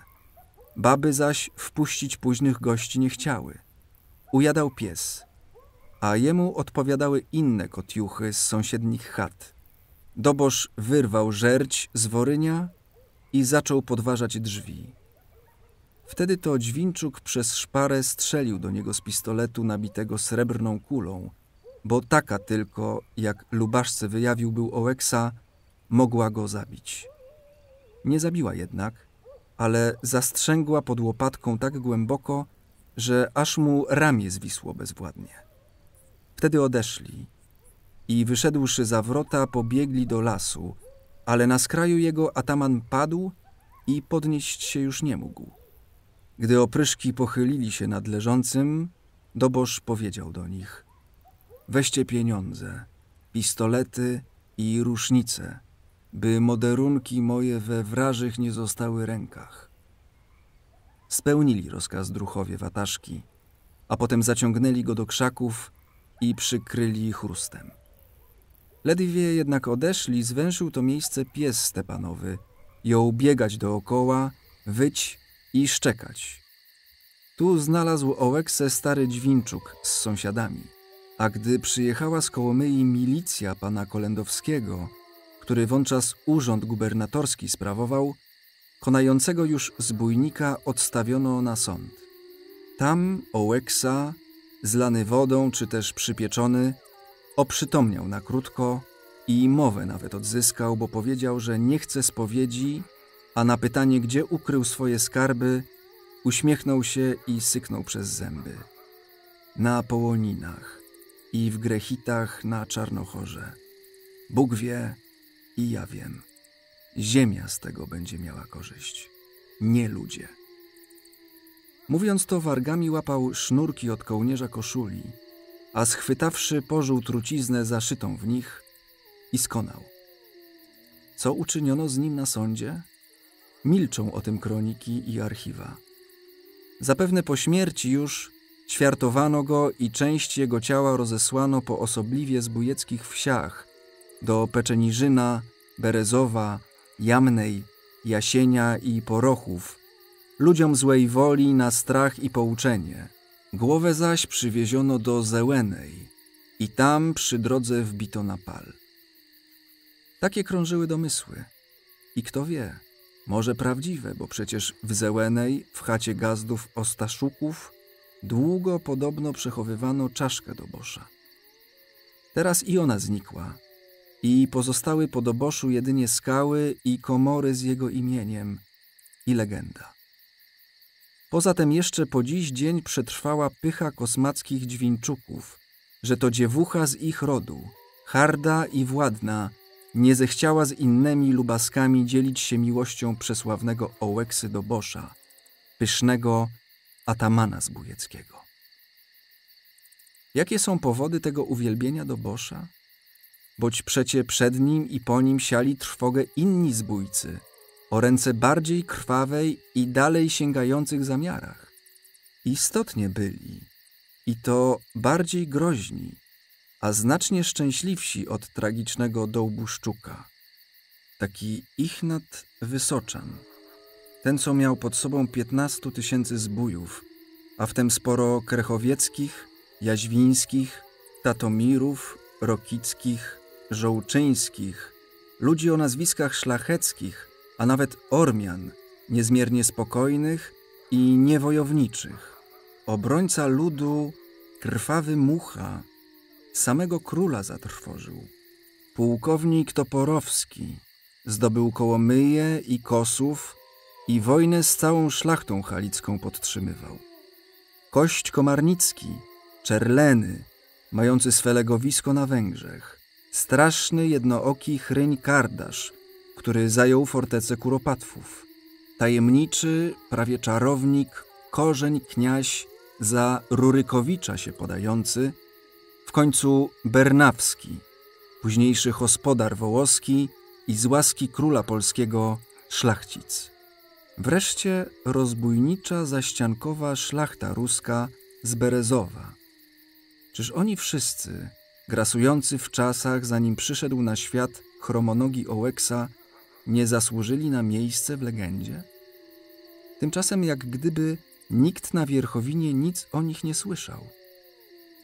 Ledwie ten i ów ze starych hucułów w Peczeniżynie, Rungurze, Riczce, Żabiu i Zełenem przypomni sobie, że kiedyś tam dawno zmarły dziad opowiadał coś, że po śmierci Ołeksy chadzali w opryszkach. Wasyl Bajurak, ten co to szedł na szubienicę, wygrywając na fujarce smętną melodię góralską.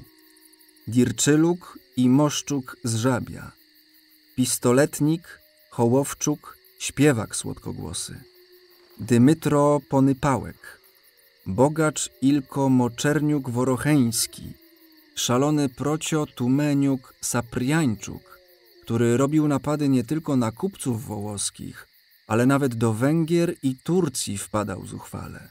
Sławny Mychajło Klam Sztoła, od niejednego opryszka groźniejsza paraska Łuceńkowa – setki innych zbójników, zbrodniczych popów, ręce we krwi nurzających i popadii, kochających się na zabój w kraśnych wataszkach. Nie jeden z nich doszedł do znacznego bogactwa, piastował godność wójtowską i zmarł spokojnie w swojej grażdzie gazdowskiej, otoczony szacunkiem, dumą sąsiadów i potomków, bo zbójnictwo w pojęciu Hucuła jest godnym męża rzemiosłem.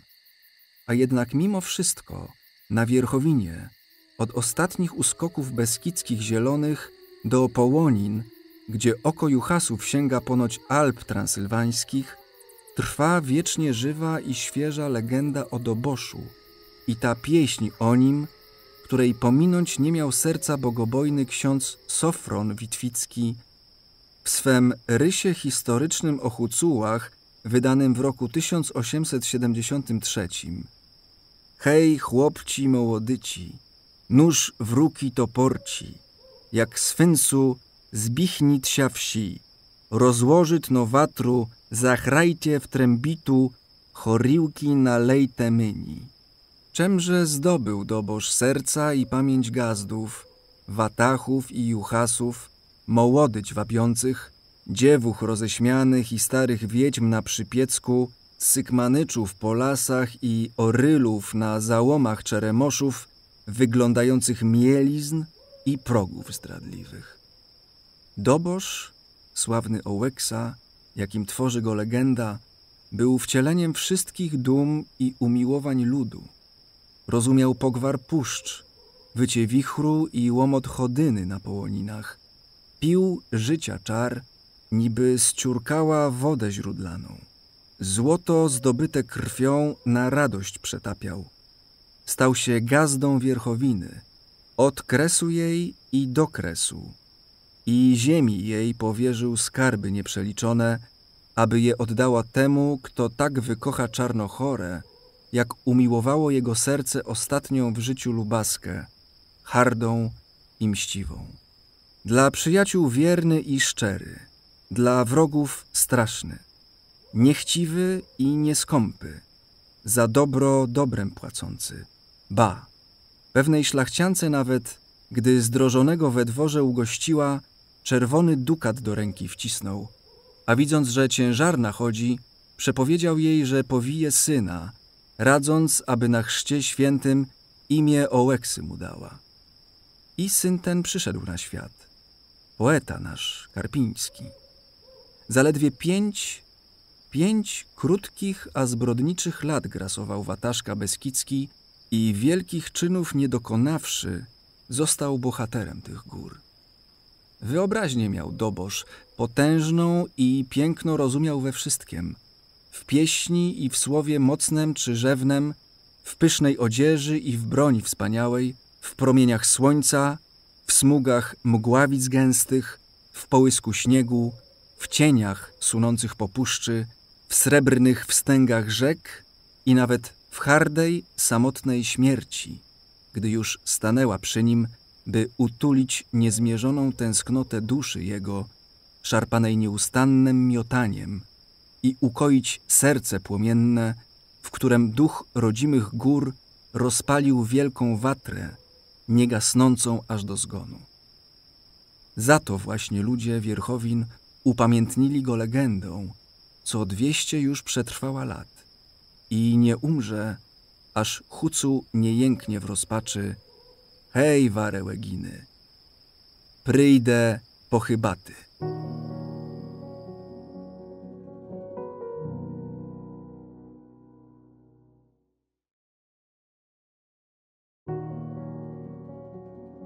Rozdział piąty.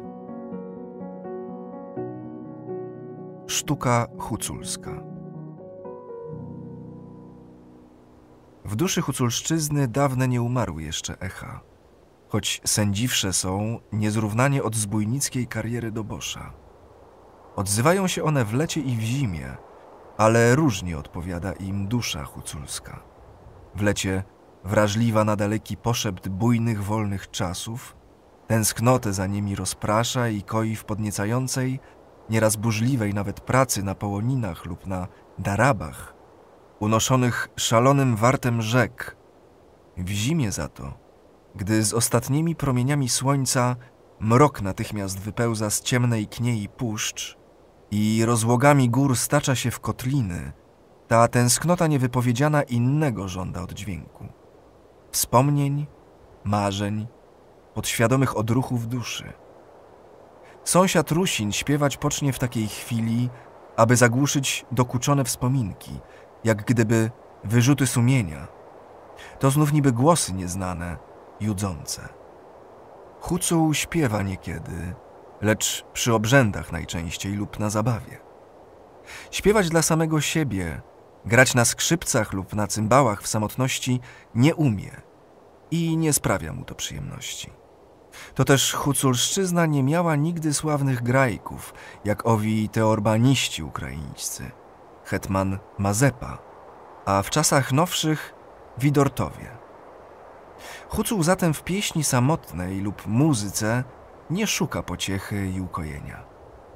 Zagra on chyba na fujarce i to na połoninie, przy watrze lub w drodze dalekiej, zadmie w trębite, na płaju aby oznajmić całemu światu, że żyje, raduje się lub tęskni. A wtedy uczyni to tak, aby góry i puszcze głośnem odpowiedziały mu echem. Hał, słyszymy.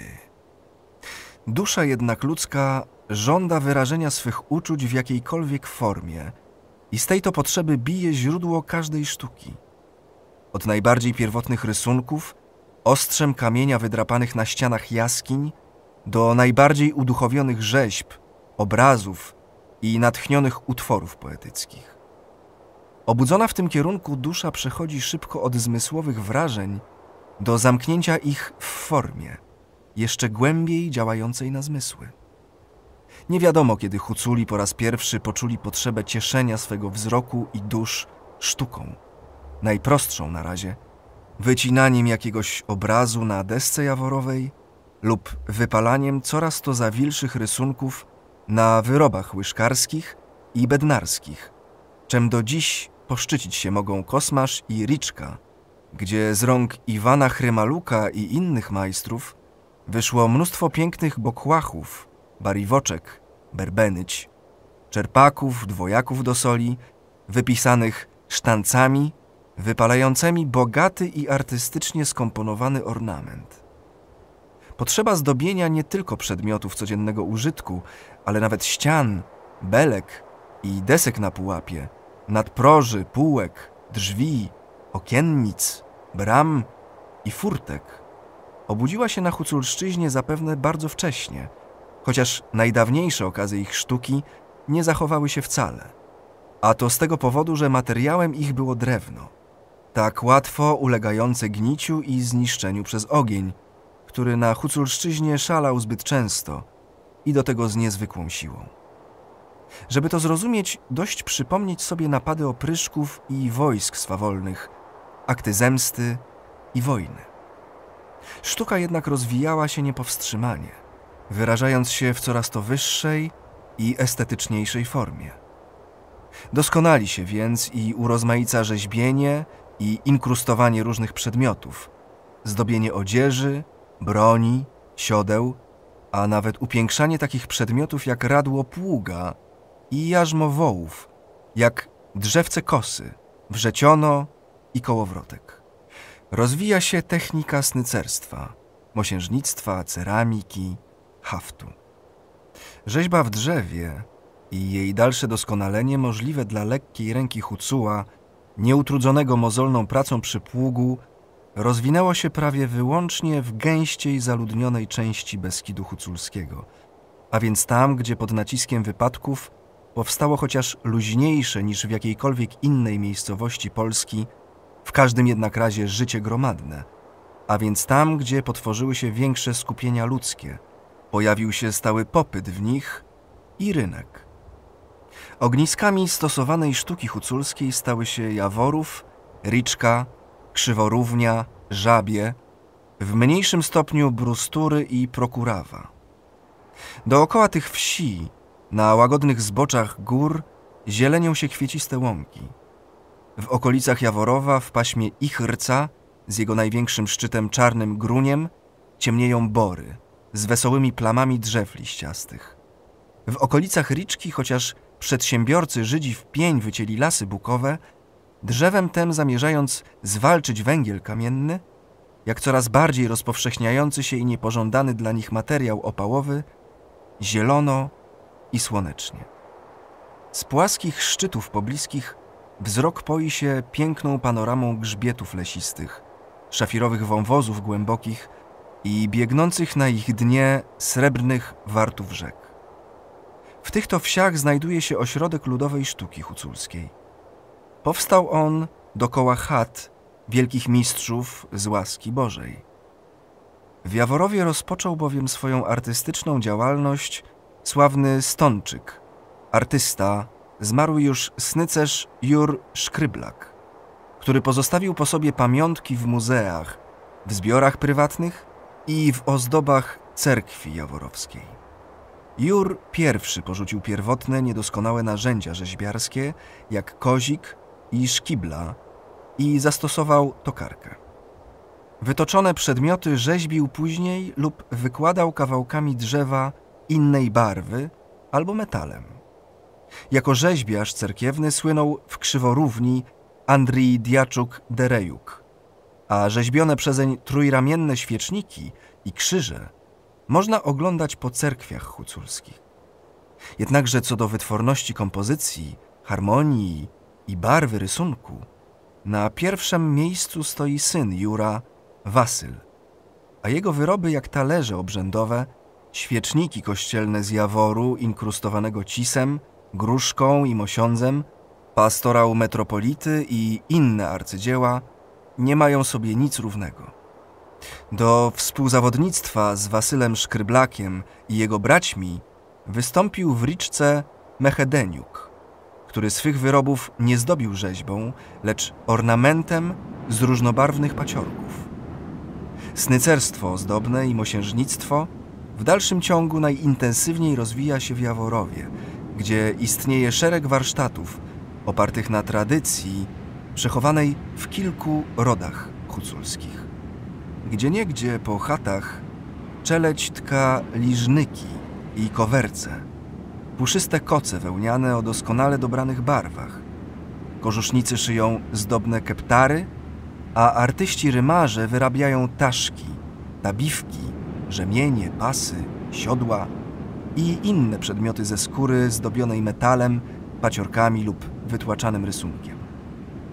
W Jaworowie, Riczce, Brusturach, Krzyworówni, Żabiu, Jesienowie liczni snycerze i mosiężnicy wyrabiają toporki, laski kefeły, fajki, krzyże, igielniki, zgardy z mosiądzu i brązu, pięknie cyzelowane, a nieraz, szczególnie w zastosowaniu do pierścionków, kolczyków i innych ozdób kobiecych, napuszczane emalią.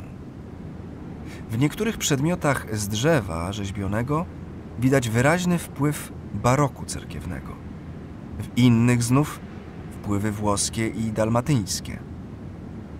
Sztuka huculska we wszystkich swych przejawach pozostaje jeszcze mało zbadaną, więc na miejscu tu będzie zwrócić uwagę na pewną ciekawą postać, która mogła w wieku XVII wywrzeć wpływ na zamiłowanie Hucułów do rzeźby artystycznej, chociażby miało się ono objawić jako naśladownictwo. Oto krasiccy we włościach swoich przemyskich mieli wielkiego mistrza rzeźbiarza, chociaż w aktach figuruje on bez nazwiska. Był to jakiś Janko, którego krasiccy pożyczali znakomitszym sąsiadom. Ów zagadkowy mistrz rzeźbił w drzewie, rogu i metalu. Zdobił pałace i świątynie, więc mógł sztukę swoją zaszczepić na halickiej ziemi, skąd przeszłaby ona i na pokucie.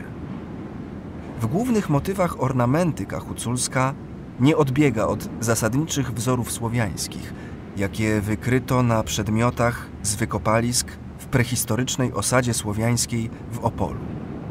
To samo zauważyć da się co do kształtu i rysunków na kolczykach i pierścieniach, jak też do porków czekanów i harpuna, który nad Czeremoszem przechował pierwotną formę tego narzędzia rybackiego i w razie potrzeby straszliwej broni przeciwko napastnikowi. Nieskończoną, zda się, jest pomysłowość huculskich mistrzów w wykorzystaniu pierwowzorów słowiańskich lub przemyconych tu z zachodu i wschodu, a jednak we wszystkich prawie daje się wykryć moment emocjonalny i przede wszystkim wspólny zapewne różnym ludom pasterskim i myśliwskim, co być może pozostało w ich duszach po wojowniczych praprzodkach, dakach. Moment ten wyczuć można w tradycyjnym drzewku życia, wazonie, z którego ono wyrasta, w ptaszkach, lwach, wężach, w słońcu, w magicznej siódemce, sześciopromiennej rozetce z wypukłym ośrodkiem odpowiadającemu siódmemu promieniowi. Motywy znowu sprzed kilku tysięcy lat przed naszą erą. Wreszcie emocje religijne, szukanie i uznanie Boga, a więc znowu słońce w różnych kształtach, od swastyki do kwiatka, orzeł i na koniec krzyż bizantyński, tak bardzo zresztą podobny do uproszczonej, stylizowanej jodły, i drugi, szeroki, krótki, znany rzeźbiarzom Babilonu, Asyrii i Egiptu. Nawet w barwach używanych przez tkaczy huculskich występuje moment emocjonalny, dążenie i tęsknota do słońca i złota, w barwie czerwonej i żółtej, wyrażających nieśmiertelny łańcuch bytu. Borszcz, czyli czerwień, i chlip widzą huculi w pobudkach życiowych, a stąd przechodzą do następnej formuły krew i złoto. Bo przez krew odradza się człowiek w młodym potomstwie. Na wojnie zaś zdobywa złoto, kolorem zbliżonego do chleba huculskiego, kukurydzy o ziarnach dających obfity plon. Inne barwy, skojarzone zawsze ze zjawiskami przyrody, używane tu są również, bo przecież piękna tęcza, wesełycia, pokazuje pełną gamę barw czerwonej, żółtej, niebieskiej i fioletowej, krwi, ognia, chleba, złota, nieba i tęsknoty. Barwa żółta uosabia twórczą siłę słońca, Boga, chleb i bogactwo. Zielona poryw, marzenia, nadzieję młodości. Czerwona męskość, krew, ogień, miłość i związaną z nią nieśmiertelność w następnych pokoleniach. Niebieska oznacza przestrzeń w dal, wzwyż i w głąb, a więc tajemnicę niezbadaną nieba, odchłanie wód i dum człowieczych. Fioletowa barwa to wiek dojrzały, to dzień dogasający, to mgiełka, w której skradają się już czarni gońcy nocy i śmierci. Hucu, przez nikogo nie nauczony, w głębi duszy wrażliwy na otaczające go piękno, grozę lub smętek rodzimej natury, posłyszał te echa dawnych emocji, wspólnych wszystkim ludom. Szukali tkacze huculscy barwników w roślinach i ziemi. Burak, żowtyło, zanowit i łyść. Różne gliny, węgiel, sadza i inne źródła naturalne dostarczały tkaczom czystych i trwałych farb. Malarstwo jednak nie rozkwitło na Huculszczyźnie. Obrazy na szkle przywędrowały tu, zdaje się, z Bukowiny, a może nawet od Słowian południowych. Zapewne nawet nie bezpośrednio, tylko przez Kijów, jak to miało miejsce w Rosji Środkowej i Północnej, a także na Ukrainie zadnieprzańskiej. Malowidła na drzewie, nieraz stare bardzo, zdradzają wpływ, jeżeli nie bezpośredni nawet udział, malarzy pieczerskich i atoskich, gdyż ich dostawą trudnił się zapewne skit maniawski, z Atosem i ławrą kijowską związany ściśle. Wszystko, co wytwarza sztuka huculska, jest niezmiernie estetyczne, głęboko pomyślane, i co najcenniejsze, posiada styl swoisty. W nim zamknął Hucuł dumy swoje, marzenia i uczucia, swoją krew, słońce, drzewa i rośliny piękne i czarowne, złocisty i płodny owoc kukurydzy, karmicielki. Jakżeż wielka i niepowetowana byłaby strata, gdyby zanikła sztuka huculska lub się zniekształciła, a w treści swej i poziomie chylić się poczęła ku upadkowi. Niestety zjawiły się już pierwsze tego zwiastuny. Nieuczciwe pośrednictwo, konkurencyjne, tandetne wyroby żydowskie i złe materiały dostarczane przez nich chałupnikom, wreszcie narzucenie hucułom obcego im kilimkarstwa. Niebezpieczeństwo to postanowiło usunąć Towarzystwo Przyjaciół Huculszczyzny. Organizacja poważna, nie rozpraszająca się na rzeczy błahe, drugorzędne i nie porywająca się na projekty niewykonalne, co gaszą ducha i budzą zwątpienie.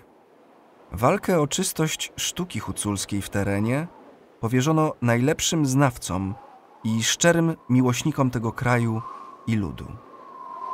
Dom jednego z takich patronów huculszczyzny, pułkownika Norberta Okołowicza, poznać można potem, że wszystko tam jest zbudowane, urządzone i ozdobione według najsurowszych tradycji regionalnych. Ciągły tam ruch hucułów. Jedni przynoszą rzeźby i pisane wypalankami naczynia bednarskie, drudzy wyroby mosiężne i żelazne. Inni dźwigają liżnyki barwne i szerokie kowerce, aby wysłano je na sprzedaż do muzeów i zbiorów osób prywatnych. Stąd dostają dobrą wełnę, farby do barwienia przędzy, narzędzia rzeźbiarskie i snycerskie, drut, blachę i paciorki do wykładanek, do żyrowania i wpuskania w drzewo, różne zapasowe części krosen, tokarek i metal do odlewów, aby skrzynie, baryłki, berbenycie, rakwy, bokłachy, siodła, bartki toporków, kefeły, krzyże, łańcuchy, kolczyki, pierścionki pysane były mudriaszcze.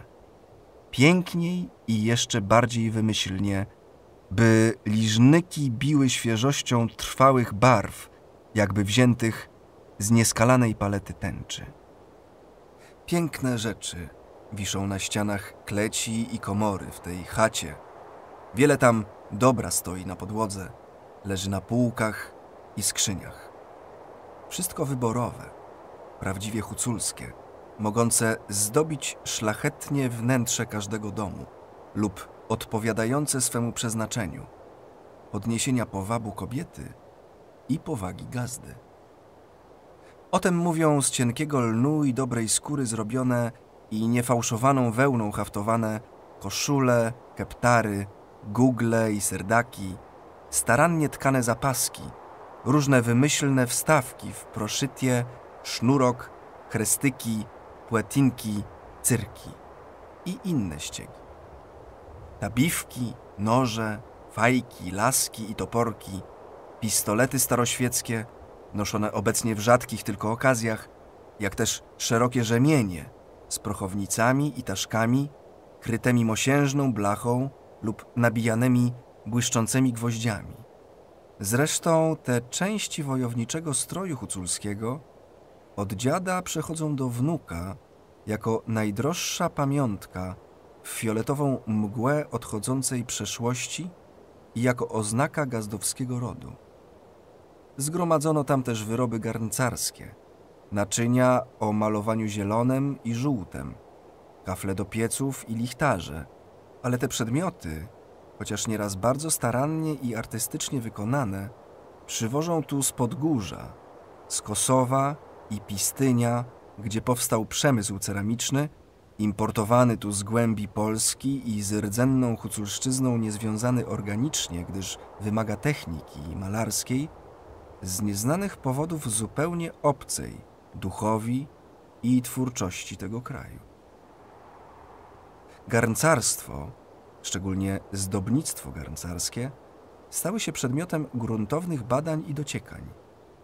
Istotnie przygodny nawet turysta laik staje w zdumieniu przed bogactwem ornamentacji. Próżno by szukać na pokuciu dwóch kafli jednakowo pisanych. Znane tu są imiona ceramików znamiennych Kowalski, Baranowski, Bachmiński, Koszak, Tymiak. Jak w ogóle w sztuce ludowej, nie znoszą oni pustych płaszczyzn tła i zapełniają je rysunkiem lub ornamentem, zaplanowanym z głębokim poczuciem umiaru, zrozumieniem architektoniki zdobionego przedmiotu, artystycznym smakiem i uległością prawom estetyki. Gwiazdy, koła, trójkąty, kwadraty, rąby, krzyże, kłosy, koniki, rozety z aureolą wokół, kwiaty w doniczkach, bukiety, liście, pięknie ułożone łodygi roślin, jelenie, kozły, ptaki, na kaflach zaś powozy, myśliwi, wojskowi, jeźdźcy, gajowi, bibosze. Ale nikt nie wyliczy wszystkiego, co zdobi garncarskie wyroby majstrów pokuckich, którzy ostrym rylcem stalowym snują cienkie, koronkowe kontury wizji rysunkowej. Po części z nastroju, po części z tradycji pochodzą barwy majoliki miejscowej, ciemno lub złocisto-żółta, brunatna, czarna, niebieska i zielona, pogłębione i stonowane kratkowaniem lub kreskowaniem gęstszem czy rzadszym. Tadeusz Seweryn w swojej rozprawie o pokuckiej majolice ludowej z całą sumiennością naukową, ugruntowawszy swój pogląd, tak pisze. Zaliczanie wyrobów artystycznych pokuckiej ceramiki do sztuki huculskiej jest nieporozumieniem i nieścisłością. Gromadka polskich garncarzy godnie reprezentuje kulturę pochodzenia swego na południowo-wschodnich rubieżach Polski, boć zazębianie się wpływów wschodu i południa z zachodem w dziedzinie domowych przemysłów nie obywa się bez jej współudziału. Praca naszych kresowych garncarzy stanowi chlubny dokument żywotności naszego ludu, który nawet na polskich etnograficznych wyspach Pokucia nie tylko nie zatracił swoich odrębności plemiennych, ale nawet i swoistym charakterem pracy artystycznej istotnie wyróżnia się na tle pięknej, plemiennej, prawdziwej huculskiej sztuki. Garncarstwo pokuckie nosi jednak na sobie ślady wpływów południowego Siedmiogrodu, zaniesionych tu wraz z nowym osadnictwem Wołochów w wieku XVIII, wpływów włoskich, docierających również przez Siedmiogród w postaci zmodyfikowanych piatti di pompa, talerzy do zdobienia ścian. Odcisnęła tu swoje ślady Słowaczyzna i, jak twierdzą niektórzy etnografowie, Europa Zachodnia. Jednocześnie, a to właśnie najsilniej przemawia do serca, istnieją zarysowujące się w pomroce wieków zarośnięte już doszczętnie ścieżki doprowadzające do kultury rzymskiej. Tej, co to w zdobytych prowincjach stała się źródłem ożywczym dla przeróżnych rzemiosł i sztuk. Istnieją podobno jakieś paralele pomiędzy naszą ceramiką pokucką, a niektórymi regionalnymi ośrodkami garncarstwa we Francji. W każdym razie majolika artystyczna nie jest dziełem rdzennych hucułów, na ogół obojętnych dla sztuki malarskiej, która właśnie w tej dziedzinie gra wielką rolę. Jedynym przejawem malarskich uzdolnień ludzi Wierchowiny są pisanki, jajka wielkanocne, malowane przez kobiety. Wymagają one pracy żmudnej i cierpliwej, noszą jednak cechy wrodzonego hucułom poczucia piękna, umiaru w barwie i szlachetności w rysunku, czym szczególnie odznaczają się pisanki z Kosmacza, Kosowa, Ryczki, Jaworowa i Żabia.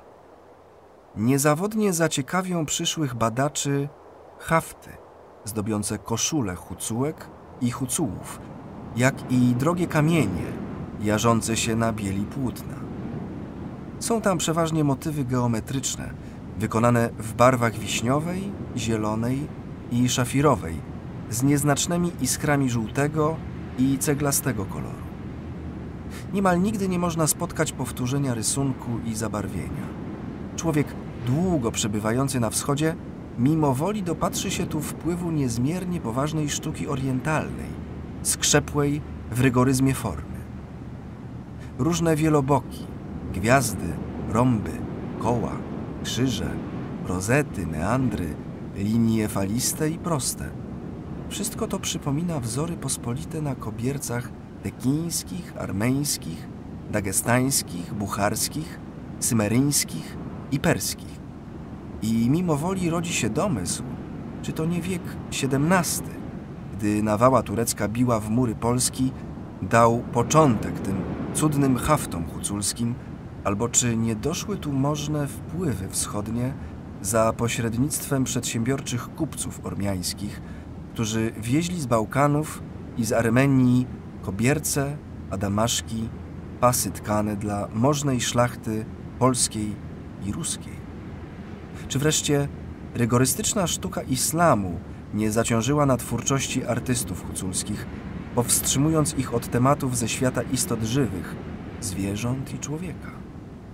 W każdym bądź razie hafty kobiet huculskich stoją na bardzo wysokim poziomie sztuki ludowej. W tych barwnych pentaklach na melancholijnym, poważnym tle zamknęły one marzycielską duszę swoją, wybujałe poczucie piękna i wrącą w sercu potężną, gotową zerwać się namiętność. Dziwne to zaprawdę zjawisko, że w kurnych chatach góralskich, rozsianych po zboczach gór, samotnych i nie szukających więzi z szerokim światem, w którym rwie i huczy rozpętane, do pędu maszyn coraz bardziej podobne życie, wybuchnął tak samoistny, doskonały i pełen natchnienia poryw do artyzmu. Zrodził się zapewne jak te rzeki burzliwe, na wierzchach zielonych, gdzie Hucu staje w obliczu słońca i nieba, gdzie czuje wielką tajemnicę bytu i niejasną tęsknotę za czymś niedoścignionym, co zmusza człowieka gór wyrazić w pięknych rysunkach rzeźb, barwach i kształtach swoich wyrobów artystycznych i w porywających opowieściach, gdy to każdy wypadek i zjawisko działające na wyobraźnię i uczucie przeistacza się w tragiczną i sentymentalną balladę epicką. Wtedy każdy hucu, podniecony jej jasną lub tajemną treścią, staje się natchnionym bardem swych wierchów, borów, rozczołyn i płajów, skąd echo ukryte podszeptuje mu nowe strofy. To pogodne lub groźne, to znów kipiące namiętnością żywiołu. Ta wyobraźnia, podsycana pięknem lub grozą, ciszą tajemniczą i szalonym rozpasaniem potęg natury, znaleźć i wyczuć można nie tylko w piosenkach układanych przez łeginiów, młodych i starych gazdów, pastuchów, drwalów i orylów, lecz i w opowieściach poetyckich, zdumiewających swym rytmem i wyrazistością umiejętnie dobieranych słów, a nawet podobno w kolendach. Jednak niezawodnie najbardziej silnie wyraża się ten pęd i zdolność do ujęcia bezpośrednich wrażeń w baśniach i opowiadaniach. Tu nic już nie wstrzymuje bujnej, nieokiełznanej fantazji Hucuła.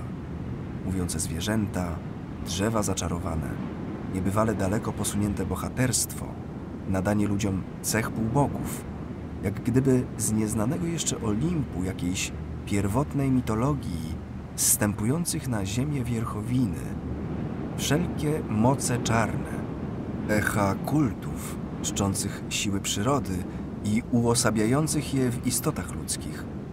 Wszystkie te przebogate pierwiastki poetyckiej wyobraźni, te barwy i odcienie, wchłaniane przez duszę, czułe na piękno swej ziemi ojczystej i żądne wstrząsów mocnych, rzucają się w oczy człowiekowi o odmiennej kulturze nizinnej, jak oślepiający zygzak błyskawicy, jak strasznie wyrazisty ślad wiatru halnego.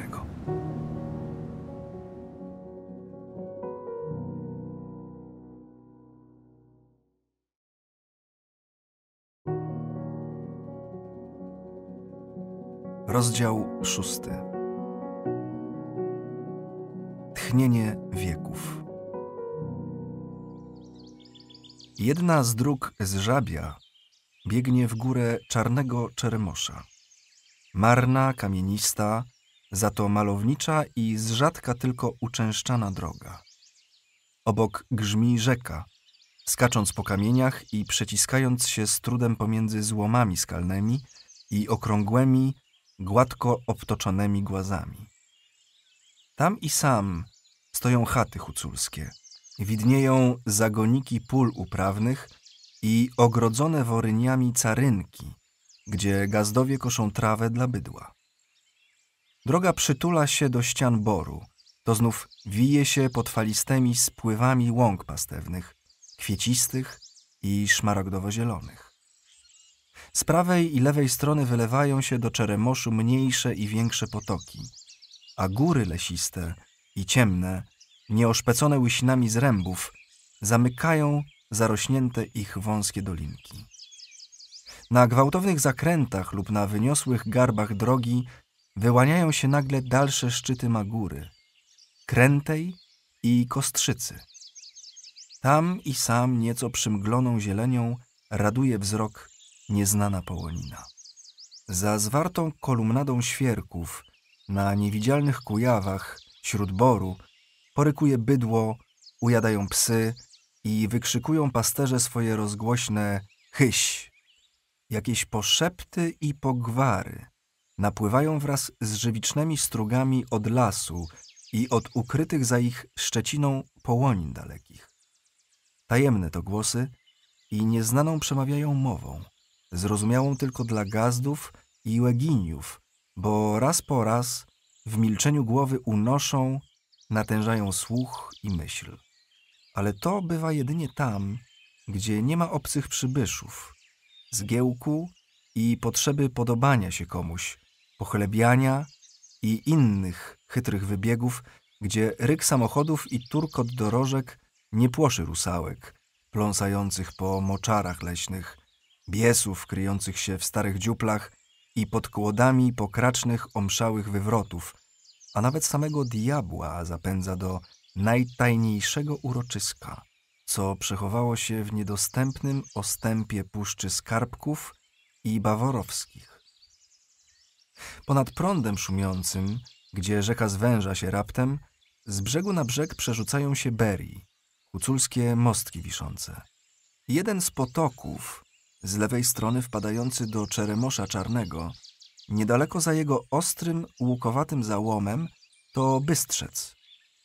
Kto zliczy, ile się z nim łączy zimnych stróg i ruczajów, mknących z Marysza, Gadrzyny i wschodnich lesistych uskoków Czarnochory. Tu na słonecznych zboczach Kostrzycy i łagodnych ułochach Kosaryszcza wybujały wysokie, żyzne trawy rozległych sianorzęci, najlepszych ponoć na całej Wierchowinie, a na nich rozsiane chaty, posetki gazdowskie, tworzące wieś Bystrzec. Cichy, odludny, mniej od innych w Beskidzie Huculskim dostępny zakątek. Nawet sami Huculi żabiowscy, dążąc w sierpniu na znany tu chram, odpust, kręcą głowami i uśmiechając się mruczą propanna wiki. Taka już tam wiedzie droga.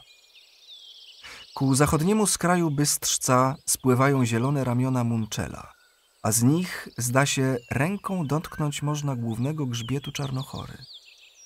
Płaje rozbiegają się tam na wszystkie strony, jedne na kizie Ułochy, drugie do miejsca, gdzie przedtem, zanim stopa ludzka po raz pierwszy odcisnęła tu swój ślad, zachodziły wypadki przerażające rozpasaniem żywiołów. Jakaś siła potworna rozsadziła pierś gór, zadając olbrzymią, na wieki otwartą ranę. Kotlinę głęboką, obramowaną spadzistymi spychami kedrowatego, gdzie po wypaleniu zatrważająco powolnie odradza się kosodrzew i różanecznik. Dalej płaje biegną zboczem rebrów, jak gdyby przepasanych wstęgami jasnych warstw skalnych, postrzępionymi iglicami szpyci, razem tworzącymi owe teatry kamienne, gdzie rojno bywa na ruskiego świętego Jana, bo czary tu się zagnieździły od niepamiętnych czasów. W szczelinach i załomach szpyci rosną cudowne zioła lecznicze, magiczne kwiaty i czarodziejskie korzenie, a siły im nadaje błąkający się w tym miejscu ponurem i groźnym on, czarny duch gór, który rozłupuje i szarpie skały, obala najsędziwsze świerki i jodły, a nawet limby rosnące na kedrowatym. Te najmocarniejsze drzewa górskie. Tam też bije krynica Doboszowa. Tkwi w ziemi spruchniały już pień Jawora, pod którym urodził się sławny opryszek i pozostało jego skalne krzesło, gdy to po zabiciu diabła dumał tam nad czymś, do czego tęsknił i rwał się namiętnie. W okolicach Bystrzca przetrwały jeszcze stare lasy, może nigdy nie dotknięte ostrzem siekiery lub zębami piły, zapewne nigdy, bo jakież to wielkoludy i mocarze mogliby spuścić te kloce potężne aż na wart Czeremoszu. Dalej biegnie droga kamienista tuż nad zwarliwą wstęgą rzeki. Nowe wpadają tam potoki, aż za stepańskim szczytem z hukiem wyleje się do Dzembronia.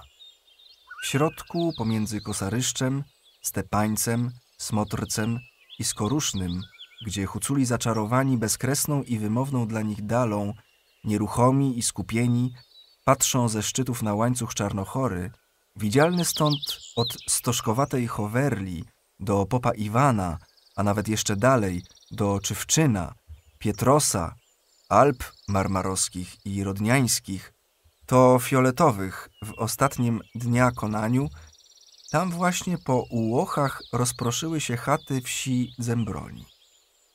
Na trawiastych zboczach gór pasą się najczystszej krwi konie huculskie, te najmocniejsze, ciemnokare, o oku ognistem i kopytach skry krzeszących z kamieni. Jakaś trwoga zakrada się do serca, gdy spojrzenie pada na niezliczone, upadające już krzyże i na kopce mogilne, trawą wysoką porosłe. To groby posiane okrutną ręką wojny, bo tu przecież w roku 1916 załamała się szaleńcza ofensywa rosyjska, niszcząca dobytek i osiedla Hucułów, a grożąca stoczeniem się ku równinom węgierskim, jak lawina, bez dróg i bez myśli. Czeremosza nie wstrzymują wspomnienia, więc biegnie dalej, wśród zalesionych uskoków Skorusznego i Krętej.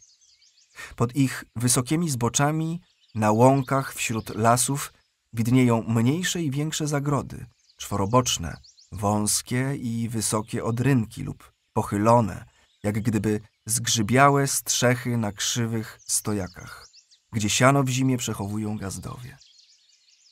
Potoki Haral i Petrów wlewają się do łożyska rzeki.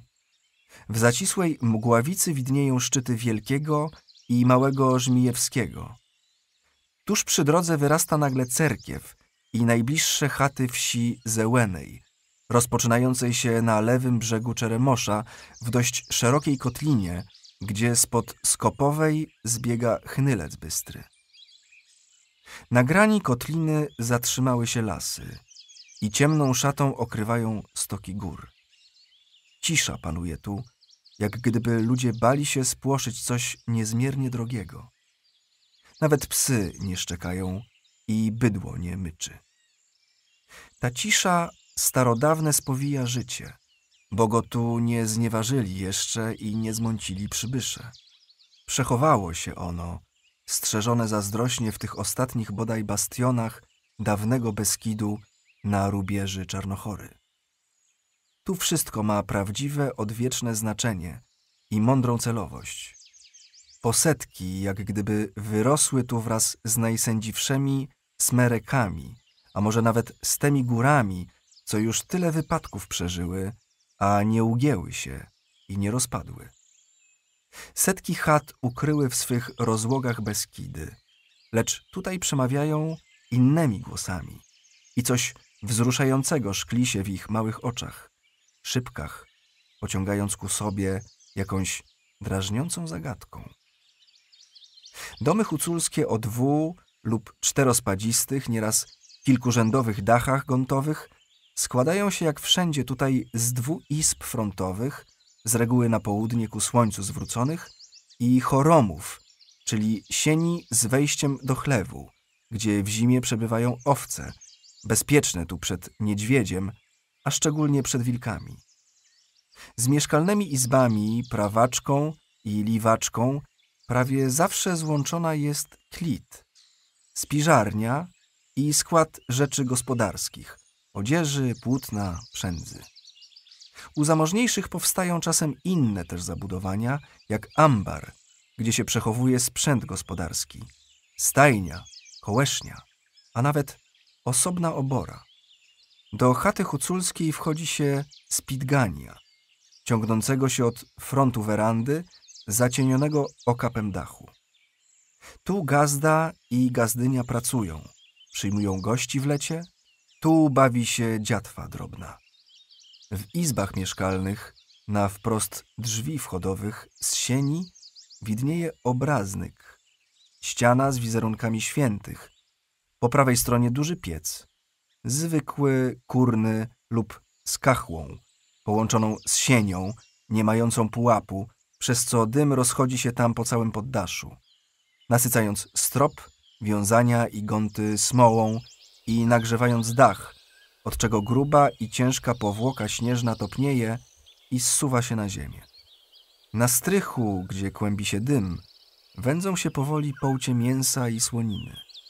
Nad piecem, bardzo w swej budowie pierwotnym, bogaci huculi stawiają nadbudówkę z żółto-zielonych kafli kosowskich, przechowując jednak zawsze tradycyjny zapiecek, gdzie można po ciężkiej wędrówce lub pracy w lesie i na rzece wysuszyć ubranie, postoły i wygrzać się do kości. Niektóre piece z takim okapem kaflowym, na przykład w Worochcie, Mikuliczynie, Żabiu, Krzyworówni, tworzą malowniczy szczegół, ale tam stoją one jak gdyby okazy muzealne, na podziw zwiedzających. W pobliżu pieca ustawia się szerokie łoże, przed którym widnieje żertka, nieraz misternie rzeźbione wieszadło dla koców i ubrania. Wzdłuż ściany frontowej i tej, gdzie wiszą obrazy, ciągną się ławy. Na nich śpi młodzież, a w zimowe dnie pracują hucułki. Na lewo od wejścia, na gładko heblowanej ścianie widnieją półki na miski i garnki. Połeci. A na specjalnej ozdobnej półce, na mysnyku, droższe naczynia stanowiące dumę gazdyni. Świeczniki, bogato rzeźbione misy i talerze, rakwy i bokłachy. W kącie, gdzie zbiegają się ławy, stoi stół, duża rzeźbiona skrzynia i kilka zydli. Podtrzymujące połowę belki, swołoki, upiększone prostą, a wytworną rzeźbą, jak również ozdobione nadproża i framugi okien, dziwnie odbijają od surowego zawsze frontu chaty. W oddali od sztucznego już nieco życia większych, przeciętych szosami wsi, gdzie przejezdne mieszczuchy kręcą nosem na dym i żądają pieców amerykańskich lub zwykłych z kominami nad dachem, a czasem nawet kanalizacji i wody bieżącej, tu wszystko jest naturalne i niezbędne, jak te nieskończenie długie sutki. Drogi ujęte z obu stron wyroniami, na kilometry biegnące poprzez łąki, aż hen ku dalekim połoninom, gdzie się wypasa bydło. Niezbędne to jest, bo ma znaczenie praktyczne. Niezbędne też dlatego, aby pod czarnymi dachami w dwa czy trzy szary przechowała się nietknięta tradycja huculska. Barwna i bogata, ni to kobierce wschodnie, z lekka przyćmiona, ni to gobeliny, nieco już wyblakłe i zwiędłe. Tu tylko zrozumieć można długie rozmyślania Hucuła, szukającego szczęśliwego miejsca dla nowej chaty. Ileż to troski przeżyje gazda, aby dostrzec, gdzie bydło najchętniej kładzie się na wypoczynek lub gdzie jest muraszkowyna, mrowisko, ale koniecznie na pagórku, na południowe słońce wystawionym. Takie to bowiem miejsca dla stałych siedzib najszczęśliwsze są i najpewniejsze. A ileż kłopotów ma cieśla, zanim rozpocznie zawiązywać na złożonych kamieniach pierwsze wieńce przyciesi. Wie od dziadów pradziadów, że trzeba wpierw z młodego świerka krzyż z nieściętymi na wierzchołku gałęziami ustawić przystroić wełną i czarownem zielem dobrotliwem okadzić, wodą święconą pokropić i pośrodku placu wkopać to drzewko magiczne. Patrzy on i nadsłuchuje, bo wszystko mówi mu, czy szczęśliwie będzie tu gazdował gospodarz mającego stanąć posetka. Słucha więc trwożnie, czy nie kracze wrona, nie szczeka pies i nie skrzeczy sroka, za to cieszy się, gdy na kamieniach usiądzie pliszka, zaszczebioce jaskółka, zarży koń, odezwie się poryk wołu, a jeszcze bardziej, gdy łagodny wiatr poruszy cicho trawę i krzaki rosnące wokół. Tak to, mieszając uczucia chrześcijańskie z pogańskim zabobonem, podtrzymuje cieśla niegasnącą watrę przy budowie i pomny na setki starodawnych zwyczajów kładzie i wiąże ściany aż pod strop. W nich będzie płynęło życie rodziny gazdowskiej, dla której poza Bogiem i świętymi patronami istnieją setki innych, większych i mniejszych, dobrych i złych bóstw. Przetrwały one w puszczy, górach i wodach i wciąż jeszcze pomagają lub szkodzą Hucułowi od pierwszej chwili narodzin, gdy przylatuje dwunastu sędziów i siadłszy na oknie izby, wyznacza mu gwiazdę, która świecić mu będzie aż do skonania.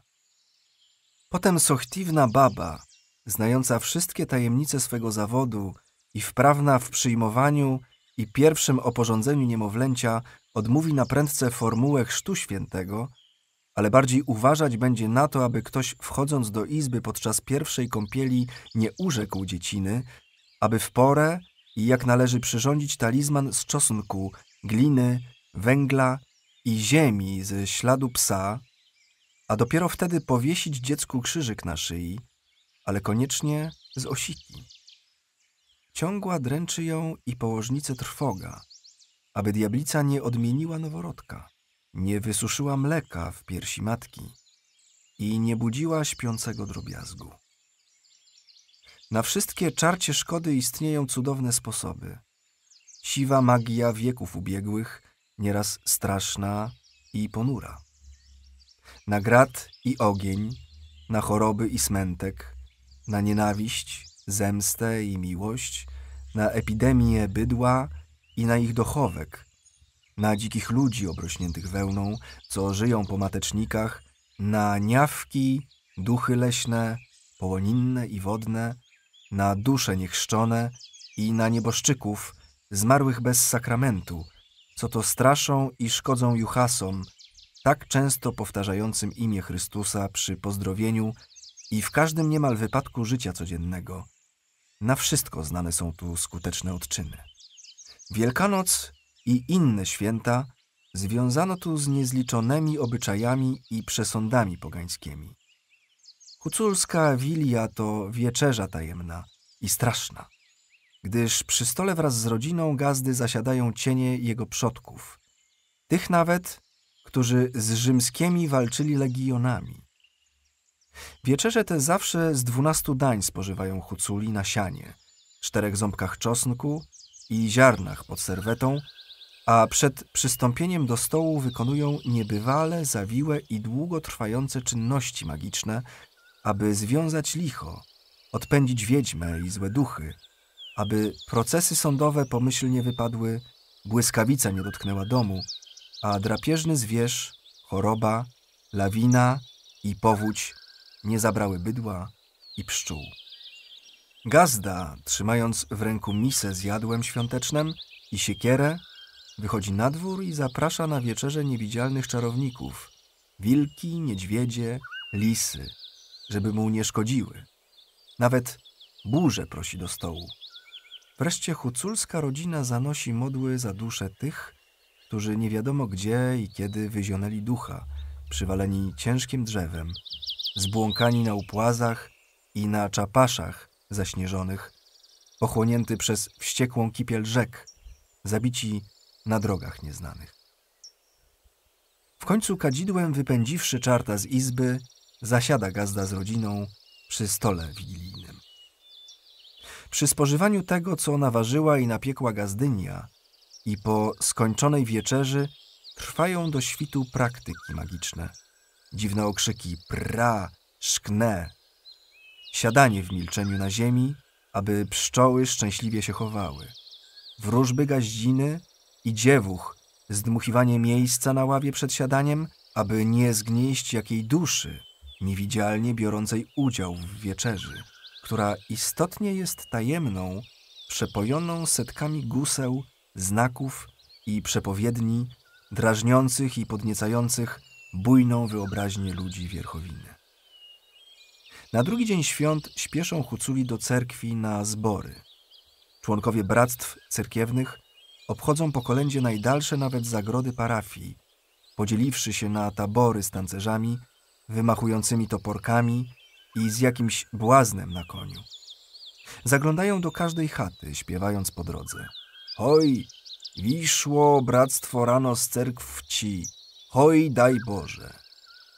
Nowy rok, Jordan, Wielki Post i Wielki Tydzień. Czterdziestu męczenników, patronów rybaków, zielone świątki, świętego Jana i Mikołaja, dni świętych Jura, Borysa i Chliba, obrońców przed głodem. Kosmy i Damiana, patronów sadowników i drwali. Dni obchodzone przez Kościół chrześcijański są tu głęboko przesiąknięte słowiańskiem i niesłowiańskim pogaństwem. Dziwne też święto utrzymało się na Huculszczyźnie, zdaje się, więcej nigdzie niespotykane. Wielkanoc Rachmańska. Huculi obchodzą ten rachmański wełykdeń, czcząc jakichś rachmanów starych, bogobojnych mnichów czy też karzełków żyjących gdzieś na wschodzie. Uważają ich gazdowie za pośredników pomiędzy Bogiem a ludźmi, a więc za żywych bogów na ziemi. Niewątpliwy wpływ islamu i buddyzmu, zresztą samo słowo nawet zdradza arabskie niezawodnie pochodzenie. Dzień Rachmańskiej Wielkanocy związany jest z wzruszającym obyczajem, przypominającym straszliwe niegdyś najazdy tatarskie i ciężką rękę turecką. W tym dniu bowiem Huculi wrzucają do rzeki skorupy jaj, aby dopłynęły do Stambułu, gdzie żyjący tam potomkowie wziętych niegdyś do niewoli Hucułów nie wiedzą, że minął już dzień Wielkanocy, największe święto świata chrześcijańskiego. Jak okiem sięgnąć przez bory, łąki i góry, po płajach i po bezdrożu idą i jadą konno gazdowie i kobiety, obładowane ciężkimi worami, besachami, odziedziczonymi, sądząc z nazwy po Tatarach. Czemże to je wypchały gazdynie gospodarne? Odświętną odzieżą mężów i swoją, obuwiem, prykrasami i łyskawkami, aby po dalekiej i uciążliwej nieraz drodze do cerkwi z dalekiego osiedla móc się przebrać i pryludnie sąsiadom się pokazać. W innych workach wiezie gazdynia święcone, by je pop wodą świętą skropił i wszelkie siły nieczyste odpędził, tem bardziej, że wiezie nie tylko paskę, ozdobne pieczywo dla ludzi, lecz, co jest ważniejsze, i dla bydła. W jednej połowie besachów ułożyła gazdynia ogromne, rumiane, w kwiaty i wszelkie esy floresy wypieczone paski z białej mąki, a w drugiej duży, pięknie pisany paskewnyk, napełniony kawałkami ciasta obrzędowego, kiełbasy, słoniny, mięsa, sera, jaj, masła. Są tam też barwne pisanki i butelka z wodą, w której gotowały się jajka, bo najskuteczniejszy to lek na choroby oczu. Tamże umieściła hucułka korzeń chrzanu z liśćmi, czosnek i szczyptę soli. Tak obładowani jadą lub idą do cerkwi. Piękny to widok. Na ciemnym tle boru majaczą białe keptary i gugle kobiet, niby białe skrzydła motyla. Przez jasnozielone młode zarośla i na łąkach migocą czerwone sieraki gazdów i ich czarne kresanie, łyskające blachą lub szeroką opaską z bajorków. Świecą się toporki i nabijane mosiądzem taszki, pasy, tabiwki, łańcuszki i pochwy noży. Przed ogrodzeniem cerkiewnym umyje się, oczyści i poprzebiera lud chrześcijański, pobożny, miłujący Boga, który gazduje sobie gdzieś tak straszliwie daleko i wysoko, że diabeł i jego czelać rządzą się na ziemi jak we własnej chacie, ludziom życie zatruwając i obrzydzając. W skupieniu głębokiem wejdzie Hucuł do kościoła, aby bić pokłony ziemne, żegnać się niezliczoną ilość razy i cieszyć się radosną wieścią od wieków powtarzaną, iż Chrystus zmartwychwstał. Aleluja. Po mszy świątecznej wyjdą wszyscy tłumnie na dziedziniec. Rozłożą swoje święcone, ustawią rzędami ozdobne paskewnyki i słuchając śpiewów liturgicznych, znów troskać się będą, myśląc, czy dobrze tego ranka stąpili na ostrze siekiery, gdyż w Wełygdeń żelazo ma siłę osobliwą. Czy nie zapomną odczynić czarne moce, bo wiedźmy dziś swawolą złośliwie, żmije budzą się ze snu, lisowyki i wszelkie duchy szaleją, wściekłe i zrozpaczone. Ale któż by zliczył wszystkie obrzędy starodawne, o których muszą pamiętać gazda, gazdynie, łeginie urodziwi i dziewuchy, czujące już, że serce im bić poczyna mocniej, to znów omdlewa w słodkiej, pokornej niemocy.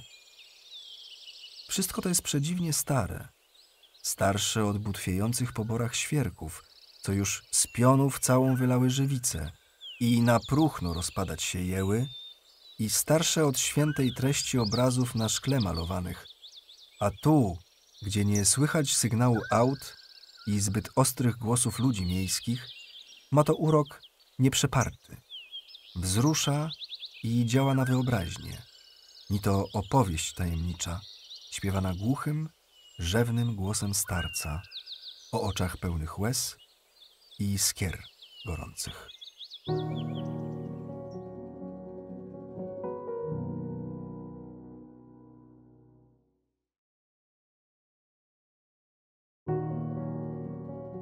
Część trzecia. Czarnochora. Rozdział pierwszy. Fale skamieniałe. Tam, gdzie wypiętrzył się łańcuch czarnochory, snać niegdyś jakieś morze nieznane, pradawne, cisnęło burzliwe bałwany, a te dobiegł szytu, stanęły w bezruchu, stężałe nagle, w kamień twardy zamienione, aby nie rozprysnąć się już nigdy. O tem to zapewne morzu, szerokiem, niebieskiem i głębokiem, wspominają Watachowie na Połoninach przed wschodem słońca, ogarniając spojrzeniem zastygłe jego fale. Od Howerli i Pietrosa, aż Hen po Popa Iwana. Szczyty gór nie grożą tu niebiosom ostrzami wierchów poszarpanych.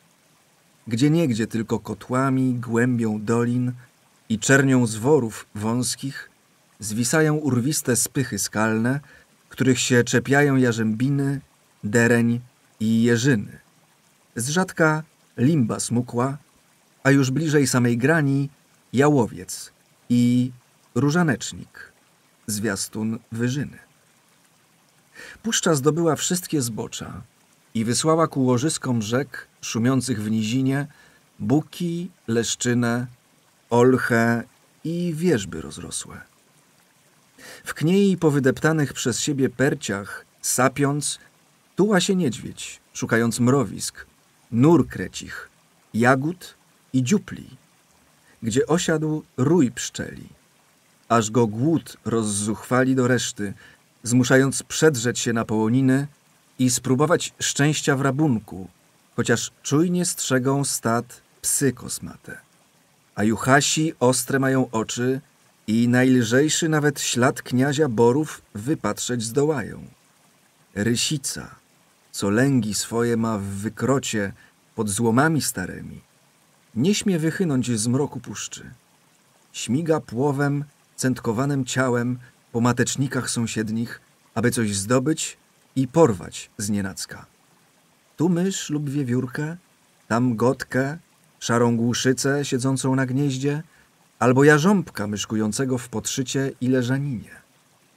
Po nocy chyba, gdy czarne chmury pełzną po niebie i gdzie w oddali przewalają się grzmoty, głuche jeszcze i leniwe, czołga się rysica na skraju lasu i węszy, czy nie pasą się w pobliżu jelenie i kozły, co tylko o zmroku wychodzą na połoniny, gdy juchasi zamkną już w koszarach woły, krowy i owce, pod ścianą stai pozostawiają stróża nocnego, a ten zaniepokojony nagle gwizdnie na psy, aż ujadać i miotać się zaczną po połoninie, szukając wroga.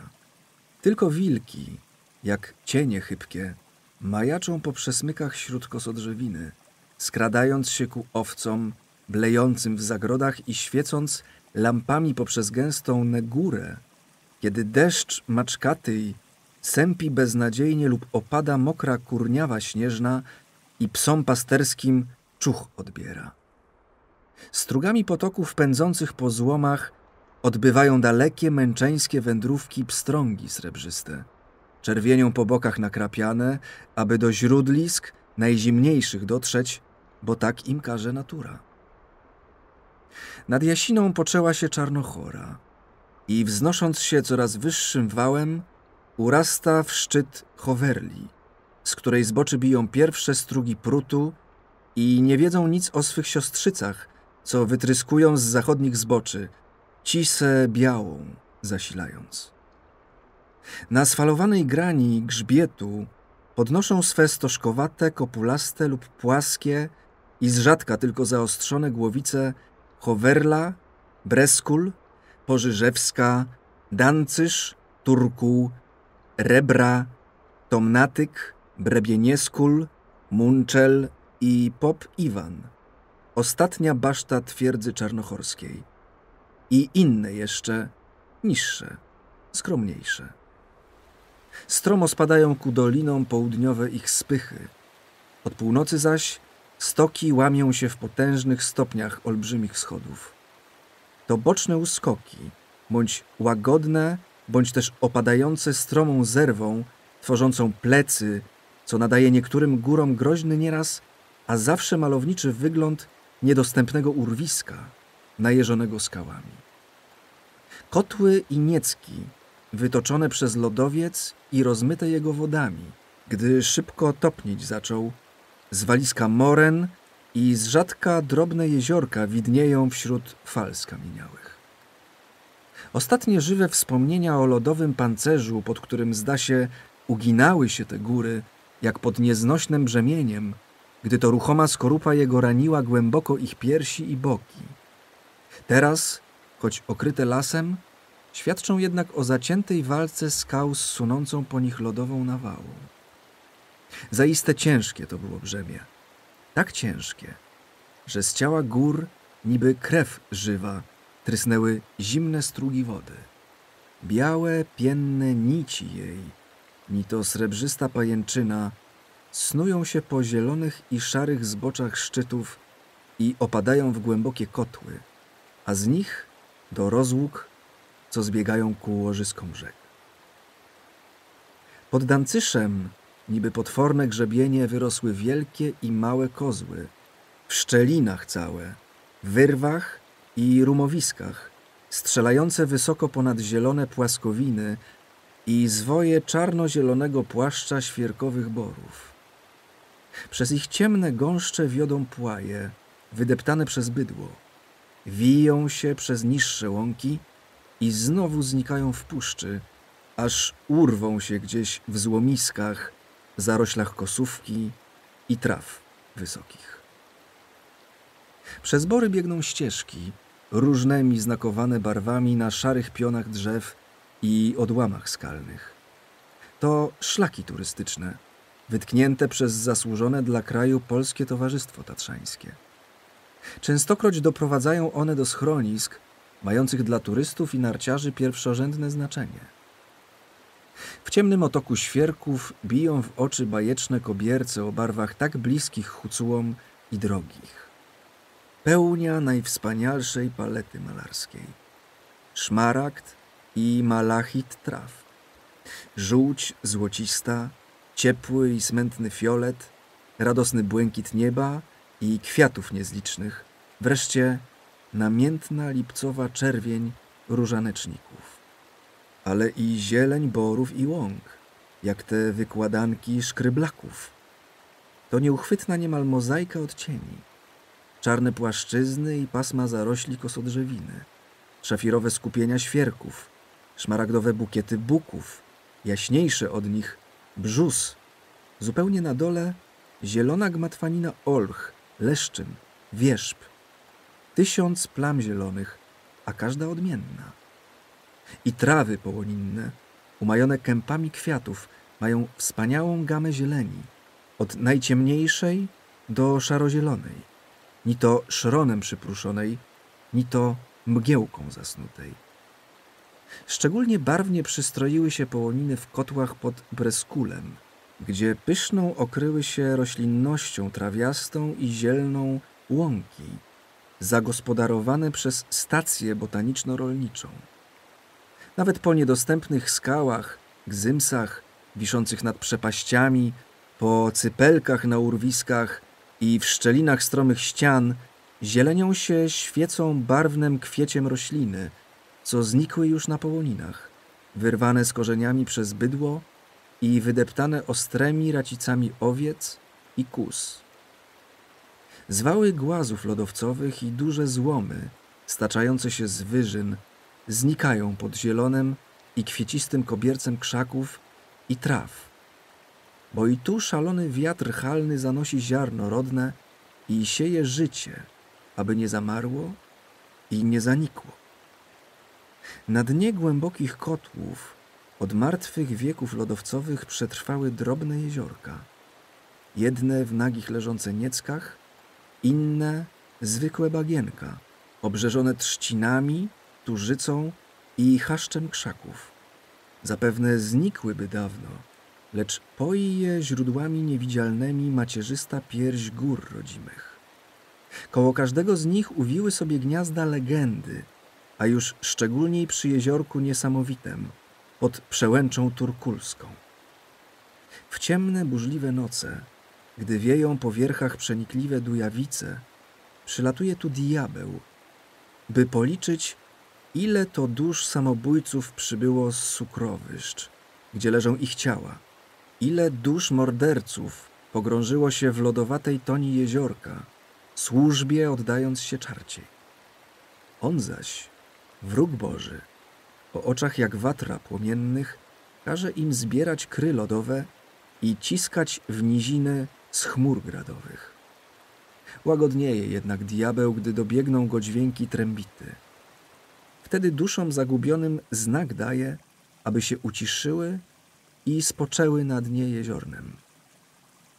Wiedzą o tym pasterze i z daleka przechodzą, by z zaklęciem na ustach w jeziorku wymoczyć trębity, gdyż takie grają donośnie i rzewnie. Żaden z juchasów nie śmie cisnąć kamieniem w nieruchomą, zamarłą toń, bo woły by mu potonęły, owce zerwałyby się z perci nad berdami i przepadły bez śladu. Ale nie tylko ku temu jeziorku dążą juchasi, bo w wolnej chwili wybiegają i na szczyty najwyższe, by wzrokiem zaczerpnąć błękitów i fioletów dali, w płuca nabrać bezkreśnych powiewów, ku słońcu się zbliżyć, a na niziny przyziemne pogardliwe lub tęskne rzucić spojrzenia. Hej, nie ma tu granic przestrzeni. Z Hoverli dojrzą oczy pasterzy mgliste, seledynowe, złociste skrawki równin i ciemne, jak gdyby rozpłynięte na jasnym kobiercu mętne plamy Stanisławowa, Kołomyi, Śniatynia i Marmarosz Szygietu. W jednym tylko miejscu zasłoni im widnokrąg samotny Pietros, ale poza tym nic już nie wstrzymuje wzroku, bo widne jak na dłoni wyciągnęły się tam skamieniałe fale szczytów Breskulu, Pożyżewskiej, Dancysza i Turkułu, urwisko Reber i zjeżona grzywa wielkich kozłów, dalej Szpycie, podwójny wierch Brebenieskulu i nieznaczny skrawek Popaiwana. Huculi, którzy tu zabrną, w zadumie i niepokoju przyglądają się czarcim iglicom szpyci, ponurym, dzikim, pełnym utajonej grozy, teatrom kamiennym, prostopadłym urwiskom dancysza z odcinającymi się na jej tle wielkimi kozłami i z wznoszącą się wyżej chowerlą z jej kopcem na wierchu. Gdy zaś juchasi lub gazdowie z kosmacza, krzyworówni i bystrzca, wędrujący po górach, aby odwiedzić pasącą się na połoninach marżynę, dotrą tu, wtedy staną w zachwycie, bo oto widzą wężowy grzbiet czarnochory. A jeżeli wejdą na Brebenieskul, ostry wzrok ich dosięgnie przezroczystych, błękitnych i różowych łańcuchów Alp marmarowskich i rodniańskich. Wreszcie spod znaku triangulacyjnego, co wyrósł na wierchu popa Iwana, oczy górali ogarniają pasmo od stogu do Czywczyna i południowy, w słonecznej mgle tonący cypel Polski, gdzie znaczą się zielenią połoniny Chnitesa i Komanowa, a na wschodzie rozparły się nad czarnymi borami inne, wesołe, rozległe połoniny chryniawskie. Stoją juchasi i wędrowni huculi w zachwycie i milczeniu. Zapominają o troskach, nienawiści i miłości. Widzą rodzimą wierchowinę, wykochaną od kołyski, całą wzdłuż i wszerz, w nieukrytym niczem przepychu barw i blasków.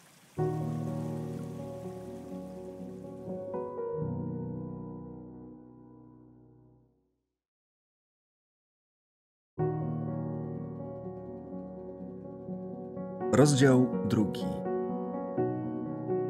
Czarnochora w bieli. Już prosynec, grudzień na dworze. Wszelkie mokradła od dawna w stwardniałą zamieniły się chrudę na kamień zmarzniętą. Przy brzegach potoków i rzeczek i na kamienistych ich progach z brzękiem załamuje się podmyte prądem dzwonne szkliwie cienkich zaledzi. Na skałach i płajach śnieg potworzył połydycie. Mokra siekawica jeszcze w listopadzie oblepiła białą polewą hałdy złomisk, pnie drzew na skraju puszczy, od dawna zważyła trawy na połoninach i zawczasu skoszonych carynkach. Nagle w nocy napłynęły od gorgańskiej sywuli ciężkie chmury. Sypnęły śnieżycą i w mig jeden białą, puszystą guglą okryły czarnochorę od wierchów do dna najgłębszych wąwozów, gdzie zdjęte przerażeniem przycichły potoki warczące. Coś krąży dookoła wierchów, szybuje nad nimi i macha białymi połami szaty, od czego wiatr powstaje mroźny i kłujący. Wszystko dokoła znika pod białą powłoką, jarzącą się w słońcu milionami skier i ogników, nawet w nocy, gdy miesiąc obiega ziemię, świeci się biały płaszcz gór tajemniczą poświatą niebieską, jak bezdenne, niawek źrenice. Znikają pod osypami śnieżnymi rumowiska szare, ostre iglice szpyci i jałowy reber wału. Każda skała, kamień, zwały głazów, przez lodowiec w popłochu i nieładzie porzuconych, okryły się puszestymi czapami, okrągłymi jak olbrzymie jajo. Czapy osiadły też na łapach świerków i rozłogach jodeł. Na czarnych gałęziach buków i olch wykwitły pęki sadzi białej. Każdy badyl i najcieńszy pęd zgrubiał i zbielał od szronu, niby alabastrowym oblepiony kwieciem. Miękkimi zwojami srebrnego płaszcza otuliły się plecy spychów, a na wierchach najwyższych urosły śnieżne wały, łagodne i niepokalanie białe lub też wygięte kulistym łukiem ostro przez wiatr podciętych wydm o grzywach rozwichrzonych w godzinie zamieci. Gdzie w zaspy śnieżne uderza smagający je wicher, tam i sam wyziera czarne igliwie kosówki i kiwają się w jego podmuchach nagie gałęzie olszowe. Szczyty połoniny i łąki, po rozczołynach leżące, to jedna bezkresna, milcząca pustynia biała, gdzie tylko duchy niewidzialne wyciskają bezszmernie nikomu nieznane ślady swych stóp. Z krawędzi nad kotłami, z obrazów i urwisk pionowych grożą upadkiem stwardniałe, a jednak powolnie spływające, grube, wygięte ku dołowi zwisy zlodowaciałe. Śnieg pruszy bez przerwy. Potworzyły się już wydmy ogromne pod czarną ścianą borów. Pod brzemieniem białej i martwej pokrywy pochylają się i z trzaskiem żałosnym padają cienkie piony młodych smereków i buków. Jak gdyby uginają się i obniżają szczyty i przełęcze czarnochory, aż dreszcz przejmujący wstrząśnie jej skalnym grzbietem. Wtedy w różnych naraz miejscach zrywać się poczynają wiszące nad bezdnią spływy śnieżne. Szybciej suną po zlodowaciałej nawierzchni skalnego zbocza białe, bezszmerne pola, aż runą nagle. Groźna lawina ślizga się stromymi spychami, porywając kamienie, piargi, płachty darniny i spada na dno głębokich kotłów, rozbijając się tam na potężne bloki, ni to biały i połyskliwy marmur z Carrary, gdzie indziej na rozsiane w nieładzie mniejsze bryły i zwaliska osypów potwornych, druzgocąc świerki i pod warstwą swoją grzebiąc kosówkę, odłamki piaskowca, a wypełniając głębokie wąwozy, szczeliny i żleby szerokie, gdzie przetrwa nieraz aż do nowej zimy. Dziwnie trwożnie szemrzą bory żałobne, gdy wicher halny strząśnie z ich łap czapy białe. Cać z igliwia, szron z pni stwardniałych. Smętne i milczące, ni to bojąc się poruszyć i głośniejszym odezwać się po szumem, nie machają już łapami i głowicami nawet nie kiwają, sztywne, zamarłe. W dni pogodne i w noce ciche, urocze wyraźniej dobiegają z kniei różne odgłosy. Zgrzyty śniegu pod racicami jeleni, ciężkie jego skrzypienie pod szerokimi stopami burego kudłacza, szmer ostrożnego truchtu wilczego, tchórzliwe dyndanie lisa, ciche prychanie rysia i syk najdzikszego wśród nich, żbika, łaknącego świeżej, gorącej krwi. W niższych reglach dziki brną w śniegu głębokim, czujne i cięte. Wszystko, co żyje, opuszcza mateczniki głębokie, przywalone śniegiem. Chyba tylko niedźwiedzica ciężarna i sadlista pozostanie w barłogu. Do stogów, tkwiących po łąkach i carynach, skradają się sarny i łanie – Jelenie grzebią śnieg kopytami po niższych połoninach, szukając paszy. Wilki grasują po zaroślach w pobliżu posetków gazdowskich. Łasice i kuny wślizgują się pod chaty, gdzie szczury i myszy mają siedlisko. To też w dzień i w nocy ujadają, warczą i wyją psy czujne i złe. Ujadają też z innej przyczyny. Po białych zboczach gór i po grani czarnochorskiej coraz częściej bowiem majaczą dalekie, drobne cienie, ciemne punkciki, szybko biegnące od szczytu do szczytu. Tam na mglistej pustyni silni i odważni ludzie białym śladem nart, ni to lemieszem ostrym tną pola śnieżne. Nie po piękno krajobrazu przybyli tu z dalekich miast, zgiełkliwych i zadymionych, bo prawie jednakowy wszędzie roztacza się przed nimi widok. Czarne ściany borów i białe płaszczyzny.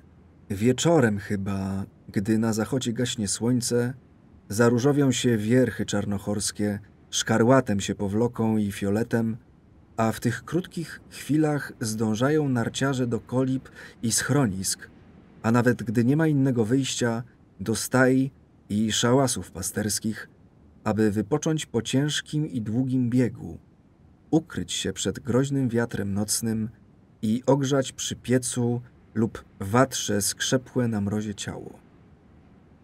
Nie krajobrazy tylko pociągają tę młodzież, niby nowe duchy gór zjawiającą się na wysokich graniach, wąskich krawędziach nad urwiskami, po śnieżnych pustyniach połonin i po plecach kotłów. Co prawda w południe przed oczami narciarzy płoną wspaniałe białe kopuły Hoverli, brebenie skulu i popa Iwana. Ale z rzadka tylko spojrzą oni na tę bajkę białą, ogarnięci szałem przestrzeni i rządzą zawrotnie szybkiego biegu. Uwaga ich, skupiona na czyhających w górach niebezpieczeństwach, odrywa ich od cudów czarnochory, przybranej skrzącą się diamentami szatę zimową. Muszą bowiem bacznie śledzić narciarze, aby wyślizgane płozy w zwarze śnieżycy zlodowaciałej nie dotknęły szreni na ukośnym płaju nad Berdem lub nie wcięły się w śnieżne nawisy, niczem niepodparte, aby na trawersie stoków czy przy telemarku zuchwałym nie popchnąć lawiny, a przy skoku co niby drapieżny orli lot nie trafić na słabo ośnieżone hałdy złomisk i nie wpaść na nietrwały jeszcze zwór tunelu śnieżnego, w którym pędzi potok i jeżą się ostre kamienie. Nie. Pościg za piękną naturą, za bezkresem przestrzeni nie jest głównym celem narciarzy. Oddają się oni najpiękniejszemu, najdumniejszemu sportowi, co żąda wyostrzenia i spotęgowania wszystkich zmysłów i sił.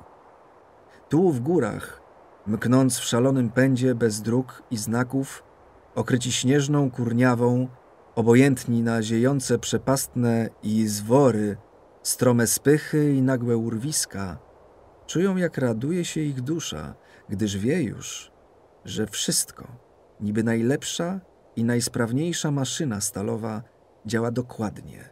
Mięśnie nóg, płuca, serce, oczy, kierująca wszystkim wola i myśl błyskawicznie szybka i nieznająca lęku. O zmierzchu, gdy już granatowe cienie wypełnią po brzegi najgłębsze wąwozy i wchłoną ciemność borów, gdy zgasną szczyty, upieszczone ostatnim promieniem tonącego na zachodzie słońca, kiedy to pod wierchami snuć się poczną białe smugi i kłęby obłoków, co to niby kierdel owiec białych rozcieka się po zboczach i zsuwa po plecach kotłów, gdy na ściemniałym nagle niebie tam i sam migotać poczynają gwiazdy, a księżyc nieśmiało jeszcze posrebrza ośnieżone strzały świerków przy watrze, płonącej w kolibie, zgromadzona brać narciarska gwarzy spokojnie. O świcie po szlakach i ścieżkach rozproszą się wszędzie narciarze. Otwarta dla nich droga, bo płozy gonne, zgrzytając cicho po diamentowej naledzi, wszędzie się prześlizną i do najdalszych dotrą zakątków. To też narciarze zaglądają do graszt i chat huculskich, odwiedzają cerkiewki o dachach, przyczółkach i makowyciach, śniegiem i sadzią okrytych, gdzie bywa tłumnie w dni świąteczne, bo nie tylko gazdowie i gazdynie, ale nawet łeginie i dziewczyny strojne nie chcą wychodzić na dwór. Mróz tam bowiem sroży się i szczypie. Połyskują w świetle jarzących się świec i słońca złocenia rzeźbionych wymyślnie wrót i ikonostasów przed ołtarzem. Patrzą spoważniałe oczy narciarzy na obrazy, niewprawnym malowane pędzlem, na misterne pająki zwisające z pułapu nawy, na trój- i pięcioramienne świeczniki roboty mistrzów huculskich, a przede wszystkim na tłum rozmodlony, barwny i dziwny mieszaniną typów, wyrazu oczu, postawy i stroju. Oglądają ośmioboczne i kwadratowe dzwonnice, stojące osobno, ciemne, prawie czarne, rozedrgane głośnym łkaniem dzwonów. Nie omijają sportowcy najbiedniejszych nawet chatynek, gdzie w dymie wraz z bydłem pędzą nędzne życie najuboższe rodziny huculskie. Nie dziw przeto, że kosmate i łaciaste psy gazdowskie szaleją, rwąc się z łańcuchów i ujadając wściekle. Ujadają jednak z innego jeszcze powodu. Ostry ich słuch pochwytuje echa napływające z dalekiej puszczy. Głosy ludzkie, a poza tym stukot siekier, łomot i trzask padających drzew, jakiś huk, niby grzmot stłumiony odległością, przeciągły warkot i rwące się od czasu do czasu głuche lub przeraźliwe krzyki. Węszą złe kotiuchy, a gdy dobiegnie wiatru od puszczy, połechce im chrapy smolnym zapachem ogniska i ostrego potu końskiego. Tam w borach oszronionych łeginie, drwale staczają po ryzach dylowych drzewa, ścięte na jesieni, rąbią i piłami podcinają na kamień skostniałe smereki i w basztannykach stare jodły. U podnóża walą buczynę, aby nie głuszyła młodej i szlachetnej porośli. W lasach na zrąb przeznaczonych, w owych butynach, pnących się po bokach gór lub wybujałych na płaskowinach, tkwią kołyby. Sześć lub osiem mają one ścian bez okien. W jednorzędowym, spadzistym dachu, u szczytu jego piramidy czernieje prozir, otwór szeroki, którym dym watry, nigdy nie gasnącej w środku schronu, ulatuje aż ponad szczecinę boru. Niziutkie drzwi prowadzą do wąskiej sionki, gdzie drwale przechowują wodę i wszelką sarsamę, piły, gielchiwy, gryfy i capiny dla przesuwania i obracania ściętych pionów i tylko siekiery, z którymi nie rozstają się nigdy, podsuwają pod twarde wezgłowia swych pościeli świerczyną wyścielanych. Od modlitwy zaczyna tam gospodarz zawitcia pracę w Boże. Od modlitwy zaczynają ją drwale przygodni, co codzienną pobierają opłatę i sykmanycze, którzy podnajmują się na cały czas trwania porębu. Na modlitwie też się kończy ta ciężka i niebezpieczna robota. W tym jedynym bodaj wypadku milczą stare gusła, bo odzywają się zaledwie trzy razy. W dzień przybycia partii do kołyby, gdy do znaku zawitcy nikt nie ośmieli się wyjrzeć na dwór i w dzień rozpoczęcia robót sygnałem potrójnego zacięcia siekierą drzewa przy kołybie i drugiego na samym już zrębie. Panie Boże, dopomóż nam tę robotę wykończyć i do domu szczęśliwie powrócić całemu narodowi i mnie. Modli się Sykmanycz w rozumieniu całego znaczenia tej prośby pokornej. Na każdym przecież kroku czyha tu nań niebezpieczeństwo śmiertelne. Może runąć na drwala nagle padający świerk. Inny, gryfami strącony ze spychu, podbije go, połamie nogi lub pierś przygniecie ciężkim pionem. Urwie się nagle żelazny rak, rzemykiem do postołów uwiązany, a człowiek ze zlodowaciałego ześliźnie się głazu i zerwawszy się z krawędzi wąwozu, zginie w głębi przepastnej. Inne i bodaj większe jeszcze grożą niebezpieczeństwa przy staczaniu drzewa z lesistych spychów ku kolejkom leśnym lub na zarinki po brzegach rzek, gdzie spuszczoną świerczynę układają w mygły, które inni już ludzie posortują na wiosnę. Powiążą kloce w talby i daraby, a kiermanycze spławią je czeremoszem daleko, daleko. Z boczami gór przeciągnęły się żłoby ryzy z okrąglaków świerkowych, śliskich, lodem okrytych, bo je kropiwnyk ustawicznie wodą zalewa. Przy tej drodze dylowatej stoją na czatach sztychary, bacznie śledząc, aby nic się na niej nie popsuło i ze swego miejsca nie powypadało. Gdzieś wysoko i daleko w lesie łeginie zręcznie capinami podciągają do ryzy okorowane bierwiona, a na dole, gdzie zbudowano wełyki ragasz z odskocznią dla nich, gdy drwale gdzieś wysoko nad tym miejscem zepchną je na ryzy. Wszystko przygotowane. Z wysoka dobiega okrzyk klej chów. Robotnicy przy ragaszu szybko odbiegają i kryją się za drzewami. Odchodzą też sztychary od rys, a pierwszy z nich, stojący w dole, podaje sygnał. Kinna, tuf! Przerzucają go drwale jeden do drugiego, aż dojdzie ta komenda hen wysoko do początku ryzy.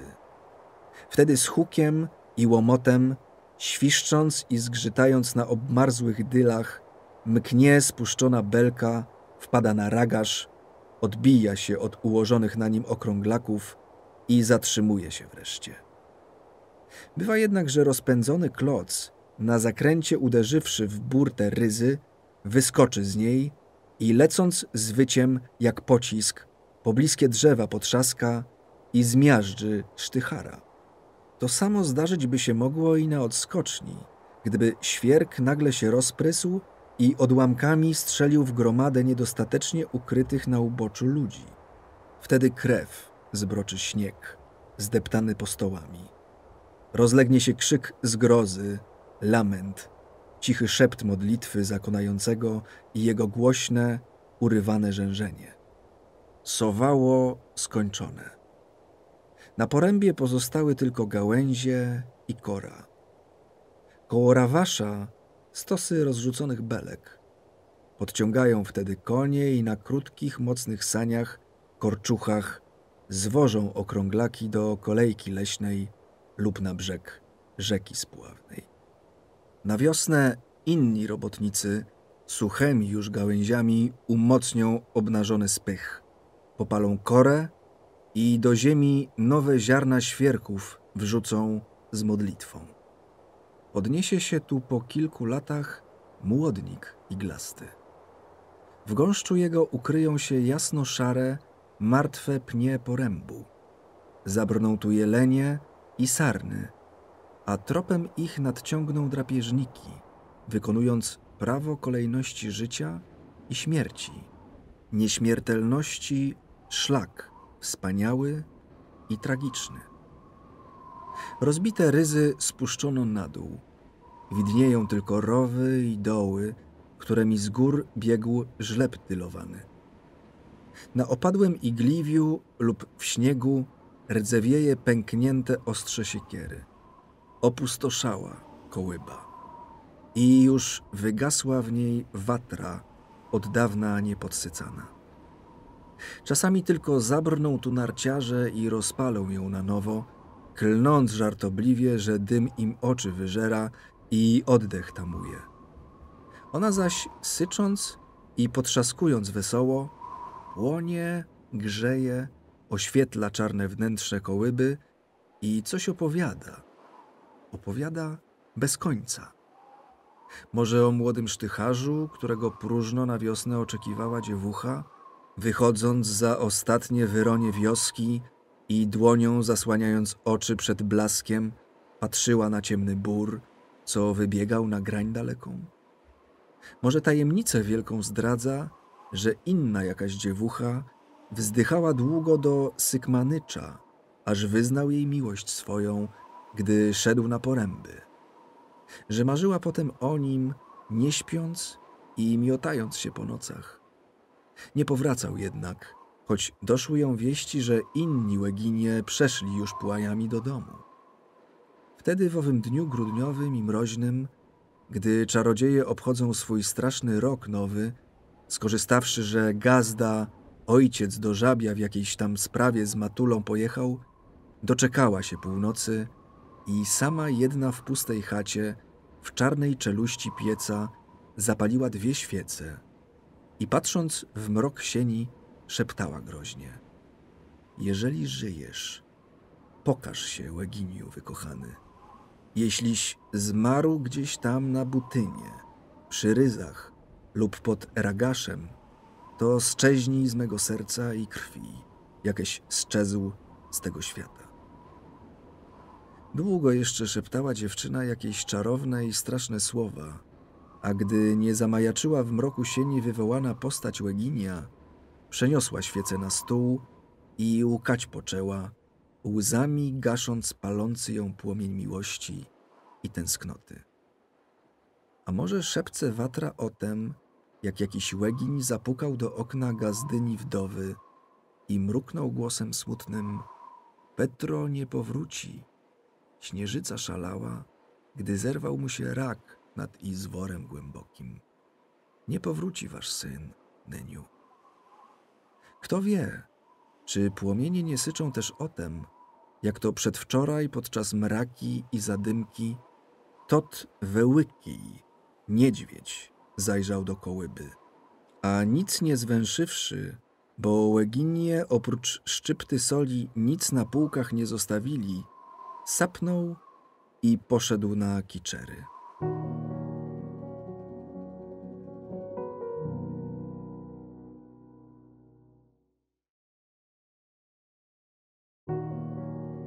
Część czwarta. Góry Czywczyńskie i Chryniawskie. Rozdział pierwszy. Ku południowym rozrogom. Od kamiennych iglic szpyci przez przełęcz Smotrca biegnie szlak ku dolinie Czarnego Czeremoszu. Tu pomiędzy ujściem potoku Ludowca i Szybenego, wśród rozległych lasów, wybiegających na strome zbocza gór, rozsypały się na dużej przestrzeni nieliczne chaty jawornika. Przy drodze, w cieniu drzew, stoi cerkiew i stara obok niej dzwonnica. Na łagodnych uskokach widnieją ogrodzone caryny i drobne zagony ziemniaków. Na spokojnych plosach przy brzegu Czeremoszu wypoczywają daraby, oczekując wielkiej wody – która je porwie, gdy wrota klauzy otworzą się na szybenym. Pierwotne, zda się, lasy otaczają jawornik. Lasy te trudno dostępne obfitują w zwierzęta łowne i zasługują na utworzenie w nich rezerwatu. Nadleśnictwo w granicach swoich prowadzi szeroko rozplanowane roboty leśne, wykorzystując spławny szlak wodny. Kamienista, pełna wybojów droga kołowa biegnie dalej, brzegiem rzeki. Na zakrętach drogi spoza niższych lesistych gór wyłaniają się połoniny, szczyt Stajek, Smotrca i Ludowej. O kilka kilometrów dalej, do Czeremoszu, wijąc się wśród zarośli, wlewa się potok Szybeny, wypływający z jeziora tej samej nazwy. Łożysko potoku przecinającego zalesione zbocza górskie, w tym miejscu, gdzie zbiegają się od nogi popa Iwana i stochu, przegradza tama, klauza, za którą u stóp Munczełyka leży głębokie, zagarniające 40 morgów jezioro o pojemności 400 tysięcy metrów kubicznych. Spiętrzone klauzą wylewa swe wody do ujściowego koryta szybenego, po czym w cztery godziny dobiegają one do żabia. Spokojne i ciemne w otoku lesistych brzegów, zawsze zadumane jezioro, pojone zimnym wartem potoku, który zebrał na zboczu stochu i pop Iwana, bijące z ich piersi źródła ożywcze, ukrywa w swej toni kryształowej niezliczone stada pstrągów i głowacic, Wpływają one stąd do Czeremoszu, gdzie rybacy w dzień łowią pstrągi sakami, więcierzami i werszkami, a w nocy, świecąc sobie łuczywem, po szypotach i kurbałach, ościeniami starodawnymi biją głowacice i lipienie, zaczajone wśród głazów i zielonego gąszczu traw wodnych i śliskich porostów. Na zachodnim brzegu, gdzie na bagnisku wybujała olszowa dżemora, stanęły ściany trzcin i sitowia. Rozlegają się pokrzyki dzikiego ptactwa wodnego. Kwaczą kaczki, ochryple beczą krzyki, kuliki jęczą i huczy bąk. Najczęściej jednak taka tu panuje cisza głęboka, że mimowoli nawet rodzi się myśl o ukrytej w toni baśni. Istotnie – Łeginie, przechodząc płaiczkami po zboczach Munczełyku, gdy zbiegają z połonin regielskiej i ruskiego działu, przysięgają, że widzą koła rozpływające się po ciemnym zwierciadle wody, a nawet złociste włosy rusałki lub jej wabiące bielą ramię nagie, bez plusku i brysk tnące toń jeziorną. Rybakom ukradkiem spuszczającym na dno sznury z hakami, wśród zatopionych kłód i kamieni, majaczy nieraz kudłata, zielona głowa wodjanika, a w odmęcie czarnym poświatą zwodniczą świecą się czyjeś oczy otchłanne. Starzy ludzie pamiętają groźny dramat, który widziały stare świerki nad szybenym gwarzące. Razu pewnego niedźwiedź skradł się tam do Buchaja, co się odbił od stada i samotny błąkał się po puszczy. Skradł się i skoczył mu na grzbiet, lecz byk, wściekły od bólu i ślepy z przerażenia, poniósł drapieżnika. Rozsadzając zwarty chaszcz podszytu i robiąc skoki szalone po stromym zboczu góry, dobiegł do urwiska i wraz z wrogiem runął do jeziora, w miejscu najgłębszym, zaczajonym przy skalnej zerwie pionowej. Od ujścia szybenego najmarniejszy bodaj szmat drogi pobrzeżnej dobiega do Burkutu przez przełom Czeremoszu wąską dolinką lesistą, pomiędzy niezaludnionymi uskokami Łedeskułu i Kiernicznego, a wielkimi połoninami chryniawskimi. W głębi ciemnych szczelin, którymi zbiegają potoki, tam i sam na lewym brzegu doliny uderzają jaśniejszą od świerków zielenią trawiastych szczytów, zalane słońcem skrawki połoniny Łukawicy. Na prawym połoninny wierch Czywczyński. W pobliżu schroniska i zabudowań leśnictwa hrabiego Skarbka z krystalicznego rdzenia Karpat biją cudowne źródła burkuckie, alkaliczne szczawy żelaziste, niedawno jeszcze cel dalekich nieraz wędrówek ludzi szukających tu uzdrowienia. W naszych czasach nikt już nie przyjeżdża tu na kurację. Różne na to złożyły się okoliczności, a ich przyczyny szukać należy w nieobliczalnym chaosie powojennym.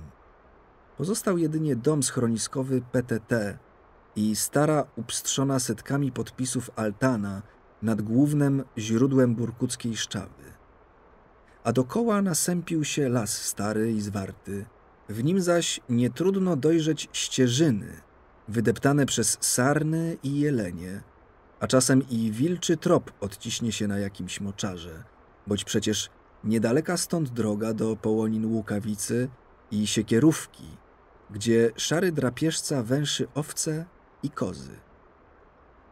Warto stąd dotrzeć na płaskie granie tych połonin, bo wspaniała roztacza się z nich panorama. W oddali wznoszą się południowe grzbiety Czarnochory z mocarną bryłą popa Iwana, a pobok niego potężny masyw Smotrca przechodzący w wał stajek. Dalej ku południowi rozpostarty, niby konar nieznanego drzewa fantastycznego, łańcuch gór czywczyńskich, Budyjowska Wielka, Popadia, Łostun, Purul. Zielenią się rozsłonecznione połoniny Chnitesa i Komanowa. Ponad całym zaś krajobrazem stanął władca i mocarz, Czywczyn, co wyrósł tu niegdyś w zaraniu dziejów ziemi z warstw wulkanicznych, kryjących w sobie złoża srebra.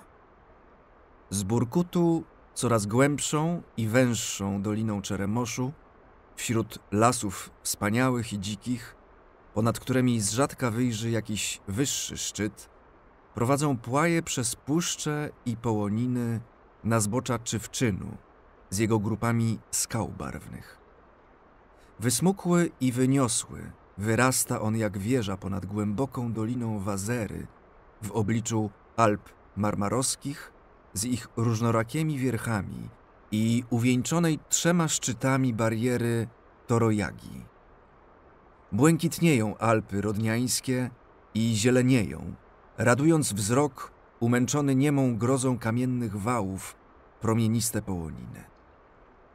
Przez grzbiet czywczyński ciągną się te połoniny do uskoków Popadii i Albinu, z zaroślami dzikich porzeczek, wabiących ku sobie niedźwiedzie i dalej do Łostunia, Pirje i Purulu, aż rozpłyną się w szmaragdowy bezkres połonin Komanowej, Palenicy i Chnitesy, gdzie południowy kraniec Rzeczpospolitej, niby lemieszem potwornego pługa, wcina się w dawną ziemię wołoską, którą siwowłosi huculi za swoją poczytują ojcowiznę.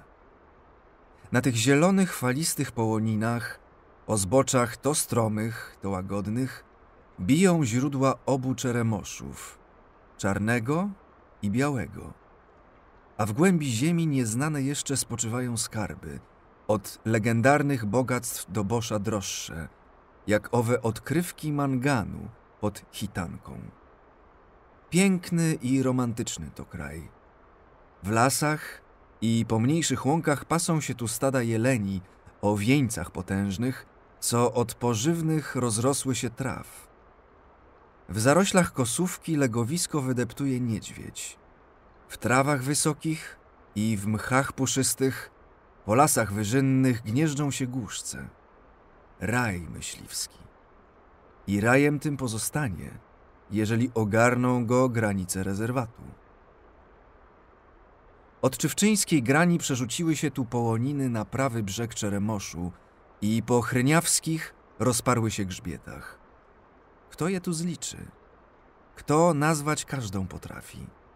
Wesnarka, hitanka, hostów, smitenny z wzorowo postawioną brędzarnią rządową, pnewie, czarna dukonia, stefulec, tarnica, Michajłowa i Łukawice, a poza nimi setka innych, gdzie tak samo porykują woły, rżą konie, beczą owce, i brzęczą dzwonkami na szyi opasłe krowy. Po płajach, bezdrożach i ledwie znaczących się czapaszach odbywają trudne, dalekie wyprawy gajowi i patrole Straży Granicznej. Po lasach niedostępnych i od oka ludzkiego ukrytych myszkuje tam kłusownik drapieżny. Od kuli jego i sideł padają niedźwiedzie, jelenie i sarny – kuny i głuszce gotury i szarordzawe jarząbki. Na odgłos jego wystrzału wyrusza gajowy, lasu i zwierza obrońca, tropu ludzkiego szuka na perciach piargowych, na próchnicy igliwia i na poduszkach mechowych, a znalazłszy bez troski o siebie, ściga, niepomny, że za załomem każdym i w gąszczu podszytu oczekuje go śmierć. To też gdy gajówkę nagle opuści, żona wybiega i z troską i lękiem patrzy w ślad za nim, już znikającym w chaszczach przedboża. Potem czeka trwożnie, licząc godziny pełznące jak lata. W dnie skwarne i w płowe, co w rzeki zmienia ruczaje, we mgle i w śnieżnej zamieci, w mróz trzaskający i wściekle dmącą wichurę wspina się gajowy na strome urwiska. Przedziera się przez mrok mateczników i moknie w zimnych potokach, a gdy zwali go z nóg zła ogniewica i niemoc ciężka, albo skrwawiony przyczołga się do progu swojej siedziby, tylko Bóg Wszechmogący uratować go zdoła. Daleka bowiem droga do leśniczówki najbliższej – jeszcze dalsza do szpitala. To też budząc się i zasypiając, o jedno tylko Boga prosi rodzina ludzi leśnych o zdrowie. Leśniczowie, najzaciętsi wrogowie kłusowników, rabusiów i tępicieli lasów, również niepewni są ani dnia, ani godziny, wystawieni na niebezpieczeństwo nawet w domach swoich, po samotniach górskich, na odludziu gdzie o każdej porze są na posterunku. Razem z nimi pełni nieprzerwaną służbę Straż Graniczna i Policja Państwowa, śledząc bacznie, aby nikt rubieży nieprawnie nie przekroczył, aby zbóje i inni zbrodniarze nie prześliznęli się poza linię Czarnochory, Połonin Czywczyńskich i Białego Czeremosza, aby przemytnicy nie znaleźli ścieżek potajemnych, tam nieraz pada strzał i nieraz krew się leje, bo taka to już twarda i ciężka służba na rubieżach Rzeczpospolitej, surowo walczącej z bezprawiem. W walce tej giną, nie żądając pomników. Umierają niemal bezimiennie strażnicy graniczni, policjanci, gajowi i leśniczowie, słysząc w ostatniej chwili konania poszum boru, poświst wichru halnego i warkot potoku w łożysku kamiennym. Warkot ten słychać z Chnitesy. To potoki Tonki i Czarny mkną do Perkałabu, górnego biegu Czeremosza Białego. Od Klauzy na ujściu Preucznego rzeka staje się spławną. Tam kiermanycze szaleją w piennej kipieli wartu. Z Połonin ku Czeremoszowi zbiegają ścieżki rzadko uczęszczane, ale od leśniczówki na Jałowiczorze idzie już szeroki płaj, aż ku Chryniawie, gdzie w otoku modrzewi stoi okazałe nadleśnictwo wśród łąk kwiecistych nad Probijną, pędzącą pod skalnymi ukosami Uchryczyna, Perechrestów i Wielkiej Kołyby. Do tej wartkiej rzeczki z połonin Pnewia mknie potok Chramitny. Niedaleko od przysiłka Szykmany, skacząc z potwornych głazów wspaniałym wodospadem. Pomiędzy obu czeremoszami wcisnęła się chryniawska górzysta kraina, przecięta głębokimi dolinami licznych potoków, na osobne grupy górskie, z panującymi nad nimi szczytami Tarnicą, Stefulcem, Babą Ludową i Chostowem. Krótkie na ogół grzbiety chryniawskie w kierunku zachodnim i południowym stają się coraz wyższe, aż osiągają 1500-1700 metrów, gdzie kończą się już bory świerkowe i zielenią bujnych traw uśmiechną się w słońcu połoniny. Ile ich tam jest? Wiedzą to dokładnie jedynie gazdowie żabiowscy, krzyworówniańscy, krasnoilscy, jaworowscy, kosmaccy, a nawet dalsi jeszcze, bo aż spod Kołomyi pędzą tu swoją wychudłą przez zimę marżynę na litowyszcze wypasowe. Panują tu juchasi pasterze pod wodzą Watacha, strzegą powierzonego ich pieczy bydła i przerabiają mleko krów, owiec i kus na pożywienie i bogactwo hucułów. Bujna, zielna roślinność okrywa łąki wierchowinne, zieleniejące ponad ostatnimi zagonami borów świerkowych i pasm kosodrzewiny. Bydło żeruje wśród zarośli tomki wonnej, szarzyny, wikliny, mietelnicy, mołoczija, kapusty zajęczej, koniczyny, kostrzewy i na łąkach, gdzie wyrasta też grzebycznik, haber, złotokwiat koszutka, bliżej zaś wody śmiałek, szafran i zielona ciemierzyca. Zielonym, kwietnym kobiercem okrywają się te trawy i zioła rozległe kosaryszcza, gdzie od brzasku do zmierzchu panuje ruch i wre praca i nic przerwać jej nie zdoła, ani płomienny skwar, ani płowa w gromy brzemienna, ani negura mglista, ani nawet zadymka śnieżna i chyba tylko rozszalały wicher halny zmusi skotarów i owczarzy do pozostawienia bydła w koszarze. Może ono bowiem wtedy zerwać się z plaiczków nad Berdem, a i psy, węch od dujawicy straciwszy, nie uprzedzą w czas, że od lasu rwie ku Kierdelowi rozzuchwalony głodem i niepogodą bury wujko niedźwiedź lub łupieżca szary, zawsze niesyty wilczura. W jasne dnie słoneczne rozlegają się tam dzwonki krów, ciężkie stąpania wołów, rżenie koni, beczenie owiec i do śmiechu podobny kozi mek. Po górach tłucze się echo okrzyków pasterzy. Ichine! Wsknia! Hej! Hajda hej! Szczekają psy, uganiając się za rozpierzchłym bydłem. Gdzieś głęboko w wąwozie dzwoni ruczaj i pluska cicho źródełko, biegnąc po korytku ciurkała. Dobiega głuchy poszum świerków. Czasami łomot toczącego się głazu, ale wszystkie dźwięki wchłonie bez śladu szafirowa pieśń nieba i złocista słońca. Wielka czarodziejka natura gra tam, przebierając palcami struny promienne, naciągnięte na harfie błękitnej, czułej na dźwięki niemilknącej nigdy melodii życia.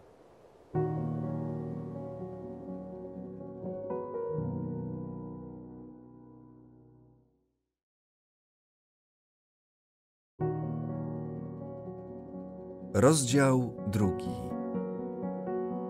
Jakaż to ta połonynka na wesni weseła. Na wysokich szczytach jeszcze śnieg połyskuje, lecz ściemniał już. Szerokie wyrwy i głębokie żleby poszczerbiły jego nawierzchnię białą.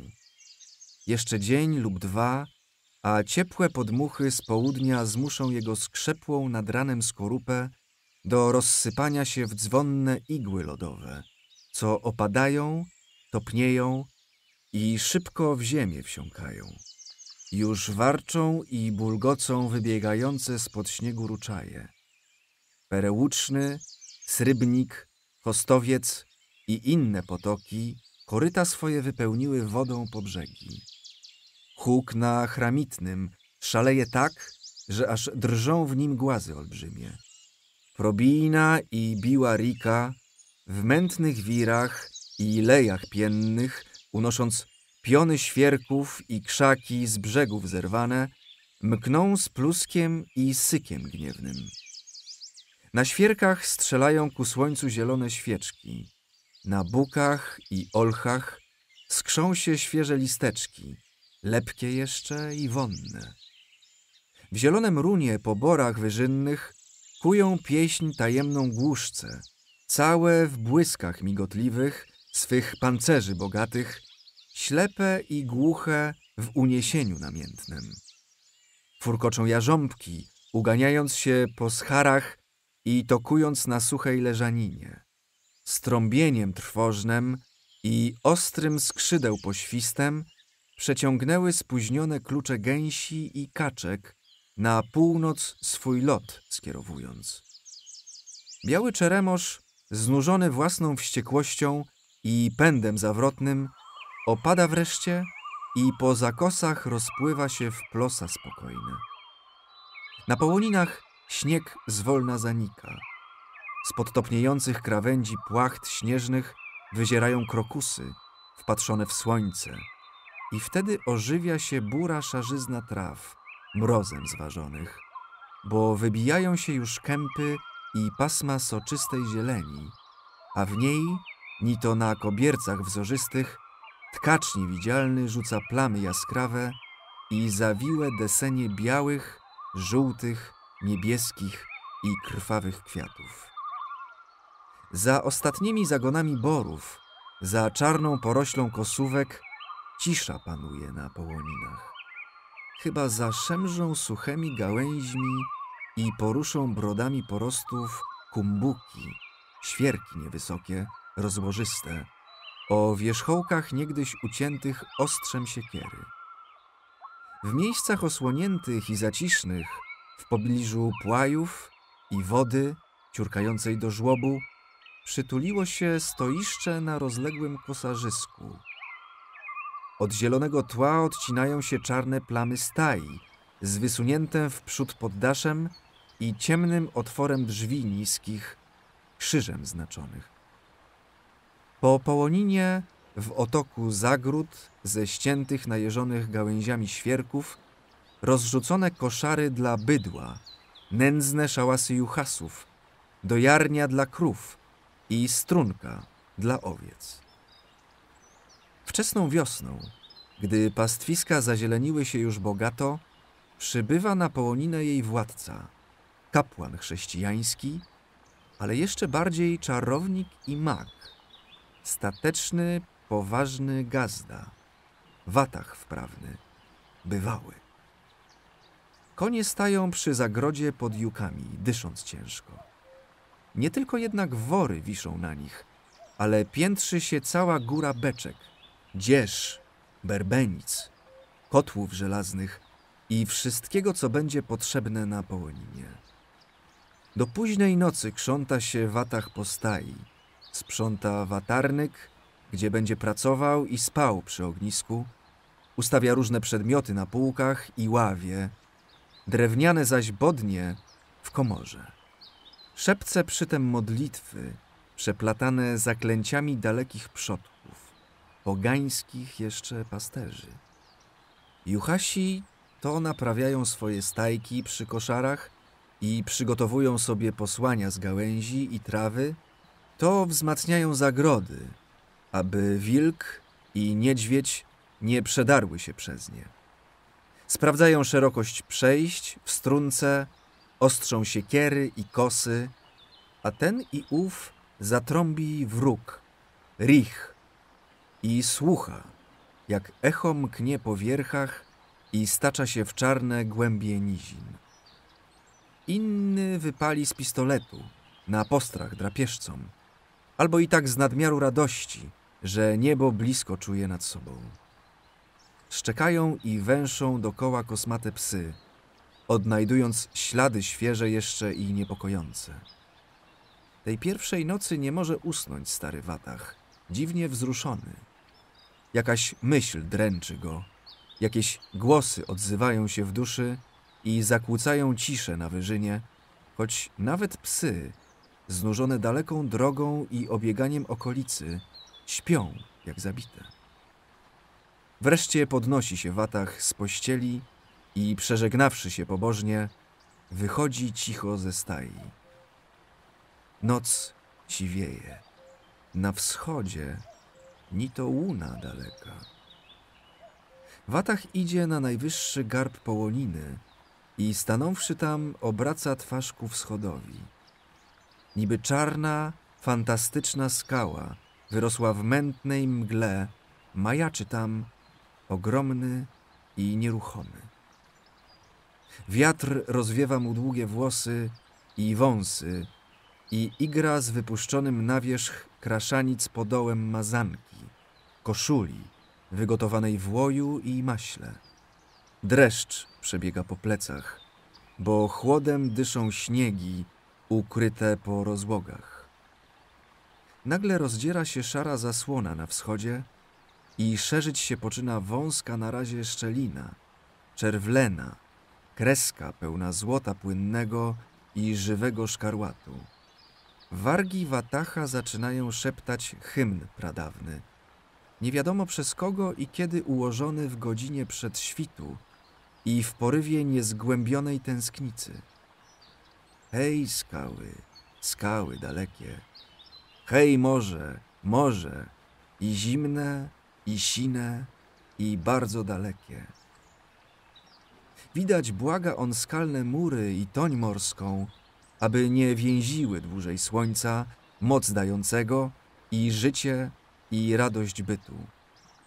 Powraca Watach do stai, kładzie się na chwilę, aby przypomnieć sobie, czy wszystko uczynił, co z mroku wieków od dziadów się wywodzi. Czy dobrze i na odlew wrąbał siekierę przy watarniku? Czy utrafił w środek, rzucając podkowę na żegliszcze? Czy szybko rozniecił watrę żywą? Czy nie zapomniał czegoś, kropiąc wodą zebraną z węgli odgaszonych? Czy nie zgasło ognisko w bramie zagrody rozpalone? Czy pamiętają juchasi zaklęcia od uroku i czy mają talizman z gąsienic, aby od pasterza nie odbijał się kierdel? Wzdycha watach z ulgą, bo niczego nie opuścił. Każdego obyczaju dopilnował. Znowu wstaje i idzie do zagrody, do jarni i po trzykroć zacina ją siekierą, która łyska, bo już słonko ze zwojów mgieł wyłania rumiane oblicze. Za chwilę pobiegną po wierchach ciągliwe dźwięki trębity. To watach juchasów budzi, bo dziś jeszcze ogrodzić muszą łąki pod Kisznycie, gdzie staną stogi siana na przyszły rok – i zbutwiałe naprawić koryta pod rynną ciurkała. Przez cały dzień obchodzi watach połoninę. Zapamięta on sobie dokładnie, jaka w każdym miejscu trawa wyrosła, gdzie ma puścić woły, krowy, konie, owce, a gdzie są dobre schary dla kus, dla wieprzków mokradła, a gdzie najlepsze dla koni szwary wybujały, ostre i sytne. Wszystko zbadawszy, podchodzi na skraj boru, dłoń do ucha przystawia i słucha. Słucha.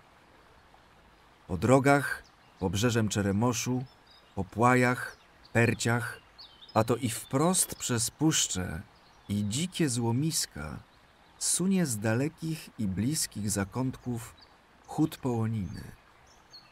Gazdowie i gazdynie w kwietniu jeszcze poznaczyli swoją nagle ożywioną i niespokojną już marżynę.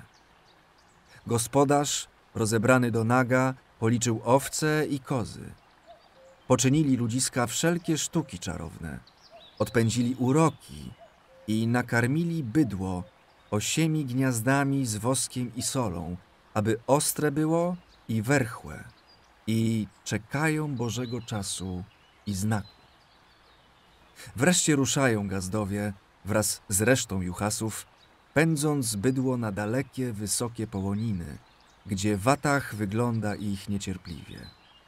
Rozlega się gra na fujarkach i trębitach, okrzyki radosne, strzały i pieśni połoninne.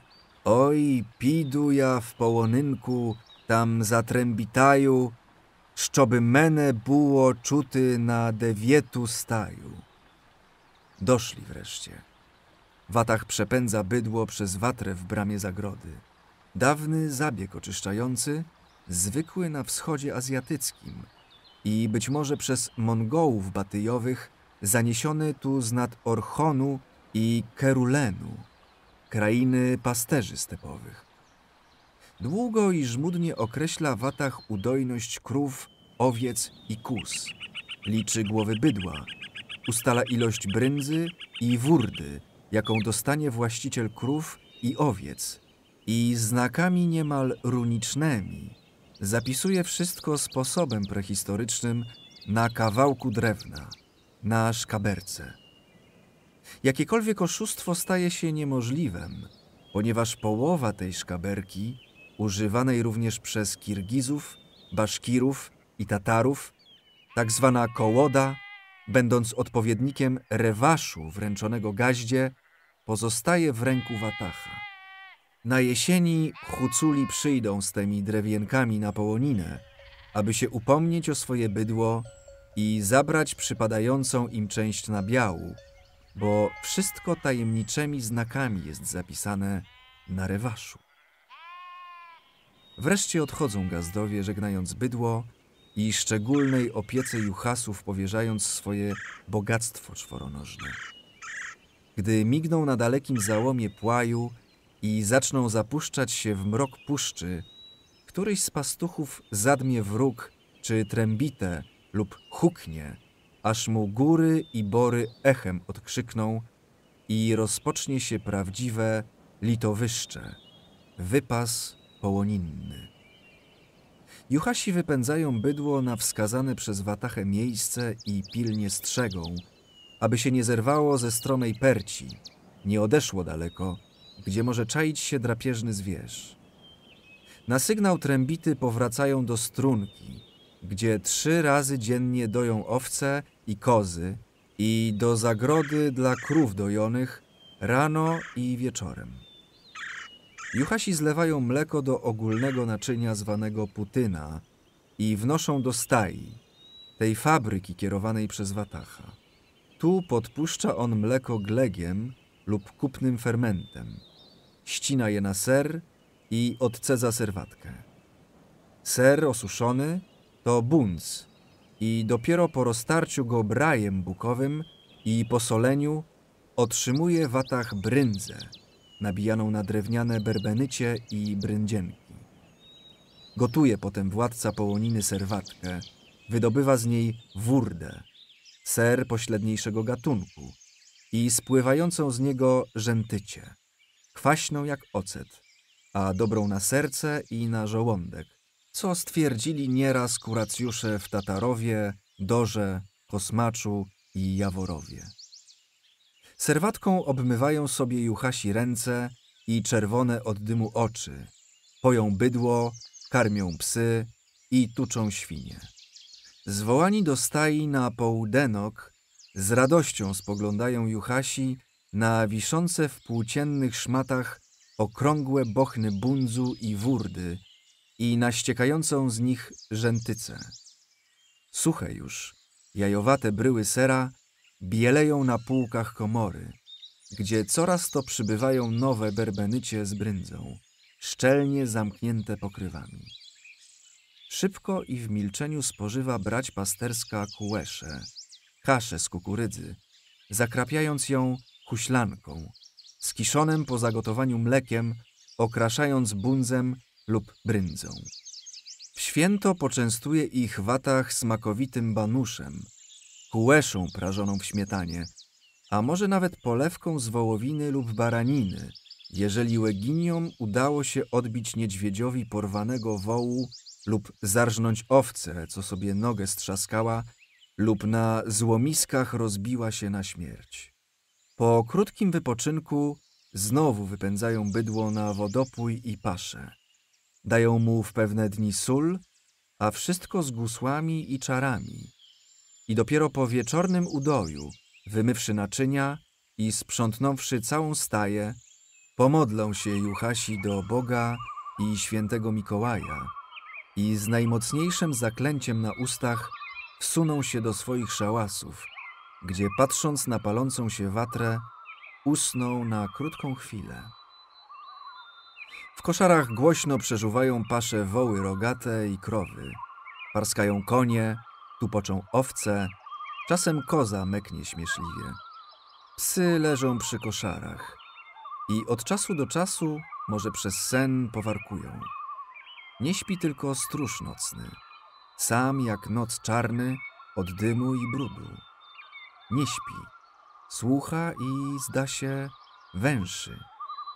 Słyszy nawet bezszmerny mysi bieg i podziemne kreta drążenie. Cisza panuje dokoła. Nie ufa jej jednak czujny niczny, bo raz po raz gwizdnie na psy, a te ze złem szczekaniem pomkną ku zaroślom kosodrzewiny i ku borowi. To znów huknie na całe gardło Hał tam! I to z pistoletu wypali w mrok nocy, błysnąwszy kraśnem żądłem ognia. Czasami rozlegnie się łomot straszliwy, zgiełk w koszarach, skowyt psów i żałosny poryk bydła. Tot wełyki przełamał zwalone świerki i porwał zdobycz. Na krzyki stróża wypadają juchasi z siekierami, pędzi w atach ze strzelbą. Krzyki, bieganina, strzały, gwizdki, ujadanie psów, ryk wołów strwożonych i chrap koni czujących niedźwiedzia. Wszystko ma swój koniec na świecie, więc wkrótce urywają się przeklinania i wyzwiska. Kładą się znów juchasi i w atach, milkną psy i cisza sunie ciężkimi falami z połonin na niższe szczyty, bory i ledwie majaczące w mroku granie grzbietów dalekich. Zapalają się coraz to nowe gwiazdy, wzdychają konie i głośno rumygają krowy i woły. Noc panuje wszechwładnie i budzi ją tylko głuchy ryk rogu, bo znowu zaniepokojony stróż dmie w niego, aby strach od siebie odpędzić i wszelkie licho od bydła. Tak to żyje połonina do późnej nieraz jesieni, gdy już śnieżyce bielić zaczną dachy staj i szron posrebrzy każde zdziebełko na pastwisku, a juchasi marzną w stajkach na kość. Wreszcie nastaje radosny, ale i ciężki też dzień, rozłucinia, gdy przybywają gazdowie, by zabrać wypasione bydło i umówioną ilość berbenyć z bryndzą. Nowa, powrotna fala spływa z połonin do wsi, rozsianych po łąkach nizinnych, po rozczołynach i po dolinach rzek. Na wierzchu, na kosarzysku wydeptanym i burem już, pozostaje sam w watach z juchasami.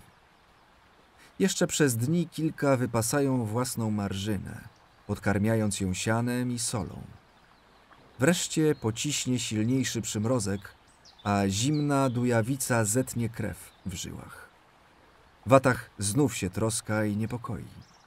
Wypytuje juchasów, czy narobili talizmanów, owego żyra z gąsienic, czy na świętego Jana uzbierali ziół czarownych i surowym głosem zakazuje podsycać płomień watry. Śpieszą się wszyscy, aby rzeczy porządnie w terkyłach ułożyć i juki mocno na koniach uwiązać, wymieść staje, aby nic nie pozostało i czekają, aż same zgasną ogniska i zimnym, bezbarwnym okryją się popiołem żegliszcza. Rzuciwszy ostatnie spojrzenie na kosarzysko i na dal, co ni to morze, ani brzegów nie ma, ani kresu, odchodzą pasterze, mrucząc modlitwy i zaklęcia. Straszna to zaiste chwila, bo ledwie opuszczą staję, wybiegnie tam czarna mara, upiór i aż do świtu strzec będzie sadyby pasterskiej. Biada jednak, jeżeli dojrzy gdzieś iskierkę w zagasłej watrze, bo rozdmucha ją, roznieci i podpali suchy zrąb świerkowy, a potem wyć będzie, rada, że widać jej znak kraśny z żabia, zełenej, jawornika i chryniawy. Gniew i zemstę bowiem w piersi nosi czarna mara, bo już ludzie z jej leża z niezmąconej ciszy połonin wyparli dźwiękami trębit, fujarek i rogów, hukaniem juchasów, echem usłużnem i chyżem, szczekaniem psów, myczeniem bydła, strzałami, gorącą, pokorną modlitwą, potęgą czarów i tajemnicą opowieści przy watrze wesoło płonącej. Dziwnie drażnią ją te opowieści cudowne, gdyż czuje zła Mara, że ci ludzie wierchowin nie wierzą, by to wszystko miało się śmiercią zakończyć. W duszy swej i krwi słyszą Juchasi żywe głosy tych, co jak gdyby szczeźli bez śladu, a przecież z nimi w noc wigilijną przy jednym zasiadają stole i uczą, jak było i co ma trwać przez wieki. Staje więc pod okapem zrozpaczona Mara i nadsłuchuje. Dobiega odboru posuwiste stąpanie wołów, wesoły jazgot fujarki, poszczekiwanie psów i śmiałe hukanie. Hajda hej! Wesoło tam na płaju. Watach zarobek oblicza w milczeniu i cieszy się cicho, bo ostateczny to i leciwy już gazda. Za to juchasi, czarni jak czarty, błyskają oczyma i białymi zębami. Żartują, podśpiewując i śmiejąc się głośno. Hej tam, nie mają o co się troskać. Zapłacili im gazdowie, zapłaci gospodarz połoninny. Będzie pieniądz, będzie kukurydza, brędza i rzętycia. Będzie za co pójść do karczmy na choryłkę i hulankę z łeginiami, na zabawę do sąsiadów. Ech, kraśna tam parasoczka, a i Marijeczka. Od dziewuchy oczu nie oderwałby Juchas. Zamówi muzykę, zagrają mu skrzypce z basetlą, cymbały z fujarką, a może nawet dudziarz w pobliżu się znajdzie. Pokaże chłopak, co umie. Zaśpiewa, aż ściany drgną świerkowe. Sida rida, sida rida, sida rida idana, a konyky wereneńki, ta konyky ryży. A potem pochwyci parasoczkę i wytnie z nią kołomyjkę z takimi wykrutasami i przytupami, że aż zakurzy się w chacie. Zręczniej od niego nikt tam nie zatańczy dziarskiego chłopaka, w prysiudy i w tropoty. Nikt nie potrafi godniej przejść się hajdukiem i arkanem, a w tańcu na peret będzie ślizgać się w tłumie niczem koza śród złomów.